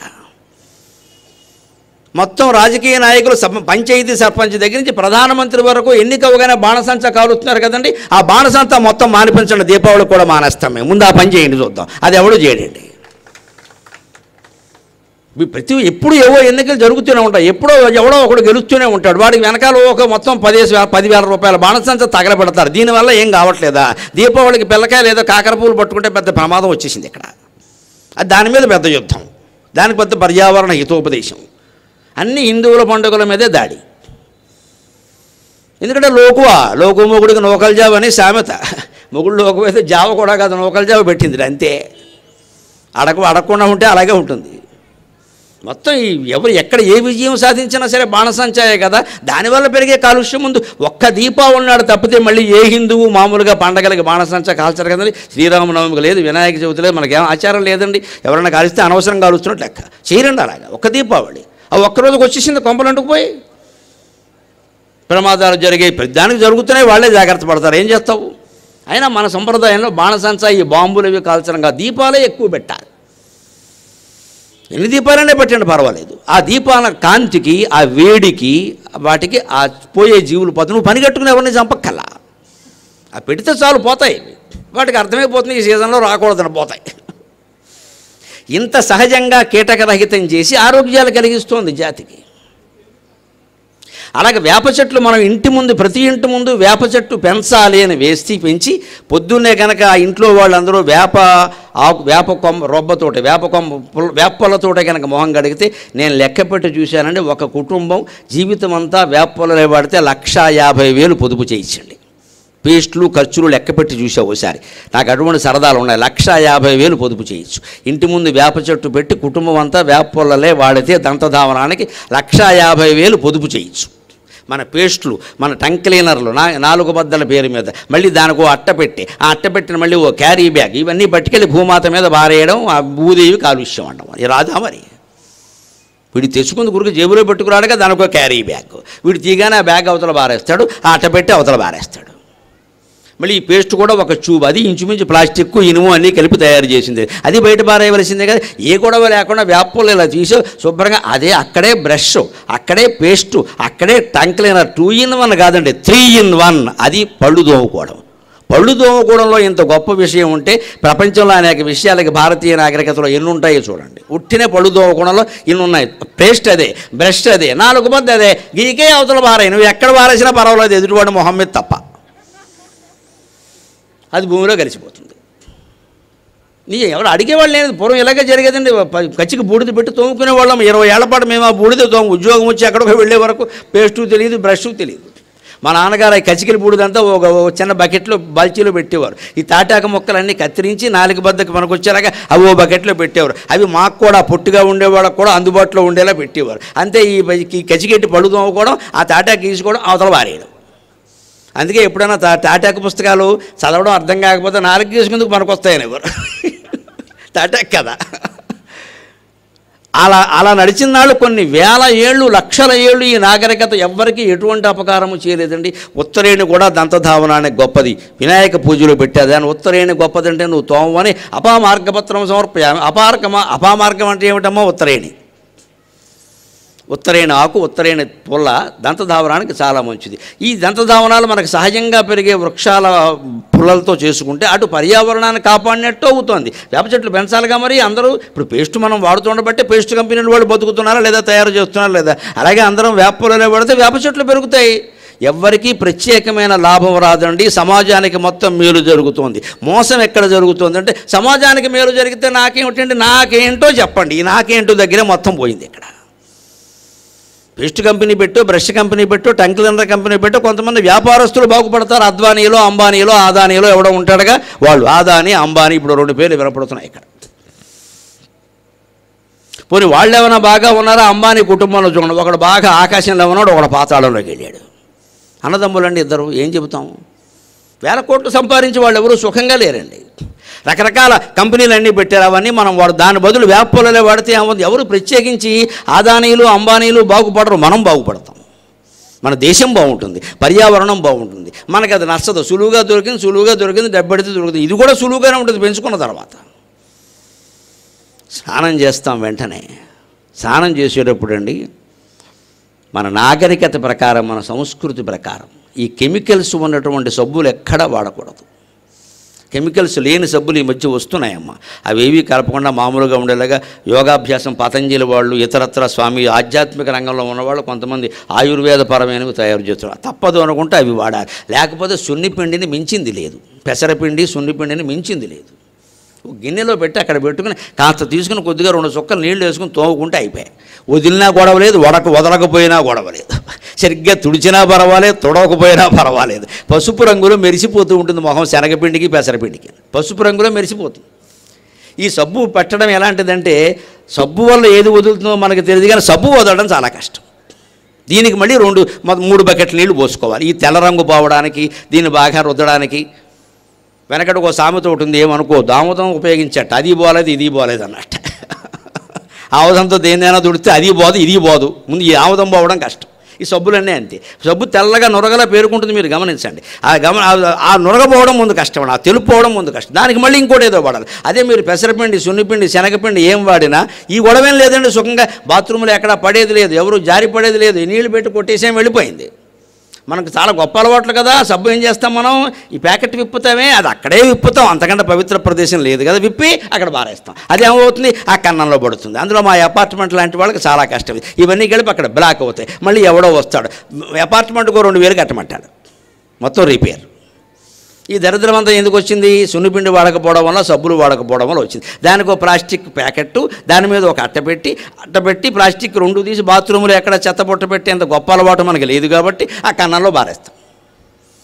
మొత్తం అంతా బ్లాక్ అయింది. దీనికి మన సంస్కృతి చెబుతున్న చిన్న సమాధానం ఏమిటంటే ఒక చిన్న గిన్నెలో స్టీలు గిన్నెలో లేదా ఇత్తడి గిన్నెలో కాస్త సునిపిండి వేసుకుంటే పెసరపిండు శనగపిండు కాస్త ఇలా చేతిలోకి తీసుకోవయా రెండు చుక్కలు నీళ్ళు అయిపోయింది. రుద్దేసుకోవచ్చాయి పైగా ఇది ఇది నాగరికత అండి. నాగరికత వేరు సంస్కృతి వేరు. నాగరికత భౌతికం సంస్కృతి మానసికం ఆత్మీయం.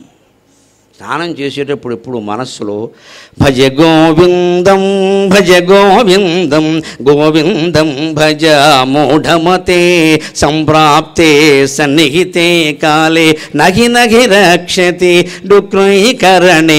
భజ గోవిందం భజ గోవిందం గోవిందం భజ మూఢమతే. శంకరాచార్య స్వయంగా చూసి ఒక పండితుడికి బుద్ధి చెబుతూ చెప్పిన మాట ఇది ఇరవై ముప్పై శ్లోకాలు ఉంటాయి వరుసగా. భజగోవింద స్తోత్రం చర్పట పంజరికా స్తోత్రం అని కూడా అంటారు. దీని జగత్ప్రసిద్ధమైన స్తోత్రం ఇది. ఆ స్తోత్రాన్ని చదువుకుంటూ స్నానం చేయమన్నారు. అలా గోవిందనామస్మరణ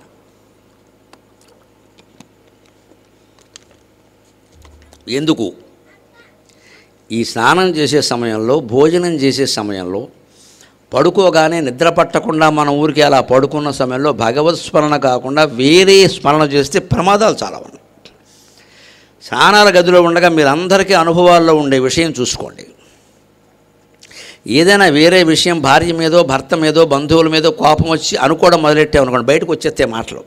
కొంపలు అంటుకుపోతే వాళ్ళ పక్కనే ఉండి వింటూ ఉండొచ్చు మనకు తెలియదు. బయటకు వచ్చాక పడిపోతాయి చేవాట్లు. నా గురించి ఇంత దరిద్రంగా ఆలోచిస్తున్నావా అంటాడు అనమాట పైకి వచ్చేసింది మాట. మనస్సులో ఏది ఉందో ఏది మళ్ళీ పునరుక్తి పునః పునః వస్తూ ఉంటుందో అదే బయటకు వస్తుంది. ఇవాళ కాక రేపైనా వస్తుంది. అందుకే ఈ క్రోధము ద్వేషము మనస్సులోనే లేకుండా చెయ్యాలి తప్ప మాటలు జాగ్రత్త పడితే సరిపోదండి. ముందు మాటలు జాగ్రత్త పడవలసిందే. తర్వాత మనస్సు కూడా పడవలసిందే. మనస్సులో ఉంటే ఎప్పుడప్పుడు వస్తుందమ్మా? పాము అనేది మనకు తెలియకుండా ఇంట్లోకి వచ్చిందండి. ఎక్కడో ఉంది. ఎక్కడో మూలంది మనకు తెలియదు నీకు తెలియదు అది ఉంది. ఎప్పుడైనా రావచ్చు. దురాలోచన కూడా అంతే. మనసులో ఉందంటే వస్తుంది. మనసులోంచి ఎందుకు తీసేయలేకపోతున్నావు మిత్రమా? సరిగ్గా ఇక్కడే మీకు కాతేకాంత అకస్త్యపుత్ర సంసారోయమతి విచిత్ర భజగోవిందం గోవిందం గోవిందం ఆయన పర్యటన చేస్తూ ఉంటే కాశీ దగ్గర ఎక్కడో గంగానదిలో ఒక పండితుడు స్నానం చేస్తున్నట్ట. అప్పట్లో ఏదో ఈ పిండి పెట్టి రుద్దుకునేవారు కదా ఇలా ఏదో అనుకుంటూ స్నానం చేస్తూ ఆయన డుక్రీకరణే డుధాయి ధారణే డుధాయి పోషణ యోహో అనేది చదువు ఈ వ్యాకరణ సూత్రాలనే చదువుకుంటాడు. ఈయనకి మంట ఎత్తింది. వీడెవడు ఎంత పండితులైతే మాత్రం ఈ స్నానం చేసేటప్పుడు కూడా ఇదే గోల. ఎందుకంటే నేను తర్వాత ఏదో పండిత సభలోకి వెళ్ళాలి అక్కడ ఏదో వాదించాలి మర్చిపోతామేమో అని బెంగ. ఈ పండితుడు స్నానం ముగిసి అక్కడికి వెళ్ళేలోగా ప్రాణం పోతే ఏం చేస్తారండి? అప్పుడు కాపాడేది ఎవరండి? ఒక్కసారి ఏదో ఒక్కసారి జీవుడు అనేవాడు శరీరం నుంచి వెళ్ళిపోయాక ఏకాకిగా వెళ్ళిపోవలసిందే కదండి. ఆ ఏకాకిగా వెళ్ళిపోతుంటే చేసిన పాపాలకు యమభటులు దండాలను విడుస్తూ దారి దారంతా కొడుతూ తీసుకెడుతూ ఉంటే ఎవడన్నా మనం రక్షించేవాడు? బద్వా గళే యమభట బహుదర్జయం తగ బద్వా గళే యమభట బహుదర్జయం తగ కర్షం తీయత్ర భవపాశతైర్యుతం మాం కర్షం తీయత్ర భవపాశతైర్యుతం మాం ఏకాకినం పరవశం చకితం దయాళో ఏకాకినం పరవశం చకితం దయాళో లక్ష్మీ నృసింహ మమ దేహి కరావలంబం. హే లక్ష్మీ నృసింహ మమ దేహి కరావలంబం. శంకరాచార్య స్వామి చెబుతారు లక్ష్మీ నృసింహ కరావలంబ స్తోత్రాలు అప్పుడు మనకి సింహాచలం నృసింహస్వామో యాదగిరి నృసింహస్వామో తప్ప రక్షించేవాడు ఉన్నారా? ఈ బంధువులు మిత్రులు ధనకనక వస్తు వాహనాలు ఏమైనా మన కాపాడతాయా? కూడా ఏమన్నా వస్తాయి? చేసిన కర్మఫలం ఒక్కటే వస్తుంది. కర్మానుగో గచ్చతి జీవ ఏక. ఆ దారి ముందు చూసుకోవాలిగా దాన్ని కనీసం స్నానం చేసేటప్పుడు భోజనం చేసేటప్పుడు. పడుకున్నాక నిద్ర పట్టకుండా ఉన్న సమయంలో ఈ మూడు సమయాలు మనం కేటాయిద్దామండి. ఒక ఏడాదిలో మీ జీవితంలో ఎంత మార్పు వస్తుందో మీరు గమనించండి. ఒక్క ఏడాది చేసి చూడండి. బలవంతంగానే చేయండి. చెంప మీద కొట్టుకునైనా చేయాలి. ఒక కొత్త అభ్యాసం మన శరీరానికి అలవాటు కావాలంటే లెక్క ఇరవై ఒక్క రోజులు మానకుండా చేయాలి. ట్వంటీ వన్ డేస్ మండలం అంటే అదే. Twenty one days. ఇరవై ఒక్క రోజులు కనుక పొద్దున్న ఐదు గంటలకు అలారం పెట్టుకుని ఖచ్చితంగా ఇలా కొట్టుకుని మనం లేచాము అంటే ఇరవై రెండో రోజు లేపేస్తుంది. పదా బాత్రూమ్ కంటుంది. శరీరం అలవాటు పడిపోయింది. అలా అలవాటు చేయాలి నాకేమిటో చిన్నప్పటి నుంచి మా నాన్నగారికి కూడా లేదు. ఆయన ఎందుకు తీసుకొస్తావు రంగంలోకి అనవసరంగా? ఎగ్గొట్టడానికి మళ్ళీ తండ్రి ఒకడా? మా ఇంట్లోనే లేదు. ఇదే ఇదే గొప్ప లక్షణం అలాగా. లేకపోతే చేసుకోకూడదా? మనం ఎగ్గొట్ట తలుచుకుంటే ఎక్కడి నుంచో తెస్తామండి వంకలన్నీ. అదే మనకి ఇష్టమైందనుకోండి తండ్రి చేయకపోయినా తల్లి చేయకపోయినా ఇంటా వంట లేకపోయినా చేసేస్తాం బయటికెళ్ళి. అదే మనకి ఇష్టమైందనుకోండి తండ్రి చేయకపోయినా తల్లి చేయకపోయినా ఇంటా వంట లేకపోయినా చేసేస్తాం బయటికెళ్ళి. అప్పుడు అది పాత పాత వాసన పాతకంపు అయిపోతుంది. మనకి ఇష్టమైంది అయితే పర్వాలా. దీని నుంచే మనం బయటపడాలి అంటే అలవాటు చేసుకోవాలి. స్నానం చేసేటప్పుడు అన్నం తినేటప్పుడు రాత్రి పడుకునేటప్పుడు కాస్త నిద్ర పట్టే వరకు. అప్పుడు కూడా భార్య భర్త లేకపోతే పిల్లలు కూర్చుని ఏదో సినిమాలు చూసి మాట్లాడుకోవాలి. అవసరమా? నిద్రపోతున్నాం కదా కనీసం మంచి కళలు రావాలని అనుకుంటాం కదా. ఏ మాటలు మాట్లాడుకుంటే ఆ రకమైనవి వస్తాయి కదా. ఆ మాత్రం తెలుసు కదా. సైన్స్ కూడా అంగీకరించిన విషయమే కదండి. కళలు ఎక్కడి నుంచి వస్తాయి? మన నాడుల్లో డెబ్బై రెండు వేల నాడుల్లో పేరుకుపోయిన జ్ఞాపకాలన్నీ కళ రూపంలో వస్తాయి. ఎందుకు వస్తాయి? బతికి మామూలుగా జాగ్రత్త అవస్థలో ఉన్నప్పుడు మన కళ్ళు మన మనస్సు కళ్ళల్లో ఉంటుంది. కళ్ళల్లో ఉంటుంది. అందుకే ఈ ఈ కళ్ళతోనే చూస్తూ ఉంటాం మనకి మీరందరూ ఎవరైనా ఏ మనిషి అయినా మనకు ఎలా కనపడతారంటే మనం ఎలా భావిస్తే అలా కనపడతాడు. యద్భావం తద్భవతి. మన మేనమావ కొడుకు పది రోజుల క్రితం మనకు కనపడ్డాడు. ఎరా అబ్బాయి బాగున్నావా అన్న బాగానే ఉన్నావు. ఈ పది రోజుల్లో వాడికి మనకి ఏదో ఒక గొడవ జరిగింది అనుకోండి. పదకొండవ రోజున మన మేనమావ కొడుకు శనిమొండ కొడుకు చూడు ఎలా ఉన్నాడు అన్నట్టు కనపడతాడు. ఏమైంది? వాడు నీ మేనమావ కొడుకే నీకు అనుమానం వెళ్ళా పది రోజుల క్రితం వాడు మంచివాడా? ఇప్పుడు శనిగాడిది కొడుకు అయ్యాడు. ఎందుకు అయ్యాడు? మనకు గొడవ అయింది. అంటే మనిషి మనకు ఎలా కనపడతాడు అంటే మన మనస్సు ఎలా ఉంటే అలా కనపడతాడు. సంపాదించిన ఆస్తి పెందరాళ్ళే మనం ఉండగానే మనకి ఇచ్చేసేస్తే మన వయసులో ఉండగా తండ్రి మా నాన్నగారు అలా అట్టి పెట్టుకోరండి అన్నీ మాకు బాధ్యతలు నేర్పారు. ఎవరేదనుకో ఓ పెట్టు కూర్చున్నాడు ఇక్కడ తాళాలు ఎప్పుడు పోతాడో తెలియదు అన్నాడు ఎవరి దగ్గర అంటాడు ఫ్రెండ్ దగ్గర అంటాడు. ఇప్పుడైతే వాట్సాప్లో పెట్టేస్తాడు. అంటే ఇప్పుడు తండ్రి అగౌరవం ఎందుకు వచ్చిందంటే తండ్రి మీద? మనోభావాన్ని బట్టి. నువ్వు మార్చుకోవాల్సింది నీ మనోభావాన్న తండ్రినా? ఆయన మార్చేస్తావా? నువ్వు మార్చుకోవడం మానేసి. అంటే మన మనస్సు కళ్ళల్లో ఉంటుంది. అందుకని మనకి చూపులు మనుషులు ఎలా కనపడతారు వస్తువులు ఎలా కనపడతాయి అంటే మన మనోభావాలను బట్టే కనపడతాయి. అదే కలగంటున్నాం అనుకోండి ఆశ్చర్యకరంగా మన మనస్సు కంఠంలోకి వస్తుందండి. కాలకంఠి కాంతిమతి క్షోభిణి సూక్ష్మరూపిణి ఈ నాలుగు నామాలు వరుసగా ఉంటాయి లలితా సహస్రంలో వాటి అర్థం మన కళ. కాలకంఠి కాంతిమతి క్షోభిణి సూక్ష్మరూపిణి కాలకంఠ్యై నమ కాంతిమత్యై నమ క్షోభిణ్యై నమ సూక్ష్మరూపిణ్యై నమ. కాలం అంటే మనస్సు టైం కాదు. టైం అనుకున్న టైం ఎక్కడో లేదు మన మనస్సును బట్టి ఉంది. నిర్ణయించుకున్నది సూర్యాస్తమయం సూర్యోదయం అంటున్నాం మనం. మన మనస్సులో నిర్ణయించే సూర్యోదయం లేదు సూర్యాస్తమయం లేదు అబద్ధం. సైన్స్ ప్రకారం అబద్ధం. సూర్యుడికి ఉదయం లేదు అస్తమయం లేదు. పొద్దున్న సాయంత్రం ఇంచుమించు ఒకే సమయానికి ఎర్రటి కిరణాలు తూర్పు నుంచి ఓసారి పడమటి నుంచి ఓసారి మనకు వస్తుంటే దీనికి ఉదయమని దానికి అస్తమయమని మనమే పేర్లు పెట్టాం. అంతేకాని సూర్య గోళం దగ్గరికి వెళ్ళగలిగిన కనీసం సూర్యుని గురించి ఆలోచించినా పరిశోధించినా తెలుస్తుంది. సూర్యుడి దగ్గరికి ఎర్ర కిరణాలు చేరనే చేరవు. ఆయనకు అస్తమయం లేదు ఆయనకు ఉదయం లేదు. అది కూడా ఎర్ర కిరణాలే మనకు ఎందుకు కనపడతాయి? ఆ ఏడు రంగులు ఉంటాయి సూర్యుల్లో అన్నీ కలిపే తెలుగు. కానీ ఎరుపు ఒక్కటే మనకి బాగా కనపడి చేరగలుగుతుంది. మిగిలిన మధ్యలో ఆగిపోతే మన దృష్టి వరకు రాలా. ఎరుపు మన దృష్టి వరకు వచ్చింది. అందుకే డేంజర్ అని చెప్పడానికి అర్ధరాత్రి లైట్లు వేయడానికి రోడ్డు మీద గెదరగడానికి ఎరుపు ఉపయోగిస్తారు. బాగా కనపడుతుంది బాగా కనపడుతుంది. మీకు అంతవరకు అక్కల్లా గేదెలు ఎడుతున్నప్పుడు చూడండి ఎర్రచీర కట్టుకున్న వాళ్ళని చూస్తుంది గేది. అంతే అయిపోయింది అయిపోయాను ఇంకా. అందుకే బయటికి వెళ్ళి ముఖ్యంగా గేదెలు పశువులు తిరిగే చూడ ఎర్రచీర కట్టకూడదు ఇంకేం కట్టుకున్నా మంచిది. ఎర్రబట్టలు వేసుకున్నామంటే అయిపోయినట్టే కొమ్ము దూసేస్తుంది అది. దానికి ఆ రంగు ప్రస్ఫుటంగా కనపడింది అంతకంటే ఏం లేదు దానికి. ఆ రంగు ప్రస్ఫుటంగా కనపడింది ఏదో అది భయపడింది వచ్చేసింది. వెంటనే కాపలా కాసేవాడు గో గోవుల కాపలా చెబుతాడు ఎర్రచీర ఎందుకు కట్టుకున్నావు మాట్లాడు బయటికి ఎందుకు వచ్చావు అంటాడు. అందుకని ఆ గేదెనంటే ఉపయోగం ఏం లేదండి అక్కడ. దాని లక్షణం అది. ఆ ఎరుపు రంగు ప్రస్ఫుటంగా అందుకే డేంజర్ బాక్సుల మీద ఎరుపు రంగు ముఖ్యమైన కూడా విఐపి అని పెద్ద ఎరుపు రంగు వచ్చారంటే విఐపీలో ఎక్కువ డేంజర్ అనమాట దేశానికి. ఆ డేంజర్ మార్కు బాగా కనపడడం కోసం ఎరుపు రంగు పెడతారు అక్కడ. సరిగ్గా సూర్యుడు దగ్గర నుంచి వచ్చే కిరణాల్లో కూడా భూమి మీద పడుతున్నాయి అందరికీ తెలుసు. కానీ మన దగ్గరికి వచ్చేటువంటి కిరణాల్లో ఉదయ సాయంత్రాల్లో పరిభ్రమణం కారణంగా ఎరుపు రంగు కిరణమే ముందు కనపడుతుంది. అందుకని మనం ఉదయం సాయంత్రం కూడా ఎర్రగానే కనపడడం ఒకే సమయంలో జరగడంతో దాన్ని అచలం అన్నాం. అచలం అంటే చెలించనిది. అంతేగాని అక్కడ పర్వతాలు ఏం లేవండి. ఎప్పుడూ చెలించకుండా స్థిరంగా ఒకే పరిణామం పన్నెండు గంటల వ్యవధిలో జరుగుతుంది. దానికి మనం ఉదయం అని అస్తమయం అని పేరు పెట్టాం. సూర్యునికి ఉదయం లేదు అస్తమయం లేదు. అంచేత కాలం మన సృష్టి మన మనసు సృష్టించింది. భూలోకంలో ఉన్న మానవుల సృష్టి జీవుల సృష్టి. అంచేత కాలకంటి మనస్సు కంఠంలో ఉంటుంది కలగనేటప్పుడు. అందుకే గమనించండి మనస్సు కంఠంలో ఉంటుంది మనస్సు కలగ ఉంటుంది మనస్సు ఎందుకు కల ఎలా కలగ ఉంటుంది దానికి ఆలోచనలు ఎక్కడి నుంచి వస్తాయండి? చూస్తున్నప్పుడైతే మనుషుల గురించి ఆలోచనలు వస్తాయి. పశువుల గురించి ఆలోచనలు వస్తాయి. పరిణామాల గురించి ఆలోచనలు వస్తాయి. పడుకున్నప్పుడు ఎలా ఆలోచనలు వస్తాయని మనం ఏం చేసాం కళ్ళు మూసేసాం ముక్కు తెరిచినా అదేదో ఊపిరి నడుస్తుంది తప్పితే ఏం లేదు. ముఖ్యంగా కళ్ళు మూసేసాం నెమ్మదిగా లోపల లోపలికి వెళ్ళిపోతున్నాం. నిద్ర అంటే అంతే కదా మరి. కుంచుకుపోవడమే కదా లోపలికి వెళ్ళిపోతున్నాం. అంచేత మనస్సుని పంచేంద్రియాల ద్వారా బయటికి వెళ్ళకుండా చేశాం. అదేం చేసింది? నువ్వు బయటికి వెళ్ళకపోతే నేను ఊరుకుంటానా అని లోపలికి వెళ్ళింది. కరోనా అప్పుడు లాక్డౌన్ అంటే ఏం చేసాం మనం? పెండింగ్ పనులన్నీ చేసామా లేదా?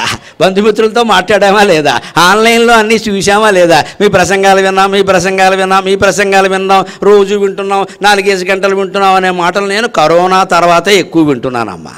కరోనాకి నమస్కారం. గత్యంతరం లేక ఏమీ చేయలేక చాగంటి వారు నేను లోకువైపు పోయి మా మాటలన్నీ మీరు విన్నారు.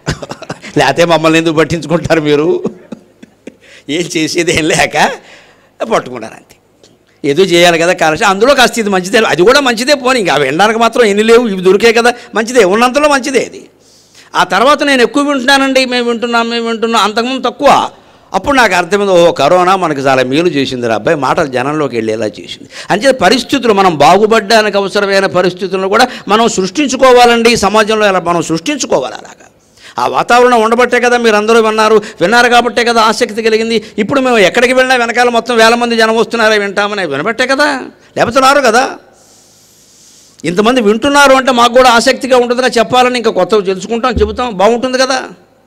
అంచేది మనస్సును కూడా మనం బయటికి వెళ్ళే అవకాశం లేకుండా చేసినప్పుడు కంటి ద్వారా ముక్కు ద్వారా చెవి ద్వారా నోటి ద్వారా బయటికి వెళ్ళే అవకాశం లేకుండా చేసినప్పుడు అది ఏం చేస్తుంది? లోపలికి వెడుతుంది లోపలికి వెళ్ళాలంటే కంట నుంచే కదా పైన ఉన్నది కిందికి వచ్చింది. కంట నుంచి ఏం చేస్తుంది? అక్కడి నుంచి సరిగ్గా ఈ డెబ్బై రెండు వేల నాడులు ఉంటాయి కదండి శరీరంలో. యోగ వాసిష్టంలో చెబుతారు ఉత్పత్తి ప్రకరణంలో అద్భుతంగా చెబుతారు ఈ విషయాన్ని.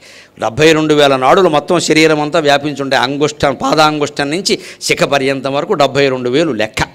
ఈ మొత్తం నాడులకి కేంద్రం ఏమిటంటే నాభి. ఇక్కడ ఆ డెబ్బై రెండు వేల నాడులకి కేంద్రంగా వంద నాడులు చుట్ట చుట్టూ ఉంటాయి. శతం చైకానాడ్యక అంటారు ఉపనిషత్తులు. ఉపనిషత్తులన్నీ విజ్ఞాన శాస్త్రం. అదంతా ఎనాటమీ. అదంతా మనోవిజ్ఞానం. అవి మతం కాదు. వివేకానందుడు వాటి గురించే మొత్తుకున్నాడు. హిందూ మతం అంటే ఉపనిషత్తులండి ఉపనిషత్తులండి ఉపనిషత్తులు చదవండి అన్నాడు. వంద నాడులు ఇక్కడ చుట్ట చుట్టుకుని ఉంటాయండి. ఫ్యాన్లో రెవెండింగ్ వేరే చుట్ట చుట్టుకుని ఉన్నట్టే. చలేసినప్పుడు బాగా పాము చుట్ట చుట్టుకుని ఉన్నట్టే. సుడిగుండంలో నీళ్ళు చుట్ట చుట్టుకుని గుండ్రంగా తిరిగినట్టే. మన నాభి దగ్గర ఈ నరాలన్నీ వంద నరాలు వంద నాడులు చుట్ట చుట్టుకుని ఉంటాయి. ఈ వంద నాడులకి కనెక్ట్ అయ్యి అనుబంధితములే డెబ్బై రెండు వేల నాడులు ఉంటాయి. ఈ వంద నాడులకి ఒకనాడు సరిగ్గా ఇలా పైకి వెళ్ళి ఊర్ధ్వం గచ్చ గచ్చతి అని ఇక్కడ వరకు వచ్చింది. ఇక్కడ వరకు కూడా పెడుతుంది మనం వెళ్ళనిస్తే. కానీ ఇక్కడ మనస్సుకు తగులుకుంటుందండి. ఈ మనస్సు ఈ నాడి ద్వారా ఈ వంద నాడుల్ని ఈ వందకి అనుబంధాలుగా ఉన్న డెబ్బై రెండు వేల నాడుల్ని పట్టుకుని వాటిలోకి వెళ్ళి అక్కడక్కడ నిలవున్న జ్ఞాపకాలు నువ్వు మొన్న చూసినవి అటు మొన్న చూసినవి పదేళ్ళ క్రితం చూసినవి నువ్వు పగలు చూస్తే రాత్రి కళ్ళలోకి వచ్చేవన్నీ పైకి చెత్తంతా లాక్కొచ్చి నీకు మొత్తం కళల రూపంలో స్క్రీన్ ప్లే దర్శకత్వం మొత్తం చూపిస్తాయి. అదే కళ. ఇది మనస్సు ఆడే నాటకం ఇది. దానికి నాటకంగానే గమనించి వదిలేయాలి ఆ విషయాన్ని. అప్పుడే అందుకే మీరు గమనించండి కలగనేటప్పుడు ఈ శాస్త్రం ఎంత నిజమైందో అర్థమవుతుంది. కలగనేటప్పుడు మాట బయటికి రావడం కష్టం అండి మీరు ఎన్నైనా చేస్తారు కళ్ళలో కనిపించిన మనిషిని కొడతారు ఏదో గుద్దేస్తారు ఏదో చేస్తారు. కానీ మాట్లాడాలని ప్రయత్నిస్తే మెలకు వచ్చేస్తుంది. మాట ఎందుకు రాదు? కంఠం మాట వచ్చేది అక్కడి నుంచి మనస్సు అక్కడే అడ్డంగా ఉంది. తుమ్ములో రాయి అడ్డం పడినట్టు. మాట వచ్చే చోటే మనస్సు అడ్డంగా మనస్సు పైకెడితే కానీ మాట పైకి రాదు. అందుకే అంటాడు. చాలండి లేవండి చస్తున్నాం. ఎక్కడక్కడ తిరిగి వస్తారు అడ్డమైన కాళ్ళు కడుక్కోకుండా వస్తారు అని లేపారు ఇక్కడి నుంచి. అయిందా? రోజు జరిగే భాగవతమే కదమ్మా? అప్పుడు మనకి చివాట్లు పడ్డాయి. కాళ్ళు కడుక్కోకుండా వస్తారు చెబితే చేదస్తాం అంటారు మళ్ళీ చెప్తే వినరు ఇక్కడ. అంది. ఎందుకంటే పలవరించి. ఆడికి భయమైంది. ఎందుకు అంత యాతన అయిందండి? ఈ ఎందుకు వస్తున్నాయి? మాట ఎందుకు బయటికి రావడం అంత కష్టం అవుతుంది? మాట రాదు. మాట వచ్చే మార్గంలోనే మనస్సు కూర్చుంది అక్కడ అడ్డంగా. తూలోంచి నీళ్ళు పోవాలి. నువ్వు ఏదైనా రాయి పడింది అనుకోండి నీళ్ళు పోవు. గట్టిగా ఫోర్స్గా ఒక పెద్ద బకెట్ తీసుకుని కొట్టామనుకోండి పోతుంది. అంతే. అదే కాలకంటి కాంతిమతి. వెంటనే మనస్సు కాల మనస్సు కంఠంలో ఉండి కాంతిమతి ఓ తెరేసింది అక్కడ. అక్కడ ఎల్ఈడి స్క్రీన్ పెట్టలేదు మీరు దూరంగా ఉన్న వాళ్ళ కోసం. అలాగే అమ్మవారు ఓ తెరేసింది కాంతిమతి. ఫోకస్ లైటింగ్ ఉంటే కానీ తెర్రాదు కదా కాంతిమతి. క్షోభిణి అప్పుడు విక్షోభం చెందింది మనస్సు. అవన్నీ బయటికి లాగుతుంటే ఎక్కడో ఒకరిని కొట్టాలనిపించింది. ఇంకొకరు ఎవరో మన పొగుడుతున్నారనిపించింది. ఇంకొక చోట బాధ కలిగింది. ఇంకో చోట సంతోషం కలిగింది. ఈ కలగా పొలగం ఆలోచనలు అన్నీ కలిపి ఒక సినిమా తయారు చేసింది ఆవిడ. ఈ సినిమాకి పెట్టుబడి లేని సినిమా. ప్రేక్షకులు మాత్రం బ్రహ్మాండంగా ఉంటాడు. ఒకడే ఉంటాడు. ఎవడు ఎవడు నిర్మాత వాడే ప్రేక్షకుడు. కళ అనే సినిమాకి ఎవడు నిర్మాత వాడే ప్రేక్షకుడు. సినిమా బ్రహ్మాండంగా రంజుగా ఉంటుంది. ఎన్ని కోట్లు పెట్టి సినిమాలైనా విఫలమైన సినిమాలు ఉంటాయి కానీ మన కళ మనకి నచ్చంది ఏది ఉండదని అన్నీ బాగానే ఉంటాయి. మనమే ప్రేక్షకులు ఇంకెవరు లేరు. అన్నీ ఒకడే ఇది అర్థ కాలకంటి కాంతి మధ్య క్షోభిణి విక్షోభం అంటే క్షోభించడం అక్కడ. సూక్ష్మరూపిణి. అప్పుడు మనస్సు సూక్ష్మ రూపాలు ధరించింది. చెట్టుగా పుట్టగా స్త్రీగా పురుషుడుగా చాటగా చీపురుగా సమస్తంగా మారింది. ఇదే కాలకంటి కాంతిమతి క్షోభిణి సూక్ష్మరూపిణి. ఈ మనస్సును మనం అరికట్టుకుని జాగ్రత్తగా తీసుకోవాలంటే శిక్షణ ఇవ్వాలి. దానికోసం ఏం చేయాలి? పడుకునేటప్పుడు ఖచ్చితంగా స్తోత్రం చదువుకునే పడుకోవాలి. ఆత్మాత్వం గిరిజామతి సహచరా ప్రాణాగ శరీరం గృహం పూజాతి విషయోపభోగ రచన నిద్రా సమాధి స్థితి సంచార పదయో ప్రదక్షిణ విధి స్తోత్రాన్ని సర్వాగిరక యద్యత్ కర్మ కరోమి తత్తదఖిలం శంభో తవారాధనం. శంకరాచార్య శివ మానస పూజా స్తోత్రంలో చెప్పిన మాట మహానుభావుడు స్వర్గీయ బాలు ఎంత అమరగానంతో పాడారు దీన్ని అద్భుతంగా పాడాడు ఆయన మహానుభావుడు. ఆయనకి నివాళి ఈ సందర్భంగా. అమరగాయకుడు నిజంగా ఎంత బాగా పాడాడు. ఘంటసాల ఒకరు బాలు ఒకరు జాతి మరవలేని రెండు కళ్ళు అండి గ- సంగీత సామ్రాజ్యంలో రెండు కళ్ళు వాళ్ళు. అటువంటి పాటలు భక్తి గీతాలన్నీ పాడి ముక్తి పొందారు వాళ్ళు. ఆయన ఈ శ్లోకం పాడాడు ఎంత అద్భుతంగా పాడాడు ఆయన. సరిగ్గా పడుకునేటప్పుడు మన ఆలోచన ఆత్మాత్వం ఆ నేను నేను అని ఏదంటున్నామో అది నువ్వేనయ్యా. గిరిజామతికి మనస్సెవరయ్యా పార్వతీదేవి. గిరిజామ సహచర ప్రాణాక ప్రాణవాయువులే నా సహచరుడు అంటే జీవితంలో మన కొందరు సహచరులు ఉంటారు కదా. పొద్దున్న లేవగానే మా స్నేహితులండి మా భార్య అండి మా ఆయన అండి సహచరులే కదా వీళ్ళందరూ మరి. అవి నిజమైన సహచరులు ఎవరంటే ప్రాణ అపాన వ్యాన ఉదాన సమాన. ఈ ఐదు వాయువులే మనకు సహచరులు. ఎందుకని మనం మెలకుగా ఉన్నా పడుకుని ఉన్నా గాఢ నిద్రలో ఉన్నా ఏ ఊళ్ళో ఉన్నా అసలు బతుకుంటే మనతో పాటు ఉండేవేవో అంటే ఊపిరి ఒకటే. నిశ్వ ఉచ్ఛ్వాస నిశ్వాస. మనస్సు అస్తమానం ఉంటుందని చెప్పిన మనస్సు శాంతించేటువంటి సందర్భాలు ఉంటాయి. ఊపిరి శాంతించడం ఉండదు అందుకే వైద్యులు ఎవరు మనస్సు డెడ్ అయిందనుకోండి కోమాలోకి వెళ్ళాడు అనుకోండి ఏం ఉండదు కదా? ఒప్పుకోరు చనిపోయాడంటే ఒప్పుకోరండి ఊపిరి ఉందంటారు కోమాలోకి వెళ్ళివాడు చంపాడంటే మనం ఏదో అంటాం కానీ డాక్టర్లు ఒప్పుకోరు. అబ్బాయి కోమాలోకి వెళ్ళాడండి ఎప్పుడైనా వచ్చే అవకాశం ఉంది. మూడు రోజుల్లో రావచ్చు ముప్పై ఏళ్ళకి వచ్చిన వాళ్ళు ఉన్నారు. తప్పదు. ఎందుకంటే మనస్సు ఆలోచించట్లేదు కానీ ఎక్కడికి పోలేదు ఉంది ఇక్కడ. ఆలోచించట్లేదు. ఆలోచించలేని స్థితి. కానీ నువ్వు ఎందుకంటే ఒప్పుకోరు? ఊపిరాడుతోంది. కానీ అదే నాడి కొట్టుకోవడం ఆగిపోతే ఈసీజీ గ్రాఫ్ కాగితం లోపల పెట్టగానే గిరి గిరి గిరి గిరి అని సమానంగా వచ్చిందనుకో తీసుకెళ్ళిపోవడం మాకు సంబంధం లేదంటారు ఒక్కసారి కాగితం బయటికి లేక అయిపోయినట్టే అంటారు ఎందుకని ఊపిరి ఆగడం నాడి లెక్క ప్రాణం పోవడానికి. అంతేగాని మనస్సు ఆగిపోవడం మనస్సు ఆలోచించకుండా ఉన్న లెక్క కాదు. గాఢ నిద్రలో సుషుప్తిలో ఉన్నప్పుడు మన మనస్సు రోజు ఆలోచించట్లేదు. అంత మాత్రం చేత పోయినట్ట? మళ్ళీ పొద్దున లేవట్లా? అంటే కోమాలోకి వెళ్ళిన ప్రాణం చనిపోయినట్టు కాదండి లెక్క. ఇలా అయితేనే చనిపోయినట్టు లెక్క. అంటే ఊపిరే ప్రధానం. అందుకే సహచరా ప్రాణాగ. రాత్రి మనం భగవంతుడితో చెప్పుకోవాల్సిన మాట సహచరా ప్రాణాగ.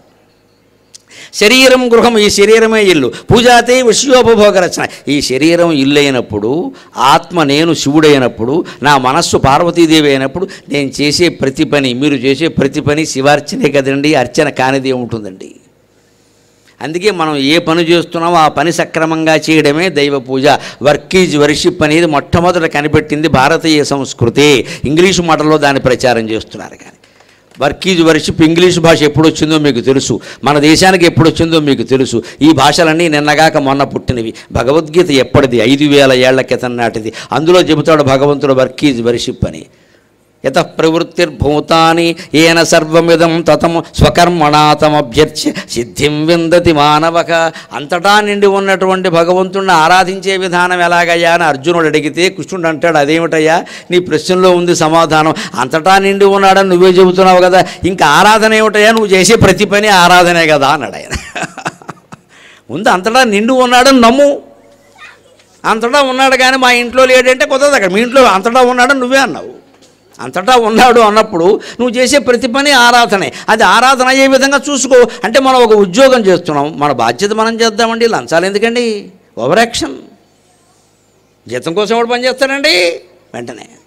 ఇవాళ ఉద్యోగ సంఘాలు ఉపాధ్యాయ సంఘాలు అనేక రకాల సంఘాలు అందరూ దయచేసి ఆత్మవిమర్శ చేసుకుందాం. పని మీద దృష్టి పెట్టామా? ఇంక్రిమెంట్ మీద దృష్టి పెట్టామా? రా, ఇదే గొడవ ఎంతసేపు. మనకేమిస్తారు మనకేమిస్తారు మనకేమిస్తారు ఏ, ఇన్నేళ్ళుగా పనిచేస్తున్నాం కదా మనం పాఠాలు ఏం చెప్పాం? పని ఏం చేస్తున్నాం అని ఆలోచిస్తే సరిపోలా అందరూ గుళ్ళో కడతారు అందరూ అర్చనలు చేస్తారు చే- చేసే పని సక్రమంగా చేయరు. ఏమయ్యా నువ్వు రెండు లక్షలు లంచం తీసుకునేవాడు అంటే మా పక్క ఆయన చూడలేదు మీరు రెండు కోట్లు నొక్కేయాడు అంటాడు. వాడికంటే వీడు మెరుగుట. మొత్తం మీద ఇద్దరు దుర్మార్గులే కదా ఎక్కువ తక్కువ కానీ. ఈ పోలిక ఎందుకండి? మనం అంతా భగవద్గీత చదువుతాం మనం అంతా గుళ్ళో కడతాం ఆత్మవిమర్శ చేసుకోం. చేసి చేస్తూనే ఉంటాం ఇక్కడ. దానికే భగవంతుడు చెప్పాడు స్వకర్మణాతమభ్యస్త నువ్వు ఉద్యోగం చేసావో వ్యాపారం చేసావో వ్యవసాయం చేసావో ఏం చేసినా సక్రమంగా చేయి నీతిగా చేయి నిజాయితీగా చేయి. ఏమీ లేదు ఇల్లు ఊడుస్తున్నావు మంచిది శుభ్రంగా ఊడు. మూల మూలల్లో దుమ్ము కూడా పోయేలా ఊడు. ఓ చేట దగ్గర పెట్టుకో ఎప్పటికప్పుడు ఆ దుమ్ము అందులో వేసి చెత్తబొట్టలో పారబోసి శుభ్రంగా కూడా అద్దంలా ఉండాలి. ఇలా ఇంకొక మనిషి ఓడవలేడు అన్నట్టుగా ఉండాలి. అప్పుడు ఇల్లు ఓడవడం కూడా ఈశ్వరార్చనతో సమానం అండి ఇప్పుడు మన పనులు మనకి విసుగురావు సాధారణంగా మన పనులు మనకి విసుగెందుకు వస్తూ ఉంటాయంటే ఫలితం ఆశించడం వల్ల వస్తాయి. ప్రతి పనికి మీరు ఫలితం ఆశిస్తే విసుగు వస్తుంది. ఫలితం ఆశించకుండా చేస్తే విసుగు రాదు. అంతమంది బా ఒక వైద్యం చేసేటువంటి వ్యక్తి నా వల్ల వాళ్ళు బాగుపడుతున్నారు.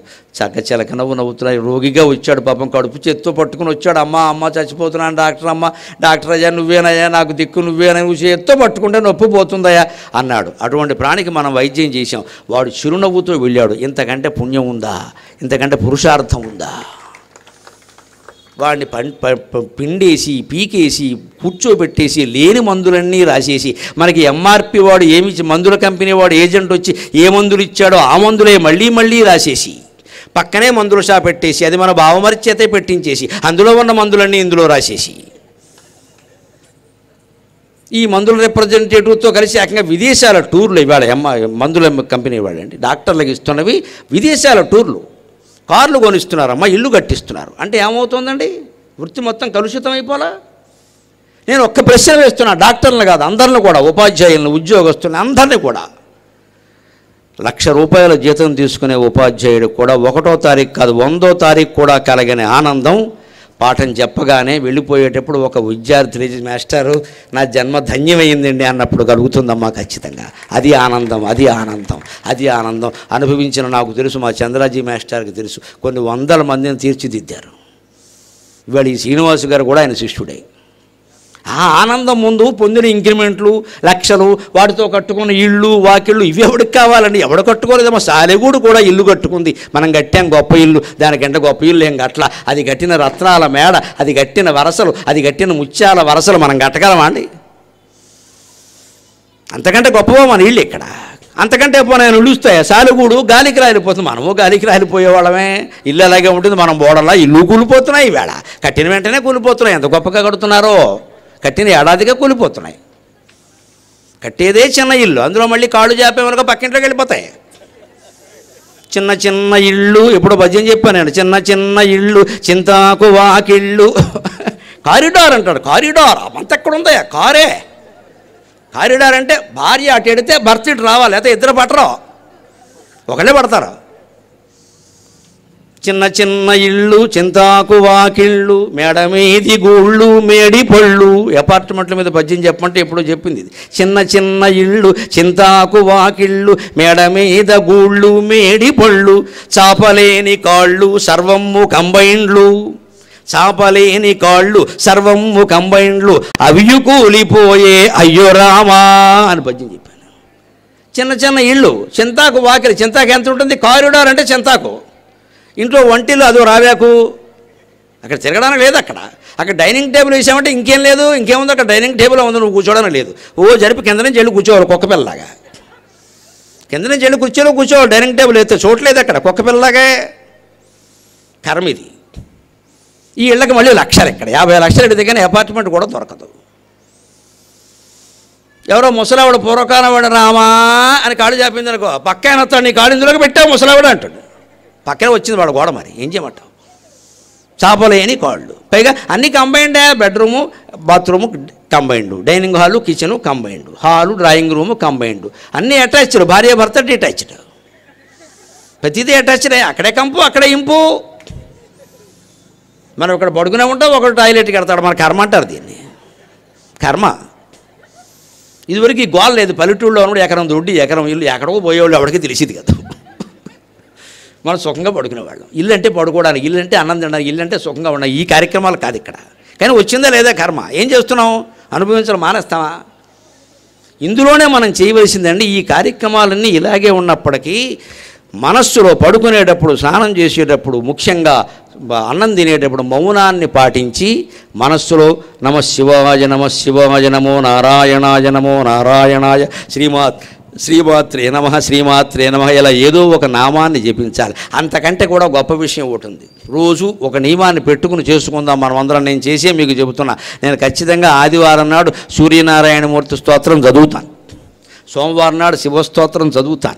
మంగళవారం ఆంజనేయ స్తోత్రం చదువుతాను. బుధవారం ఇంకొక అయ్యప్ప స్వామిదో రామచంద్రమూర్తి చదువుతాను ఖచ్చితంగా.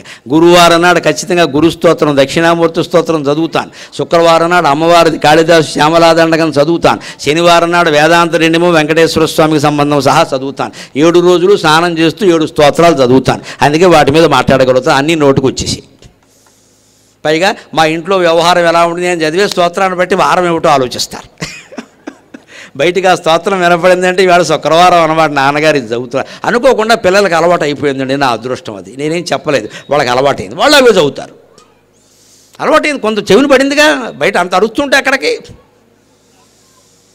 ఇది ఈ ఈ మ్యూజిక్ ఈ సంగీతం ఎంత ఉపయోగం అంటే నేను అమెరికాలో చూసా ఓ వీడికి కూడా గొప్ప ఆలోచన రా అనుకున్నా. వాడు అమెరికాలో ఈ రెస్ట్ రూమ్స్ అంటారు కదా టాయిలెట్ అంటారు. అక్కడ ముందు బోర్డు పెట్టాడు.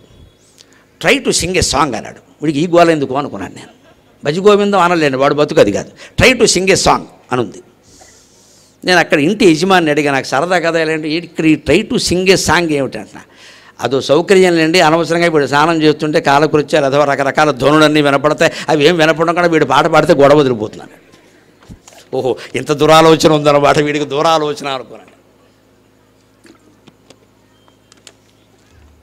కనీసం స్నానం చేసేటప్పుడు మీకు ఇష్టమైనటువంటి దండకం చదువుకోండి హాయిగా. ఇంకోటి పొరపాటున చెడతేయడం మర్చిపోయినా మనం స్నానం చేస్తున్నామన్న విషయమైనా తెలుస్తుంది వీటికి. ఏమక్కర్లేదు అది చాలు. వినపడుతుందిగా స్తోత్రం. పుణ్యం పురుషార్థం రెండు వస్తాయి. ఇదే భారతీయ నాగరికత. భారతీయ సంస్కృతిలో భౌతిక జీవనం వేరే ఆధ్యాత్మిక జీవనం వేరే ఉండదండి. రెండు కలిపే ఉంటాయండి. మామూలు ఆచారాల్లోనే అద్భుతమైన అద్వైత తత్వాన్ని ఇమిడించి పెడతా. భారతీయ సంస్కృతిలో భౌతిక జీవనం వేరే ఆధ్యాత్మిక జీవనం వేరే ఉండదండి. రెండు కలిపే ఉంటాయండి. మామూలు ఆచారాల్లోనే అద్భుతమైన అద్వైత తత్వాన్ని ఇమిడించి పెడతా స్నానం చేసిన తర్వాత అల్పాహారం చేస్తాం. ఇప్పుడైతే పూర్వం అలా చేసేవారు కాదు. పదిన్నర పదకొండింటికి భోజనాలు చేసేసేవారు. అది మంచి అలవాటు నిజానికి. మధ్యాహ్నం పూట నాలుగింటికి కాస్త టీ ఏదో దాకా కాస్త పంట కింద కరకర ఏదో జంతికలో కారపూసలు లాగించేవారు. రాత్రి ఎనిమిదిన్నరకు భోజనం చేసేవారు. కానీ భోజనం విషయంలో ఎప్పుడూ ఒకటే అల్పాహారం అధికాహారం ఏదైనా నాలుగు గంటల వ్యవధి ఉండాలి కనీసం. ఎనిమిదిన్నరకి అల్పాహారం తింటే నాలుగు గంటలు పన్నెండున్నర. మళ్ళీ నాలుగున్నరకి టీ నాలుగు నాలుగు గంటలు. మళ్ళీ ఎనిమిదిన్నరకి భోజనమో పళ్ళో ఏదో ఒకటి. ఆ కనీస వ్యవధిని వైద్యులు కూడా చెబుతారు ఈ విషయాన్ని. అది మెయింటైన్ చేస్తే మీరు ఏ ఎక్కడ తిన్నా పర్వాలేదు ఏం తిన్నా పర్వాలేదు వేరే మీకు అలవాటైన ఆహారం తిన ఇది ఆహారం తినాలని లేదు. ఏ ఈ ప్రాంతం వారికి ఆ ప్రాంతంలో పండే పంటలు బాగా పడతాయి. మరో ప్రాంతానికి మనకి పడవు. అన్నీ ఒకే ప్రాంతంలో పండే పంటను మొత్తం ప్రపంచం అంతా వ్యాపారం చేయాల్సిన అవసరం లేదు ఇక్కడ.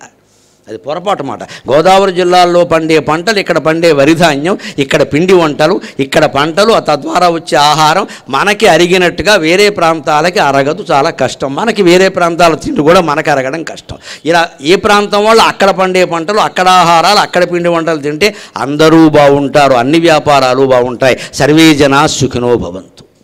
ఇవాళ ఆహారం విషయంలో కూడా పెద్ద వ్యాపారం జరుగుతున్నది ఏమిటంటే ఒకే రకమైన తిండిని పేపర్లో చెప్పేసి టీవీల్లో చెప్పేసి అందరూ ఇదే తినాలి అందరూ ఇదే తినాలి అంటే వాళ్ళు ఎవరో బాగుపడతారమో మనం ఏమవుతామో తెలియదు. పైగా యాభై ఏళ్ళ పట్టు తిండి తిని వేళ మార్చుకోవడం సాధ్యమా? యాభై ఏళ్ళ పట్టు తింటున్న తిండి వేళ మానేస్తామండి. మన తిండి కూడా సామాన్యమైనది కాదు బొబ్బట్లు చేస్తే వెంటనే దోసకాయ పచ్చడి చేస్తారు అక్కడ అరుగుతుంది. ముంజికాయ తింటే నీళ్ళు తాగమని చెప్పారు వెంటనే. జున్ను తింటే నీళ్ళు తాగమని చెప్పారు అరుగుతుంది. ముంజికాయ తింటే మామిడికాయ పెచ్చు ఆవకాయ బతి తినమన్నారు అరుగుతుంది. దాంట్లో ఏది నంచుకుంటాము అంటే అరిగేదే నంచుకుంటాం ఈ గొప్ప ఆరోగ్య శాస్త్రజ్ఞులకి నమస్కారం. మన భోజనాలన్నీ అంతే. ఆ నాలుగు గంటల వ్యవధి పాటిస్తే మీకు కులాచారాల ప్రకారం ఏ ఆహారం అలవాటైతే అది తినండి అది పెద్ద ప్రమాదం ఇంకా. కాదు వీళ్ళు తినమన్నా ఎవరు ఎక్కువ నెయ్యి నూనె ఊరికే పోసేసుకోరండి. నూనె గురించి కూడా అంత విపరీత ప్రచారాలు జరగక్కర్లేదమ్మా. ఘృతేన వృద్ధ వర్ధతే బుద్ధి శాస్త్రం చెప్పిన మాట స్పష్టంగా నెయ్యి చాలామంది విద్యార్థులు మానేశారు. అందుకే జ్ఞాపక శక్తి నశించింది. పిల్లలకి పాలు పెరుగు వెన్న నెయ్యి పెట్టాలి. పాతికేళ్ళ లోపు బాగా పెట్టాలి. నలభై ఏళ్ళ తర్వాత తగ్గించాలి. ఎనభై ఏళ్ళు వచ్చాక మానేసినా మానేయచ్చు. మొదటి నుంచే మానేస్తే వాళ్ళు గుడ్డుమోతు తిండి తింటున్నారు నిజం చెప్పాలంటే. గుడ్డన్నం అంటారు మా ఇళ్ళలో అయితే నెయ్యి వేయకుండా తింటే గుడ్డన్నం పెడుతున్నాం అంటారు. నెయ్యి వేయకుండా తినకూడదండి. నెయ్యి అలా వేసుకుని నెయ్యి వేసుకోవాలి. పోసుకోమని చెప్పలేదు. పోసుకోవడం వేరు వేసుకోవడం వేరు. ఆ తేడా తెలియపోతే అలాగా జారీ పట్టుకుని ఎత్తేస్తావు పైకి. అవి మంచినీళ్ళ? అవసరం లేదన్న వేసుకోవాలి. పప్పులో వెయ్యాలి కూరలో వెయ్యాలి పెద్దాంట్లో వెయ్యాలి అయిన వర్ధతే బుద్ధికి. తైలఘృతాది భక్షణాత్ శంకరాచార్య స్వామి చెబుతారు భగవద్గీత వ్యాఖ్యానంలో. తైలఘృతాది భక్షణాత్ వాగ్విశద సమర్థ భవతీతి ప్రసిద్ధం లోకే అంటాడు నూనె నెయ్యి తగుమాత్రంగా సేవించడం వల్ల వాక్కు చాలా స్పష్టంగా వస్తుంది గొంతు బాగుంటుంది పద్యాలు బాగా పాడతారు మాట స్పష్టంగా ఉంటుంది అనేది లోకల్లో అందరికీ తెలుసున్నదే అంటాడు. ఎందుకంటే మనం వాడిన తిన్నటువంటి అన్నంలో స్థూల భాగం మలం రూపంలో వెళ్ళిపోతుందండి. అందులో సూక్ష్మ భాగం మాంసం రూపంలో పేరుకుంటుందండి. అతి సూక్ష్మ భాగం మనస్సు రూపంలోకి మారుతుంది. తినే తిండిని బట్టి బుద్ధి ఉండే అవకాశాలు బాగా ఉన్నాయి. మనం సేవించిన జలం ఉంది నీళ్ళు తాగామండి. ఈ నీళ్ళలో స్థూల భాగం మూత్ర రూపంలో వెళ్ళిపోతుంది ఎక్కువ భాగం నాలుగు గ్లాసులు తాగామంటే అరగంటలో వచ్చేస్తుంది. అనుమానం లేదు ఇంకా. ట్యాంకు ఫుల్ అయింది ఏం చేయమంటావు? అందుకే నీళ్ళు తాగావు. ఈ నీళ్ళల్లో స్థూల భాగం మూత్రం రూపంలో వెళ్ళిపోతుంది. సూక్ష్మ భాగం రక్తం రూపంలో స్థిరపడుతుంది చిక్కబడుతుంది గట్టిపడుతుంది. అందులో కూడా ఇంకా సూక్ష్మ భాగం ఉందే ప్రాణవాయువు రూపంలో ఉంటుంది. అందుకే ప్రాణం నిలబడాలంటే అన్నం తినకపోయినా కొద్ది రోజులు పర్వాలేదు నీళ్ళు తాగడం మానకూడదు. అందుకే మన ఋషులను మీరు గమనించండి. బట్టలు కూడా చాలా తక్కువ ఉంటాయి ఊరికే ఒక అంగవస్త్రం కట్టుకుంటారు. పైన కండువా కూడా ఉండదు. కానీ చేతిలో కమండలం మాత్రం తప్పనిసరిగా ఉంటుంది. కమండలం లేని ఋషి ఉండడు. ఎంత యోగైనా రమణ మహర్షి చేతిలో కూడా కమండలం ఉంది మీరు గమనించండి. ప్రాణం నిలబడాలంటే తప్పదండి అది. పదిహేను రోజులు అన్నం లేకుండా బతకచ్చు. పదిహేను గంటలు నీళ్ళు లేకుండా బతకడం కష్టం. ప్రాణవాయువుకి నీరు ఆధారం. అలాగే నెయ్యి ఉందే మనం సేవించిన నూనె నెయ్యి మొదలైనవి. ఇవి ఇందులో స్థూల భాగం కొవ్వుగా శరీరంలో కొవ్వుగా పేరుకుంటాయి. ఇంకొంచెం సూక్ష్మ భాగం కండరాలుగా మారుతుంది. అతి సూక్ష్మ భాగం వాక్కుగా మారుతుందండి. పాలు పెరుగు వెన్న నెయ్యి ఎంత శుభ్రంగా పాతికేళ్ళు ముప్పై ఏళ్ళ లోపు ఆడపిల్లలు మగపిల్లలు తింటే అంత బాగా మాకు మళ్ళీ ప్రవచనాలు చెప్పగలుగుతారు పద్యాలు పాడగలుగుతారు. ప్రయత్నించి చూడండి. నేను లావెక్కుతా లావెక్కుతా అని గొడ్డుమడలు చెప్పకండి ఇక్కడ పని లేక ఏమి ఎక్కవు తిని చూడు. అంత భయపడిపోవాల్సిన పని లేదు దానికి. పూర్వం నేను కులం పేరు చెబుతున్నా అనుకోవద్దు వాస్తవం కాబట్టి చెబుతున్నా. కొన్ని వేల పంక్తులు వేల తాటాకుల మీద రాసినటువంటి వేదాలు నాలుగు వేదాలు ఇప్పటికి ఎనభై రెండు పన్నాలు చూడకుండా అప్పగించగలిగినటువంటి బ్రాహ్మణోత్తములు ఉన్నారు. వారి ఆహారం కేవలం పప్పు నెయ్యినండి వేరే ఆహారం వెళ్ళేది లేదు అక్కడ. ఇప్పటికి ఎనభై రెండు పన్నాలు అప్పగించగలిగిన వాళ్ళు తణుకు పక్కనే ఎరగవరంలో ఉన్నారు మహానుభావులు. వరుసగా అప్పగించాడు ఒక ఆయన. ఎనభై రెండు పన్నాలు ఉదయం నుంచి సాయంత్రంలోగా విదిన్ ట్వెల్వ్ అవర్స్ ఇలా కూర్చుని ఆయన పక్కన ఉన్నది ఏమిటో తెలుసా? రాగి చెంబు మంచినీళ్ళు నేను ఆ సభలో ఉన్నా. రాగి చెంబు మంచినీళ్ళు రాగి చెంబులో మంచినీళ్ళు తాగాను ఇరవై పన్నెండు గంటల పైగా వేదం తింటూ మధ్యలో అవి ఇవి తింటే కుదరదయా అన్నాడు ఆయన. అని చెప్పేశాడు. ప్రాణం నిలబడాలంటే నీళ్ళు తాగాలి. అన్నం తినకపోయినా పర్వాలేదు అలాగే అన్నం కూడా పూర్తిగా మానేయదు కొద్ది రోజులు అవసరాన్ని పట్టింది. తర్వాత తినవలసిందే. అన్నం తినకపోతే ఏమవుతుంది తెలుసా? మనస్సు క్షీణిస్తుంది. దయచేసి ఆలోచిద్దాం. ఇందులో ఉండే ఆధ్యాత్మికత. మన ఉపవాసాల్లో ఉండే గొప్పతనం తెలుస్తుంది. ఏకాదశి నాడు ఉపవాసం. రెండుసార్లు ఉండవలసింది కదండి ఖచ్చితంగా నెలకి నెలకి రెండుసార్లు ఏకాదశి వస్తుందిగా. అది మన రాకాశి బుద్ధులకి పరిష్కారమే ఏకాదశి ఉపవాసం. ఎందుకు? ఉపవాసం ఉంటే అన్నం తినకపోవడం కారణంగా మనస్సు బలహీనం అవుతుంది మనస్సు బలహీనమైతే జ్ఞాపక శక్తి నశిస్తుంది. అప్పుడు అమావాస్య నాడు అట్టెట్టావా? పొన్నమనాడు బోరెట్టావా? మా ఇంటికి ఎందుకు వచ్చావు? అప్పుడు ఏమి ఇచ్చావు? ఈ జ్ఞాపకాలన్నీ పోతాయి. ఈ దరిద్రపు మాటలన్నీ పోవడానికే ఉపవాసం. అన్నం తినడం మానేస్తే మనస్సులో జ్ఞాపకాలు తగ్గిపోతాయి. అలాగని ఏవో కొంతమంది పాపం బాధపడేటువంటి జ్ఞాపకాలు ఏమైనా ఉంటే పోవడం కోసం అన్నం మానేయకండి. ఆ పాపం నాదే వచ్చింది. పోగొట్టుకోండి. దాని గురించి అన్నం మానేయకూడదు. మనస్సు క్షీణిస్తుంది. జ్ఞాపకాలు క్షీణిస్తాయి. జ్ఞాపకాలన్నీ క్షీణిస్తే ముక్తి అదే వాసన. వాసన వాసనలు క్షీణిస్తే ముక్తి. చేసిన పని ఎక్కడికక్కడ వదిలేయమని చెప్పాను ఇందాక నేను ఎక్కడ విషయం అక్కడ వదిలేయాలి. కష్టమైనా ఆచరిద్దాం. మీరు చేయండి నేను చేస్తాను. ప్రయత్నం చేద్దాం. నాకు మొదటి రెండు సాధ్యం అయ్యాయి నా తల్లి సాక్షిగా చెబుతున్నా. నేను ఎప్పటి పని అప్పుడే చేస్తా. ఎక్కడ వస్తువు అక్కడే పెడతా తిరుగులేదు. దానివల్ల ఇంట్లో తగాదాలు కూడా వస్తున్నాయి. అయినా పెడతాను నేను. మీరేమైనా అనుకోండి నేను చేస్తా. అని వాళ్ళు ఎక్కడైనా గ్లాసులో ఇంకేమైనా పెడితే నేను సర్దిస్తూ ఉంటాను ఎక్కడికక్కడ. తప్పదు ఎవరో ఒకరు చెయ్యాలి ఆ పని. దానివల్ల ఏం జరుగుతుందో నేను చూసా పదేళ్ళ క్రితం మా ఇల్లు ఎలా ఉందో ఇప్పుడు అలా లేదు. అంతా బంగారు కొండలు అయిపోయారు. ఎందుకని? పాపం ఆయన తిరిగి తిరిగి వస్తాడు మళ్ళీ ఇక్కడికి వచ్చి అన్నీ సర్దుతున్నాడు ఈ బ్రాహ్మడికి ఇదో పనే. అని వాళ్ళు చేసేస్తున్నారు. గౌరవం అండి మర్యాద. సర్దుతున్నా నేనేం చెప్పాలా? సర్దుకోమని చెప్పాలా? ఎలా పెట్టే కోపడలా మళ్ళీ అనవసరంగా బీపీ మనకెందుకు వచ్చింది? తీసి సరిగ్గా పెట్టేస్తే అయిపోయాయి ఆ వస్తువు తీసి సరిగ్గా పెట్టేద్దాం. ఎక్కడ ఉండాలో అక్కడ. మందు బిళ్ళలన్నీ ఒక్క చోట ఉంటే వేసుకునేందుకు దొరుకుతాయి కదమ్మా. అవి పడక మంచం మీద కొన్ని బల్ల అన్నం అన్నాల బల్ల మీద కొన్ని అద్దం బల్ల మీద కొన్ని మన నెత్తి మీద కొన్ని ఇన్నెందుకు? జీవిత ఆ అన్నం ఇల్లంతా ఆసుపత్రేనా? అవన్నీ ఓ చోట ఉండకూడదా వెళ్ళి తెచ్చుకోకూడదా? దొరుకుతాయి కదా. ఈ ఎక్కడ వస్తువులు ఎక్కడ పెట్టడం ఎక్కడ ఎప్పటి పనులు అప్పుడు చేయడం కూడా సాధ్యమే. కానీ నాకు కూడా సాధ్యం కాక ఇబ్బంది పడుతున్నది. కానీ రోజు అమ్మవారి సాక్షిగా ప్రయత్నం చేస్తున్నది ఏమిటంటే ఎక్కడ విషయం అక్కడ వదిలేయడం. ఇది మానసిక ఆరోగ్యానికి చాలా ముఖ్యం. అతి ముఖ్యమైతే తప్ప గుర్తుపెట్టుకోవలసిన అవసరం లేదు. వదిలేయడమే ఆ విషయం. ముఖ్యంగా జీవితంలో జరిగిన ఘట్టాలు సన్మానాలు అవమానాలు జయాలు అపజయాలు మానాలు అవమానాలు లాభాలు నష్టాలు కష్టాలు సుఖాలు ఎక్కడవక్కడే వదిలేయడం చాలా మంచిది. సుఖం కూడా గుర్తుపెట్టుకోవద్దు. నిన్న భీమవరంలో ఎంత గొప్ప సన్మానం చేశారంటే అని నేను ఇంటికి వెళ్ళి ఒకసారి అంటే పర్వాలా. నాలుగు సార్లు అంటున్నాను అంటే ఇక నేను భీమవరం రావడానికి కాదమ్మా ప్రవచనం చెప్పడానికి అర్హత కోల్పోయినట్టే లెక్క. నిందాస్తుతులు సమానంగా భావించకపోతే ఎందుకు చెప్పడం ఇక్కడ పని లేక? సన్మానం గురించి అంతగా చెబుతున్నాం. ఒళ్ళు మండి ఎవడో ఓ మాట అని ఉంటాడు అది కూడా చెప్పాలిగా? చెప్పను దాచేస్తాను. ఎందుకంటే మా ఆవిడ కూడా అగౌరవిస్తున్నామని భయం. సన్మానం మాత్రం చెబుతాం ఇక్కడ. అంటే మనకి జీవితంలో ఇది కావాలి ఇది అక్కర్లేదని గీతలు గీసుకున్నాం కదా సుఖంగా ఎందుకుంటామండి? ఈ జ్ఞానం ఏమిటంటే ఏదొచ్చినా స్వీకరించడం. అజ్ఞానం ఏమిటంటే దీనికి ఒకలాగా దానికి ఒకలాగా స్పందించడం. అంటే ఎక్కడ విషయం అక్కడ వదిలే సన్మానం వదిలే అవమానం వదిలే ఏం పర్వాలా? వదిలేయడం అంటే ఏమిటి? అమ్మవారికి వదిలేయి. అమ్మ నీకు వదిలేసాను నువ్వు చూసుకో. ఇంతకంటే నేనేం చేయలేను. ఈ మూడు మనం పాటించాలి అంటే ఆహార నియమాలతో పాటుగా మనం తాత్విక చింతనని అలవాటు చేసుకోవాలి. అందుకని అన్న ఉపవాసంలో ఉండే అంత అనకి రహస్య ఉపవాసం. సమి ఉప అంటే సమీపం. ఎవరి సమీపంలో వసించడం భగవంతుడికి సమీపంలో వసించడం భగవంతుడికి సమీపంలో వసించడం అంటే పూజ మందిరంలో లలితాదేవి బొమ్మ పెట్టుకుని ఆవిడ ఒళ్ళో కూర్చోవడం కాదు వెళ్ళి ఇక్కడ. ఆవిడ కూడా చికాకు వచ్చేలాగా. అలా ఎంతసేపు కూర్చుంటావు? లేకపోతే ఆ ఫోటో నీ ఒళ్ళో పెట్టు కూర్చుంటావా? ఆవిడ ఉండదు అక్కడ. ఫోటోయే ఉంటుంది. నీ మనస్సు భగవంతుడికి సమర్పించాలి. అది చెయ్యాలి అంటే ఇంకొక ముఖ్య విషయం చెప్పుకుని ఐదు నిమిషాల్లో మనం సెలవు తీసుకుందాం. స్నానం చేసిన తర్వాత అల్పాహారం కాఫీల కంటే ముందే ఆడ మగ భేదం లేకుండా అందరూ ఇంట్లో పూజా మందిరంలోకి వెళ్ళి దేవుడి దగ్గర ఓ దీపం పెట్టి ఒక్క పువ్వైనా పెట్టండి అమ్మ ఒక్క పువ్వే. మొత్తం దొడ్లో అవన్నీ కోసుకొచ్చి పారేయకండి అక్కడ. ఉన్నాయి కదా అవన్నీ ఇక్కడ ఉండనియండి. ఆ దొడ్లో కూడా అమ్మవారు ఉంది ఆ వనంలో కూడా ఉంది. ఆ కదంబ వనవాసిని అంటే కదంబ వనంలో ఉంటాను అని చెప్పింది తప్ప ఆ పూలండి పట్టుకొచ్చి నేను ఎత్తిమి బారేయమని చెప్పలేదు ఆవిడ. అక్కడ అమ్మవారు ఉంది. కానీ ఇదెందుకోసం? మన సంతృప్తి కోసం. లేదు నమస్కారం అన్నిటికంటే గొప్పదండి. మీరు ఏ పువ్వు పెట్టక్కల. నమః. కరోనా కారణంగా బాగా అలవాటైంది కదా తిరగేయండి. మనహ నమః తిరగేస్తే మనహ మనఃపూర్వకంగా చేసేదే నమస్కారం. ఊరికే చేతులు లేపితే నమస్కారం కాదు. నమః తిరగేస్తే మనహ సంస్కృతంలో రెండు నపుంసకలింగాలే రెండు సకారాంతాలే. నమః నమసి నమాంసి. మనహ మనసి మనాంసి. అంచేత మనస్సు ఉపయోగించి చేసేది నమస్కారం. అంటే స్నానం చేసాక ఒక్కసారి భార్య భర్త పిల్లలకు కూడా అలవాటు చేయాలి. అలవాటు చేసే విధానం ఏమిటి అంటే లేవమని చెప్పానా? అక్కడికి వెళ్ళమని చెప్పానా? దండం పెట్టుకోమని చెప్పానా? దెయ్యంలా చూస్తాం. ఈ అరుపులు కేకలు కాదండి. అంది పాతాళం కాదమ్మా భూలోకం ఇది. నువ్వు వెళ్ళు. నీ వెనకాల నీ కొడుకు కూడా వస్తాడు. ఈయన వెళ్ళడు.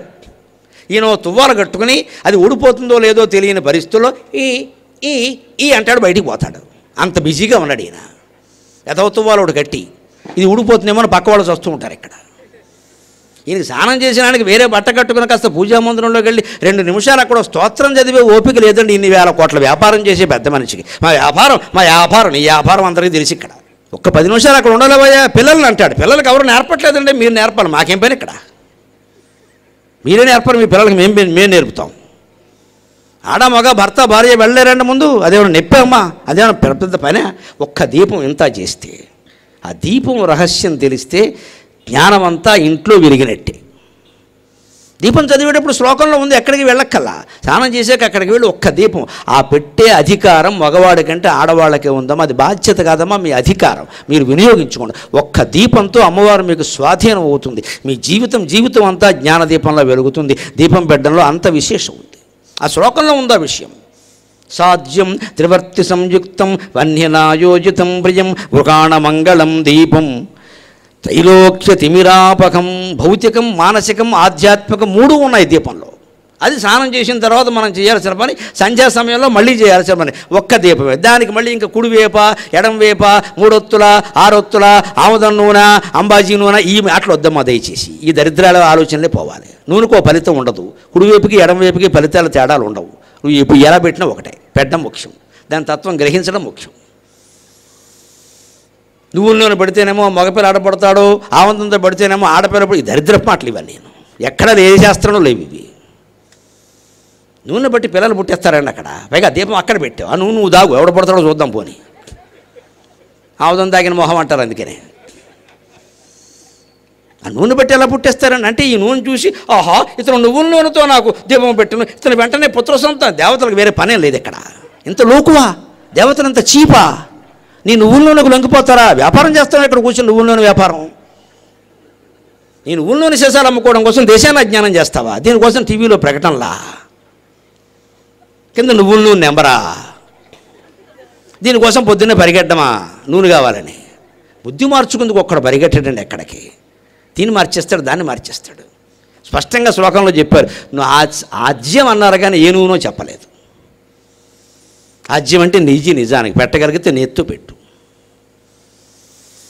నూనెనా పెట్టు పర్వాలేదు నెయ్యి అయితే ఏమిటి? వేరే కొనక్కల ఇంట్లో ఉంటుంది వాడుతున్నాం కదా. నూనెనా ఉంటుంది. పెట్టు ఇంట్లో ఏ వాడితే మా అమ్మగారు తొంభై ఏళ్ళు బతికారండి. తొంభై ఏళ్ళు దీపం పెట్టారు. ఇంట్లో ఏ వేరుశనగ నూనె ఆవిడ వాడిందో ఆ నూనెతోనే పెట్టారమ్మా. వేరే నూనె వాడని నేను చూడలా. సుఖంగా ఉంది ఆవిడ. నేను చూశాను నా కళ్ళతో. ఈ నూనెకో ఫలితం ఆ నూనెకో ఫలితం ఎలా చెబుతారండి? మొత్తం చిట్లం కట్టి పొట్లం కట్టేశారు సంస్కృతిని. పిచ్చి నమ్మకాలన్నీ పెరుగుతున్నాయి మనుషుల్లో. ఎందుకు పెట్టాలో అందులో చెప్పాడు సాధ్యం. నూనెతోనో నేత్తోనో పెట్టు. త్రివర్తి సంయుక్తం. మూడు ఒత్తులు పేని ఒక ఒత్తుగా చెయ్యి మూడు విడిగా పెట్టక్కర్లేదు. అక్కడి నుంచి అవి కాప చూసుకుంటూ కూర్చోడు. ఆరిపోయింది ఆరిపోయింది. ఆరిపోతే ఏడు ఒకటి పెడితే సనగా. నీకు మళ్ళీను. రమణారెడ్డి అంత ఒత్తి పెడితే ఆరిపోదో? సూర్యకాంతంలో పెట్టు. మూడు ఒత్తులు కలిపి పేని పెట్ట. పేనడం ఎందుకండి? భౌతికంగా చూడండి. నీరు పల్లంగా ప్రవహిస్తుంది నూనె వంకరగా ప్రవహిస్తుంది నూనె జారుతుందండి ఇలా జారుతుంది నూనె ఎప్పుడు ఆ జారే నూనె తిన్నగా వెళ్ళాలి అంటే ఒత్తి ఇలా మెలిపెట్టాలి. మెలిపెట్టాలి. ఒట్టరు వంకర తిప్పడం అంటారు కదా ఇలా ఇలా ఇలా ఇలా అంటే మెలిపెట్టు. మూడు పోగులు కలిపి మెలిపెట్టి దీపం పెట్టాయి. కింద నూనె ఉంటుంది ఆ నూనె సరిగ్గా ఇలా తిరుగుతూ తిరుగుతూ వండరంగా గుండ్రంగా తిరుగుతూ పెడుతుంది వలయాకారంలో. ఆ నూనె ఎప్పటికప్పుడు అందుతూ ఉంటుంది వెలుగుతూ ఇది భౌతికం. వన్యనా యోజితం మయా. అప్పుడు అగ్ని నిప్పు ముట్టించు. నువ్వు ఎంత ఒత్తి పెట్టినా ఎంత నూనె పోసినా ప్రమిద ఎంత పెద్ద వీరభద్ర ప్రమిదలా పెద్దది పెట్టినా నువ్వు అగ్ని ముట్టించకపోతే ఆ దీపం వెలగదు. జ్ఞానాగ్ని నీలో కూడా వెలక్కపోతే నీ శరీరం ఎంత పెద్ద ప్రమిదైనా నువ్వు సంపాదించిన సంపద ఎంత పెద్ద నూనెైనా నీ వస్తువాహనాలు ఎన్ని ఒత్తులైనా జీవితం వెలిగే సమస్య కూడా లేదు. జ్ఞానాగ్ని జ్ఞానాగ్ని. అగ్ని అంటే జ్ఞానాగ్ని అక్కడ. జ్ఞానం అంటే అందరూ ఒకటే అంతా ఒకటే. ఇది ఏది మిగిలేదు కాదు ఇది కళ ఇది మిథ్య. టేక్ ఇట్ ఈజీ తేలిగ్గా తీసుకో. ఇది పోతుంది ఇది ఉండదు. కాబట్టి ఇవాళ పని చేసేద్దాం పోవడానికి సిద్ధంగా ఉందాం. అంతే. మనసు తేలిక పడిపోయింది హాయిగా. వన్యనా యోజితం మయా. అదిగో స్వామి అగ్నితో ముట్టించానయ్యా అని గృహాణ మంగళం దీపం ఇది మంగళప్రదమైన దీపం. ఈ జ్ఞానం ఉంటే ఇల్లంతా మంగళమే కదండి. మంగళవారం ప్రతిరోజు మంగళవారమే. అమంగళం ఎక్కడుంది? నీకు జ్ఞానం ఉన్నాక. అప్పుడు చివరమట చెబుతున్నారు త్రైలోక్య తిమిరాపకం మూడు లోకాల్లో ఉండే చీకటిని పోగొట్టగలిగే శక్తి మన ఇంట్లో మనం పెట్టిన దీపానికి ఉందమ్మా. ఇక దేవాలయంలో అర్చకులు గర్భగుడిలో పెట్టే దీపానికి ఎంత శక్తి ఉంటుందో వేరే చెప్పక్కల ఊరు ఊరంతటిని ప్రశాంతంగా ఉంచుతుంది. అందుకని దేవాలయంలో నిత్యము దీపారాధన జరిగేలా చూడాలి. గొళ్ళ మీద గుళ్ళు కట్టేయడం కాదు. అక్కడ ఖచ్చి క- ఖచ్చితంగా నిత్య ధూపదీపారాధన జరగాలి. జరగకపోతే గుడితో ఇబ్బందులు వస్తాయి చాలా. ఇంకా నేను పైకి చెబితే బాగుండదు అవన్నీ. మీరు ప్రతిష్ట చేశాక బ్రాహ్మణుల చేత మంత్ర ప్రతిష్ట మీరు చేశాక ఖచ్చితంగా అర్చకుడు బాగోగులన్నీ మనం చూసి ఆయన పేదవాడు కాకుండా ఉండేలాగా ఆయన కాస్త సంపన్నుడుగా సుఖంగా ఉండేలాగా చేసి ఆయన బాధ్యత ఆయన చేసేలా కూడా చూడాలి మనం. పైగా అర్చకులు ఎలాంటి వాళ్ళు అంటే పాపం వాళ్ళెంత అమాయకంగా ఆలోచిస్తారు ఇక్కడ జీతం తక్కువైనా సరే ఆ జీతం కూడా ఏడెనిమిది నెలలుగా ఇవ్వకపోయినా సరే దీపారాధన మానడు. ఆయన చచ్చిపోతాడు లేకపోతే ఆయన తెలుసున మా కుటుంబానికి ఇబ్బంది అది. ఆయన మానడు. మరి ఆయన బాధపెట్టిన పాపం మనకి రాలేదా? ఆయన సొంత సొమ్ముతో ఎంతకాలం పెడతాడండి అలాగా? ఇది ఇది అచ్చు గుళ్ళో దీపం వల్ల ఊరందరికీ ప్రశాంతి. నీ ఇంట్లో నువ్వు పెట్టుకునే దీపం వల్ల కూడా మూడు లోకాలకి ప్రశాంతి. ఎలాగా? మూడు లోకాలు ఎక్కడున్నాయి? స్వర్గ మత్స్య పాతాళ అని మన ఊరికే చెప్పుకోవడమా చూసి వచ్చిన వాళ్ళు ఎవరు లేరు. దాని మీద అంత ప్రచారం జరగక్కర్లేదు. ఉన్నది భూలోకం మనకు కనపడుతోంది. మన శరీరం మనకు కనపడుతోంది. ఈ పాతాళ స్వర్గం నరకం రెండు మన మనస్సులో ఉన్నాయి. మన ఏవ మనుష్యాణం కారణం బంధమోక్షయో. నువ్వు ఎప్పుడు సుఖభావనలో ఉన్నావో అప్పుడు స్వర్గంలో ఉన్నట్టు లెక్క. నువ్వు ఎప్పుడు దుఃఖభావనలో ఉన్నావో అప్పుడు నరకంలో ఉన్నట్టు లెక్క. ఈ భావాలే ముదిరి ముదిరి ముదిరి ముదిరి మనిషి శరీరాన్ని వదిలినప్పుడు కూడా శరీరం ధరిస్తాడు. స్వర్గం అంటే శరీరం ధరిస్తాడు. కళ్ళలో ధరించే శరీరమే ధరిస్తాడు. ఈ చేసిన మంచి ఆలోచనలు ధర్మకార్యాలన్నీ పుణ్యాల రూపంలో అనుభవానికి వస్తూ ఉంటాయి. చేసిన పాపకార్యాలన్నీ ప- శిక్షల రూపంలో అనుభవానికి వస్తాయి. అప్పుడు ఈ మనిషి ఏమనుకుంటాడు? హిందూ దేశంలో పుట్టాడు కాబట్టి యమధర్మరాజు కొడుతున్నాడు. నరకంలో ఉన్నా అనుకుంటాడు. ఇంకో ఇంకోడు ఏమనుకుంటాడు? హిందూ దేశంలో పుట్టాడు కాబట్టి స్వర్గానికి వెళ్ళా అదిగో రంభ అనుకుంటాడు. అన్నీ వీడు ఊహలే. ఉపనిషత్తులో స్పష్టంగా చెబుతారు. రంభ నీ ఊహే రాయిట్టు కొట్టినా నీ ఊహే నీ పాపం నిన్ను రాయి పెట్టి కొట్టింది. నీ పుణ్యం నిన్ను రంభ దగ్గరికి పంపింది. ఆ రంభ దగ్గరే శాశ్వతంగా మకం పెట్టేవనుకో మళ్ళీ రాయిట్టు కొడతారు.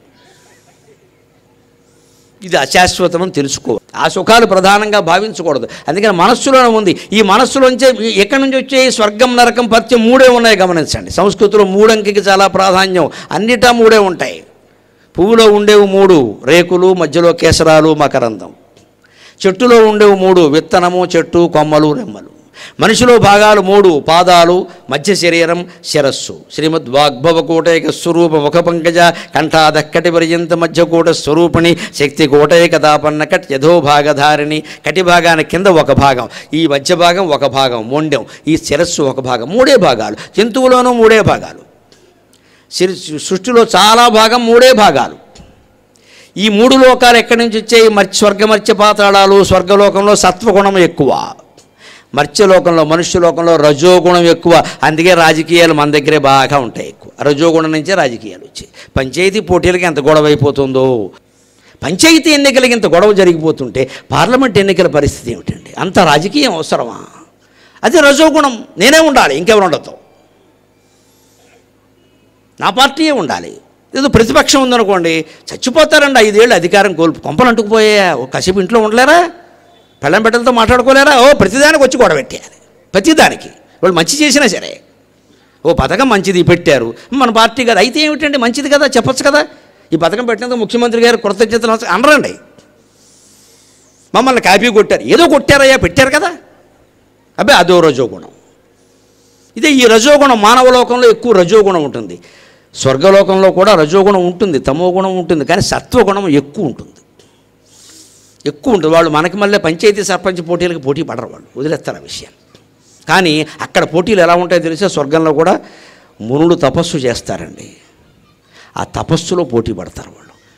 వందేళ్ళు తపస్సు చేశాడా? నేను వెయ్యేళ్ళు చేస్తా అంటాడు. పొడు అలాంటి చెయ్యి. అది సత్వగుణంలో పోటీ. దేవలోకంలో దేవతలో సత్వగుణం ఎక్కువ. మనుషుల్లో రజోగుణం ఎక్కువ. రాక్షసుల్లో తమో గుణం ఎక్కువ. యజ్ఞాలు జడగొట్టారు రాక్షసులు తెలుసు. ఎలాంటి వాళ్ళు? వాడు జయుడు ఇంకోటి చేయనివ్వడు నువ్వు ఎలా చేస్తావు చూస్తా. అన్ని రక్తం పట్టుకొచ్చి పోసి మాంసం పట్టుకొచ్చి పోసి. ఎందుకు వాడికి ఎందుకు? వాడు చేయలేదు. వీడెవడో చేస్తున్నాడు చేయనివచ్చగా చేయనివ్వడం. నిజానికి ఈ మూడు గుణాలు ఎక్కడున్నాయో దయచేసి ఆలోచిద్దాం. దాంతో సెలవు తీసుకుందాం. ఈ మూడు గుణాలు మనలోనే ఉన్నాయి. మనమే అప్పుడప్పుడు చాలా ఇటువంటి ప్రవచనాలు వింటున్నప్పుడు చాలా సత్వగుణంతో ఇంటికి వెళ్ళగానే ఎలా ఉండాలంటే చక్కగా ఆయన చెప్పినట్టే వ్యాపారంలో పెట్టి తోముకుని ఆయన చెప్పినట్టే కాలు కింద పెట్టినప్పుడు భూదేవికి దండం పెట్టుకుని ఆయన చెప్పినట్టే చేతులు అన్నీ చూసుకుని ఆయన చెప్పినట్టే కష్టపడి సంపాదించి ఆయన చెప్పినట్టే స్నానం చేస్తూ గోవింద స్తోత్రం చదివి ఆయన చెప్పినట్టే మౌనంగా భోజనం చేసి ఆయన చెప్పినట్టే చేయాలని మీరు అందరూ అనుకుంటూ ఉంటారే ఇప్పుడు మీరు సత్వగుణంలో ఉన్నట్టు లెక్క. ఇక్కడి నుంచి లేచిన తర్వాత కొందరు మోటార్ సైకిళ్ళు ఎక్కుతారు కొందరు కార్లు ఎక్కుతారు కొందరు నడిచి పెడుతూ ఉంటారు. అప్పుడు ఏమనుకుంటారు? ఎంత బాగా చెప్పారు అనగానే అలాగే చెబుతారు అవన్నీ మన వల్ల అవుతాయేటి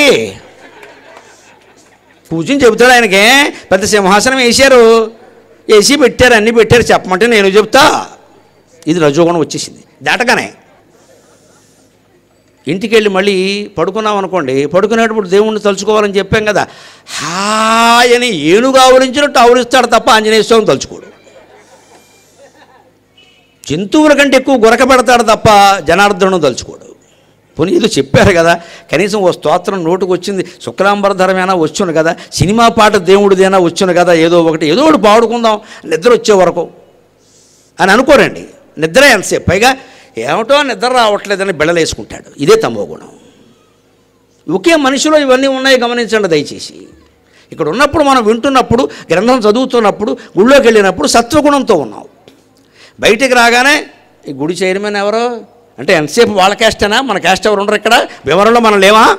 అయిపోయింది. గుడి రజోగుణం వచ్చేసింది. ఎవడు కడితే నీకేమయ్యా? గుడి ఉంది కదా వెళ్ళండి. నేను చూస్తున్నానమ్మో స్పష్టంగా నన్ను మన్నింతులు కాక నిజం మాట్లాడమే నాకు అలవాటు. ఆ క్యాస్ట్ వాళ్ళు కట్టిన గుడిలోకి ఆ క్యాస్ట్ వాళ్ళే పెడతారండి ఎంత గొప్ప వాళ్ళమో మనం. మనం వేరే కట్టుకుందామే. ఆ గుళ్ళోకి మన వాళ్ళు ఎందుకంటే వాడు ఎవడో కట్టాడు. ఇది మొత్తం ఈ క్యాస్ట్ రాజకీయాల్లోకి ప్రవేశించింది. దేశమంతా ప్రవేశించింది. ఎలా కుళ్ళిపోతుందో మనకు తెలుసు. ఇది రజోగుణం మందా కదా? ఎవరు ఉన్నారంటే మనలోనే ఉంది కదా వదిలించుకోలేమో దాన్ని. దేవుడు ముఖ్యం మనకి ఎవరు కడితే ఎవరో ఒకరు కడతారు కదయ్యా. ఎవరు కట్టకుండా ఇలాగా ఆ గుళ్ళోకి మన కట్టయి మన గుడి కట్టే మన వీధిలో మనం వెళ్ళేదంటే? గాడిద గుడ్డు? అయిపోయాడు దేవుడు ఇక్కడ. గాడ్ ది గుడ్ అయిన వాడు గాడిద గుడ్ అయిపోయాడు. ఆయన గాడ్ ది గుడ్ ఒకసారి గాడిద అయిపోయాడు. కట్టయి మన కట్టయి తనలో ఇచ్చేద్దాం మనం ఏంటి గాడి మనకి పెట్టాయి. మన పూజాన్ని పెట్టాయి బ్రాహ్మణులకి ఇచ్చి అది కూడా మొదలైంది నమస్కారం. గొడవ లేదు. మన పూజాన్ని పెట్టాయి వాళ్ళేంటి మనకి? అయిపోయింది. ఇంకా విచిత్రమైన మాట విన్నా. స్వామీజీలకు కూడా కులాలండి. ఫలానా కులం స్వామి ఫలానా కులం అవి కులం ఉన్నాక స్వామి ఎలా అవుతాడు నాకు అర్థం కాల.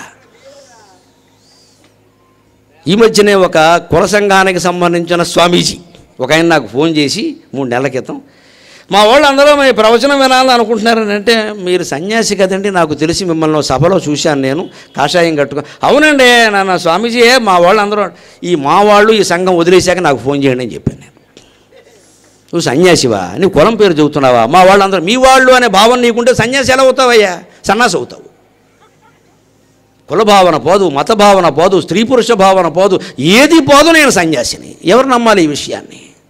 అంచేది మూడు గుణాలు మనలు అని ఉన్నాయి. ఇప్పుడు ఇలాంటివి వింటున్నప్పుడు గుళ్ళోకి వెళ్ళినప్పుడు సత్వగుణంతో ఉన్నాం. గుడి బయటికి రాగానే దాని వైభవం ఆదాయం తెలియగానే మనం పోటీ పడాలి అని రజోగుణంతో మొదలయ్యాం. తర్వాత అందులో ఏదో దెబ్బ అయ్యామనుకోండి తమో గుణంలో పడిపోయి ఏడుస్తూ కూర్చున్నాం దుఃఖంతో. అయ్యో అనవసరంగా ఉడిజూరుకు వెళ్ళాం మనం ఎందుకు కట్టాం? బడిగట్టుకున్నా బాగుండేది. మడిగట్టుకున్నా బాగుండేది. ఇంటి పక్కన దడిగట్టుకున్నా బాగుండేది. గుడి ఎందుకు కట్టాం? పని లేక. అని మనమే తమో గుణంలో పడ్డాయి. ఇప్పుడు మూడు గుణాలు మనలో ఉన్నాయి లేదా? ఈ దీపం కారణంగా మూడు ఒత్తులని మూడు గుణాలు. గుణం అంటే ఒత్తి తాడు అని కూడా అర్థం ఉంది సంస్కృతంలో. గుణం అంటే పోగు తాడు అని అర్థం. అంతే త్రిగుణాత్మకమైనటువంటి ఒత్తి అంటే మూడు గుణాలు నీలో ఉన్నాయి వాటిని తొలగించుకోవయా అని చెప్పిన దివ్య జ్ఞానదీప సంస్కృతికి నమస్కారం చేస్తూ ఈ పూటకి సెలవు తీసుకుంటాం మిగిలిన సంస్కృత సంప్రదాయాల విశేషాలు రేపు చెప్పుకుందాం.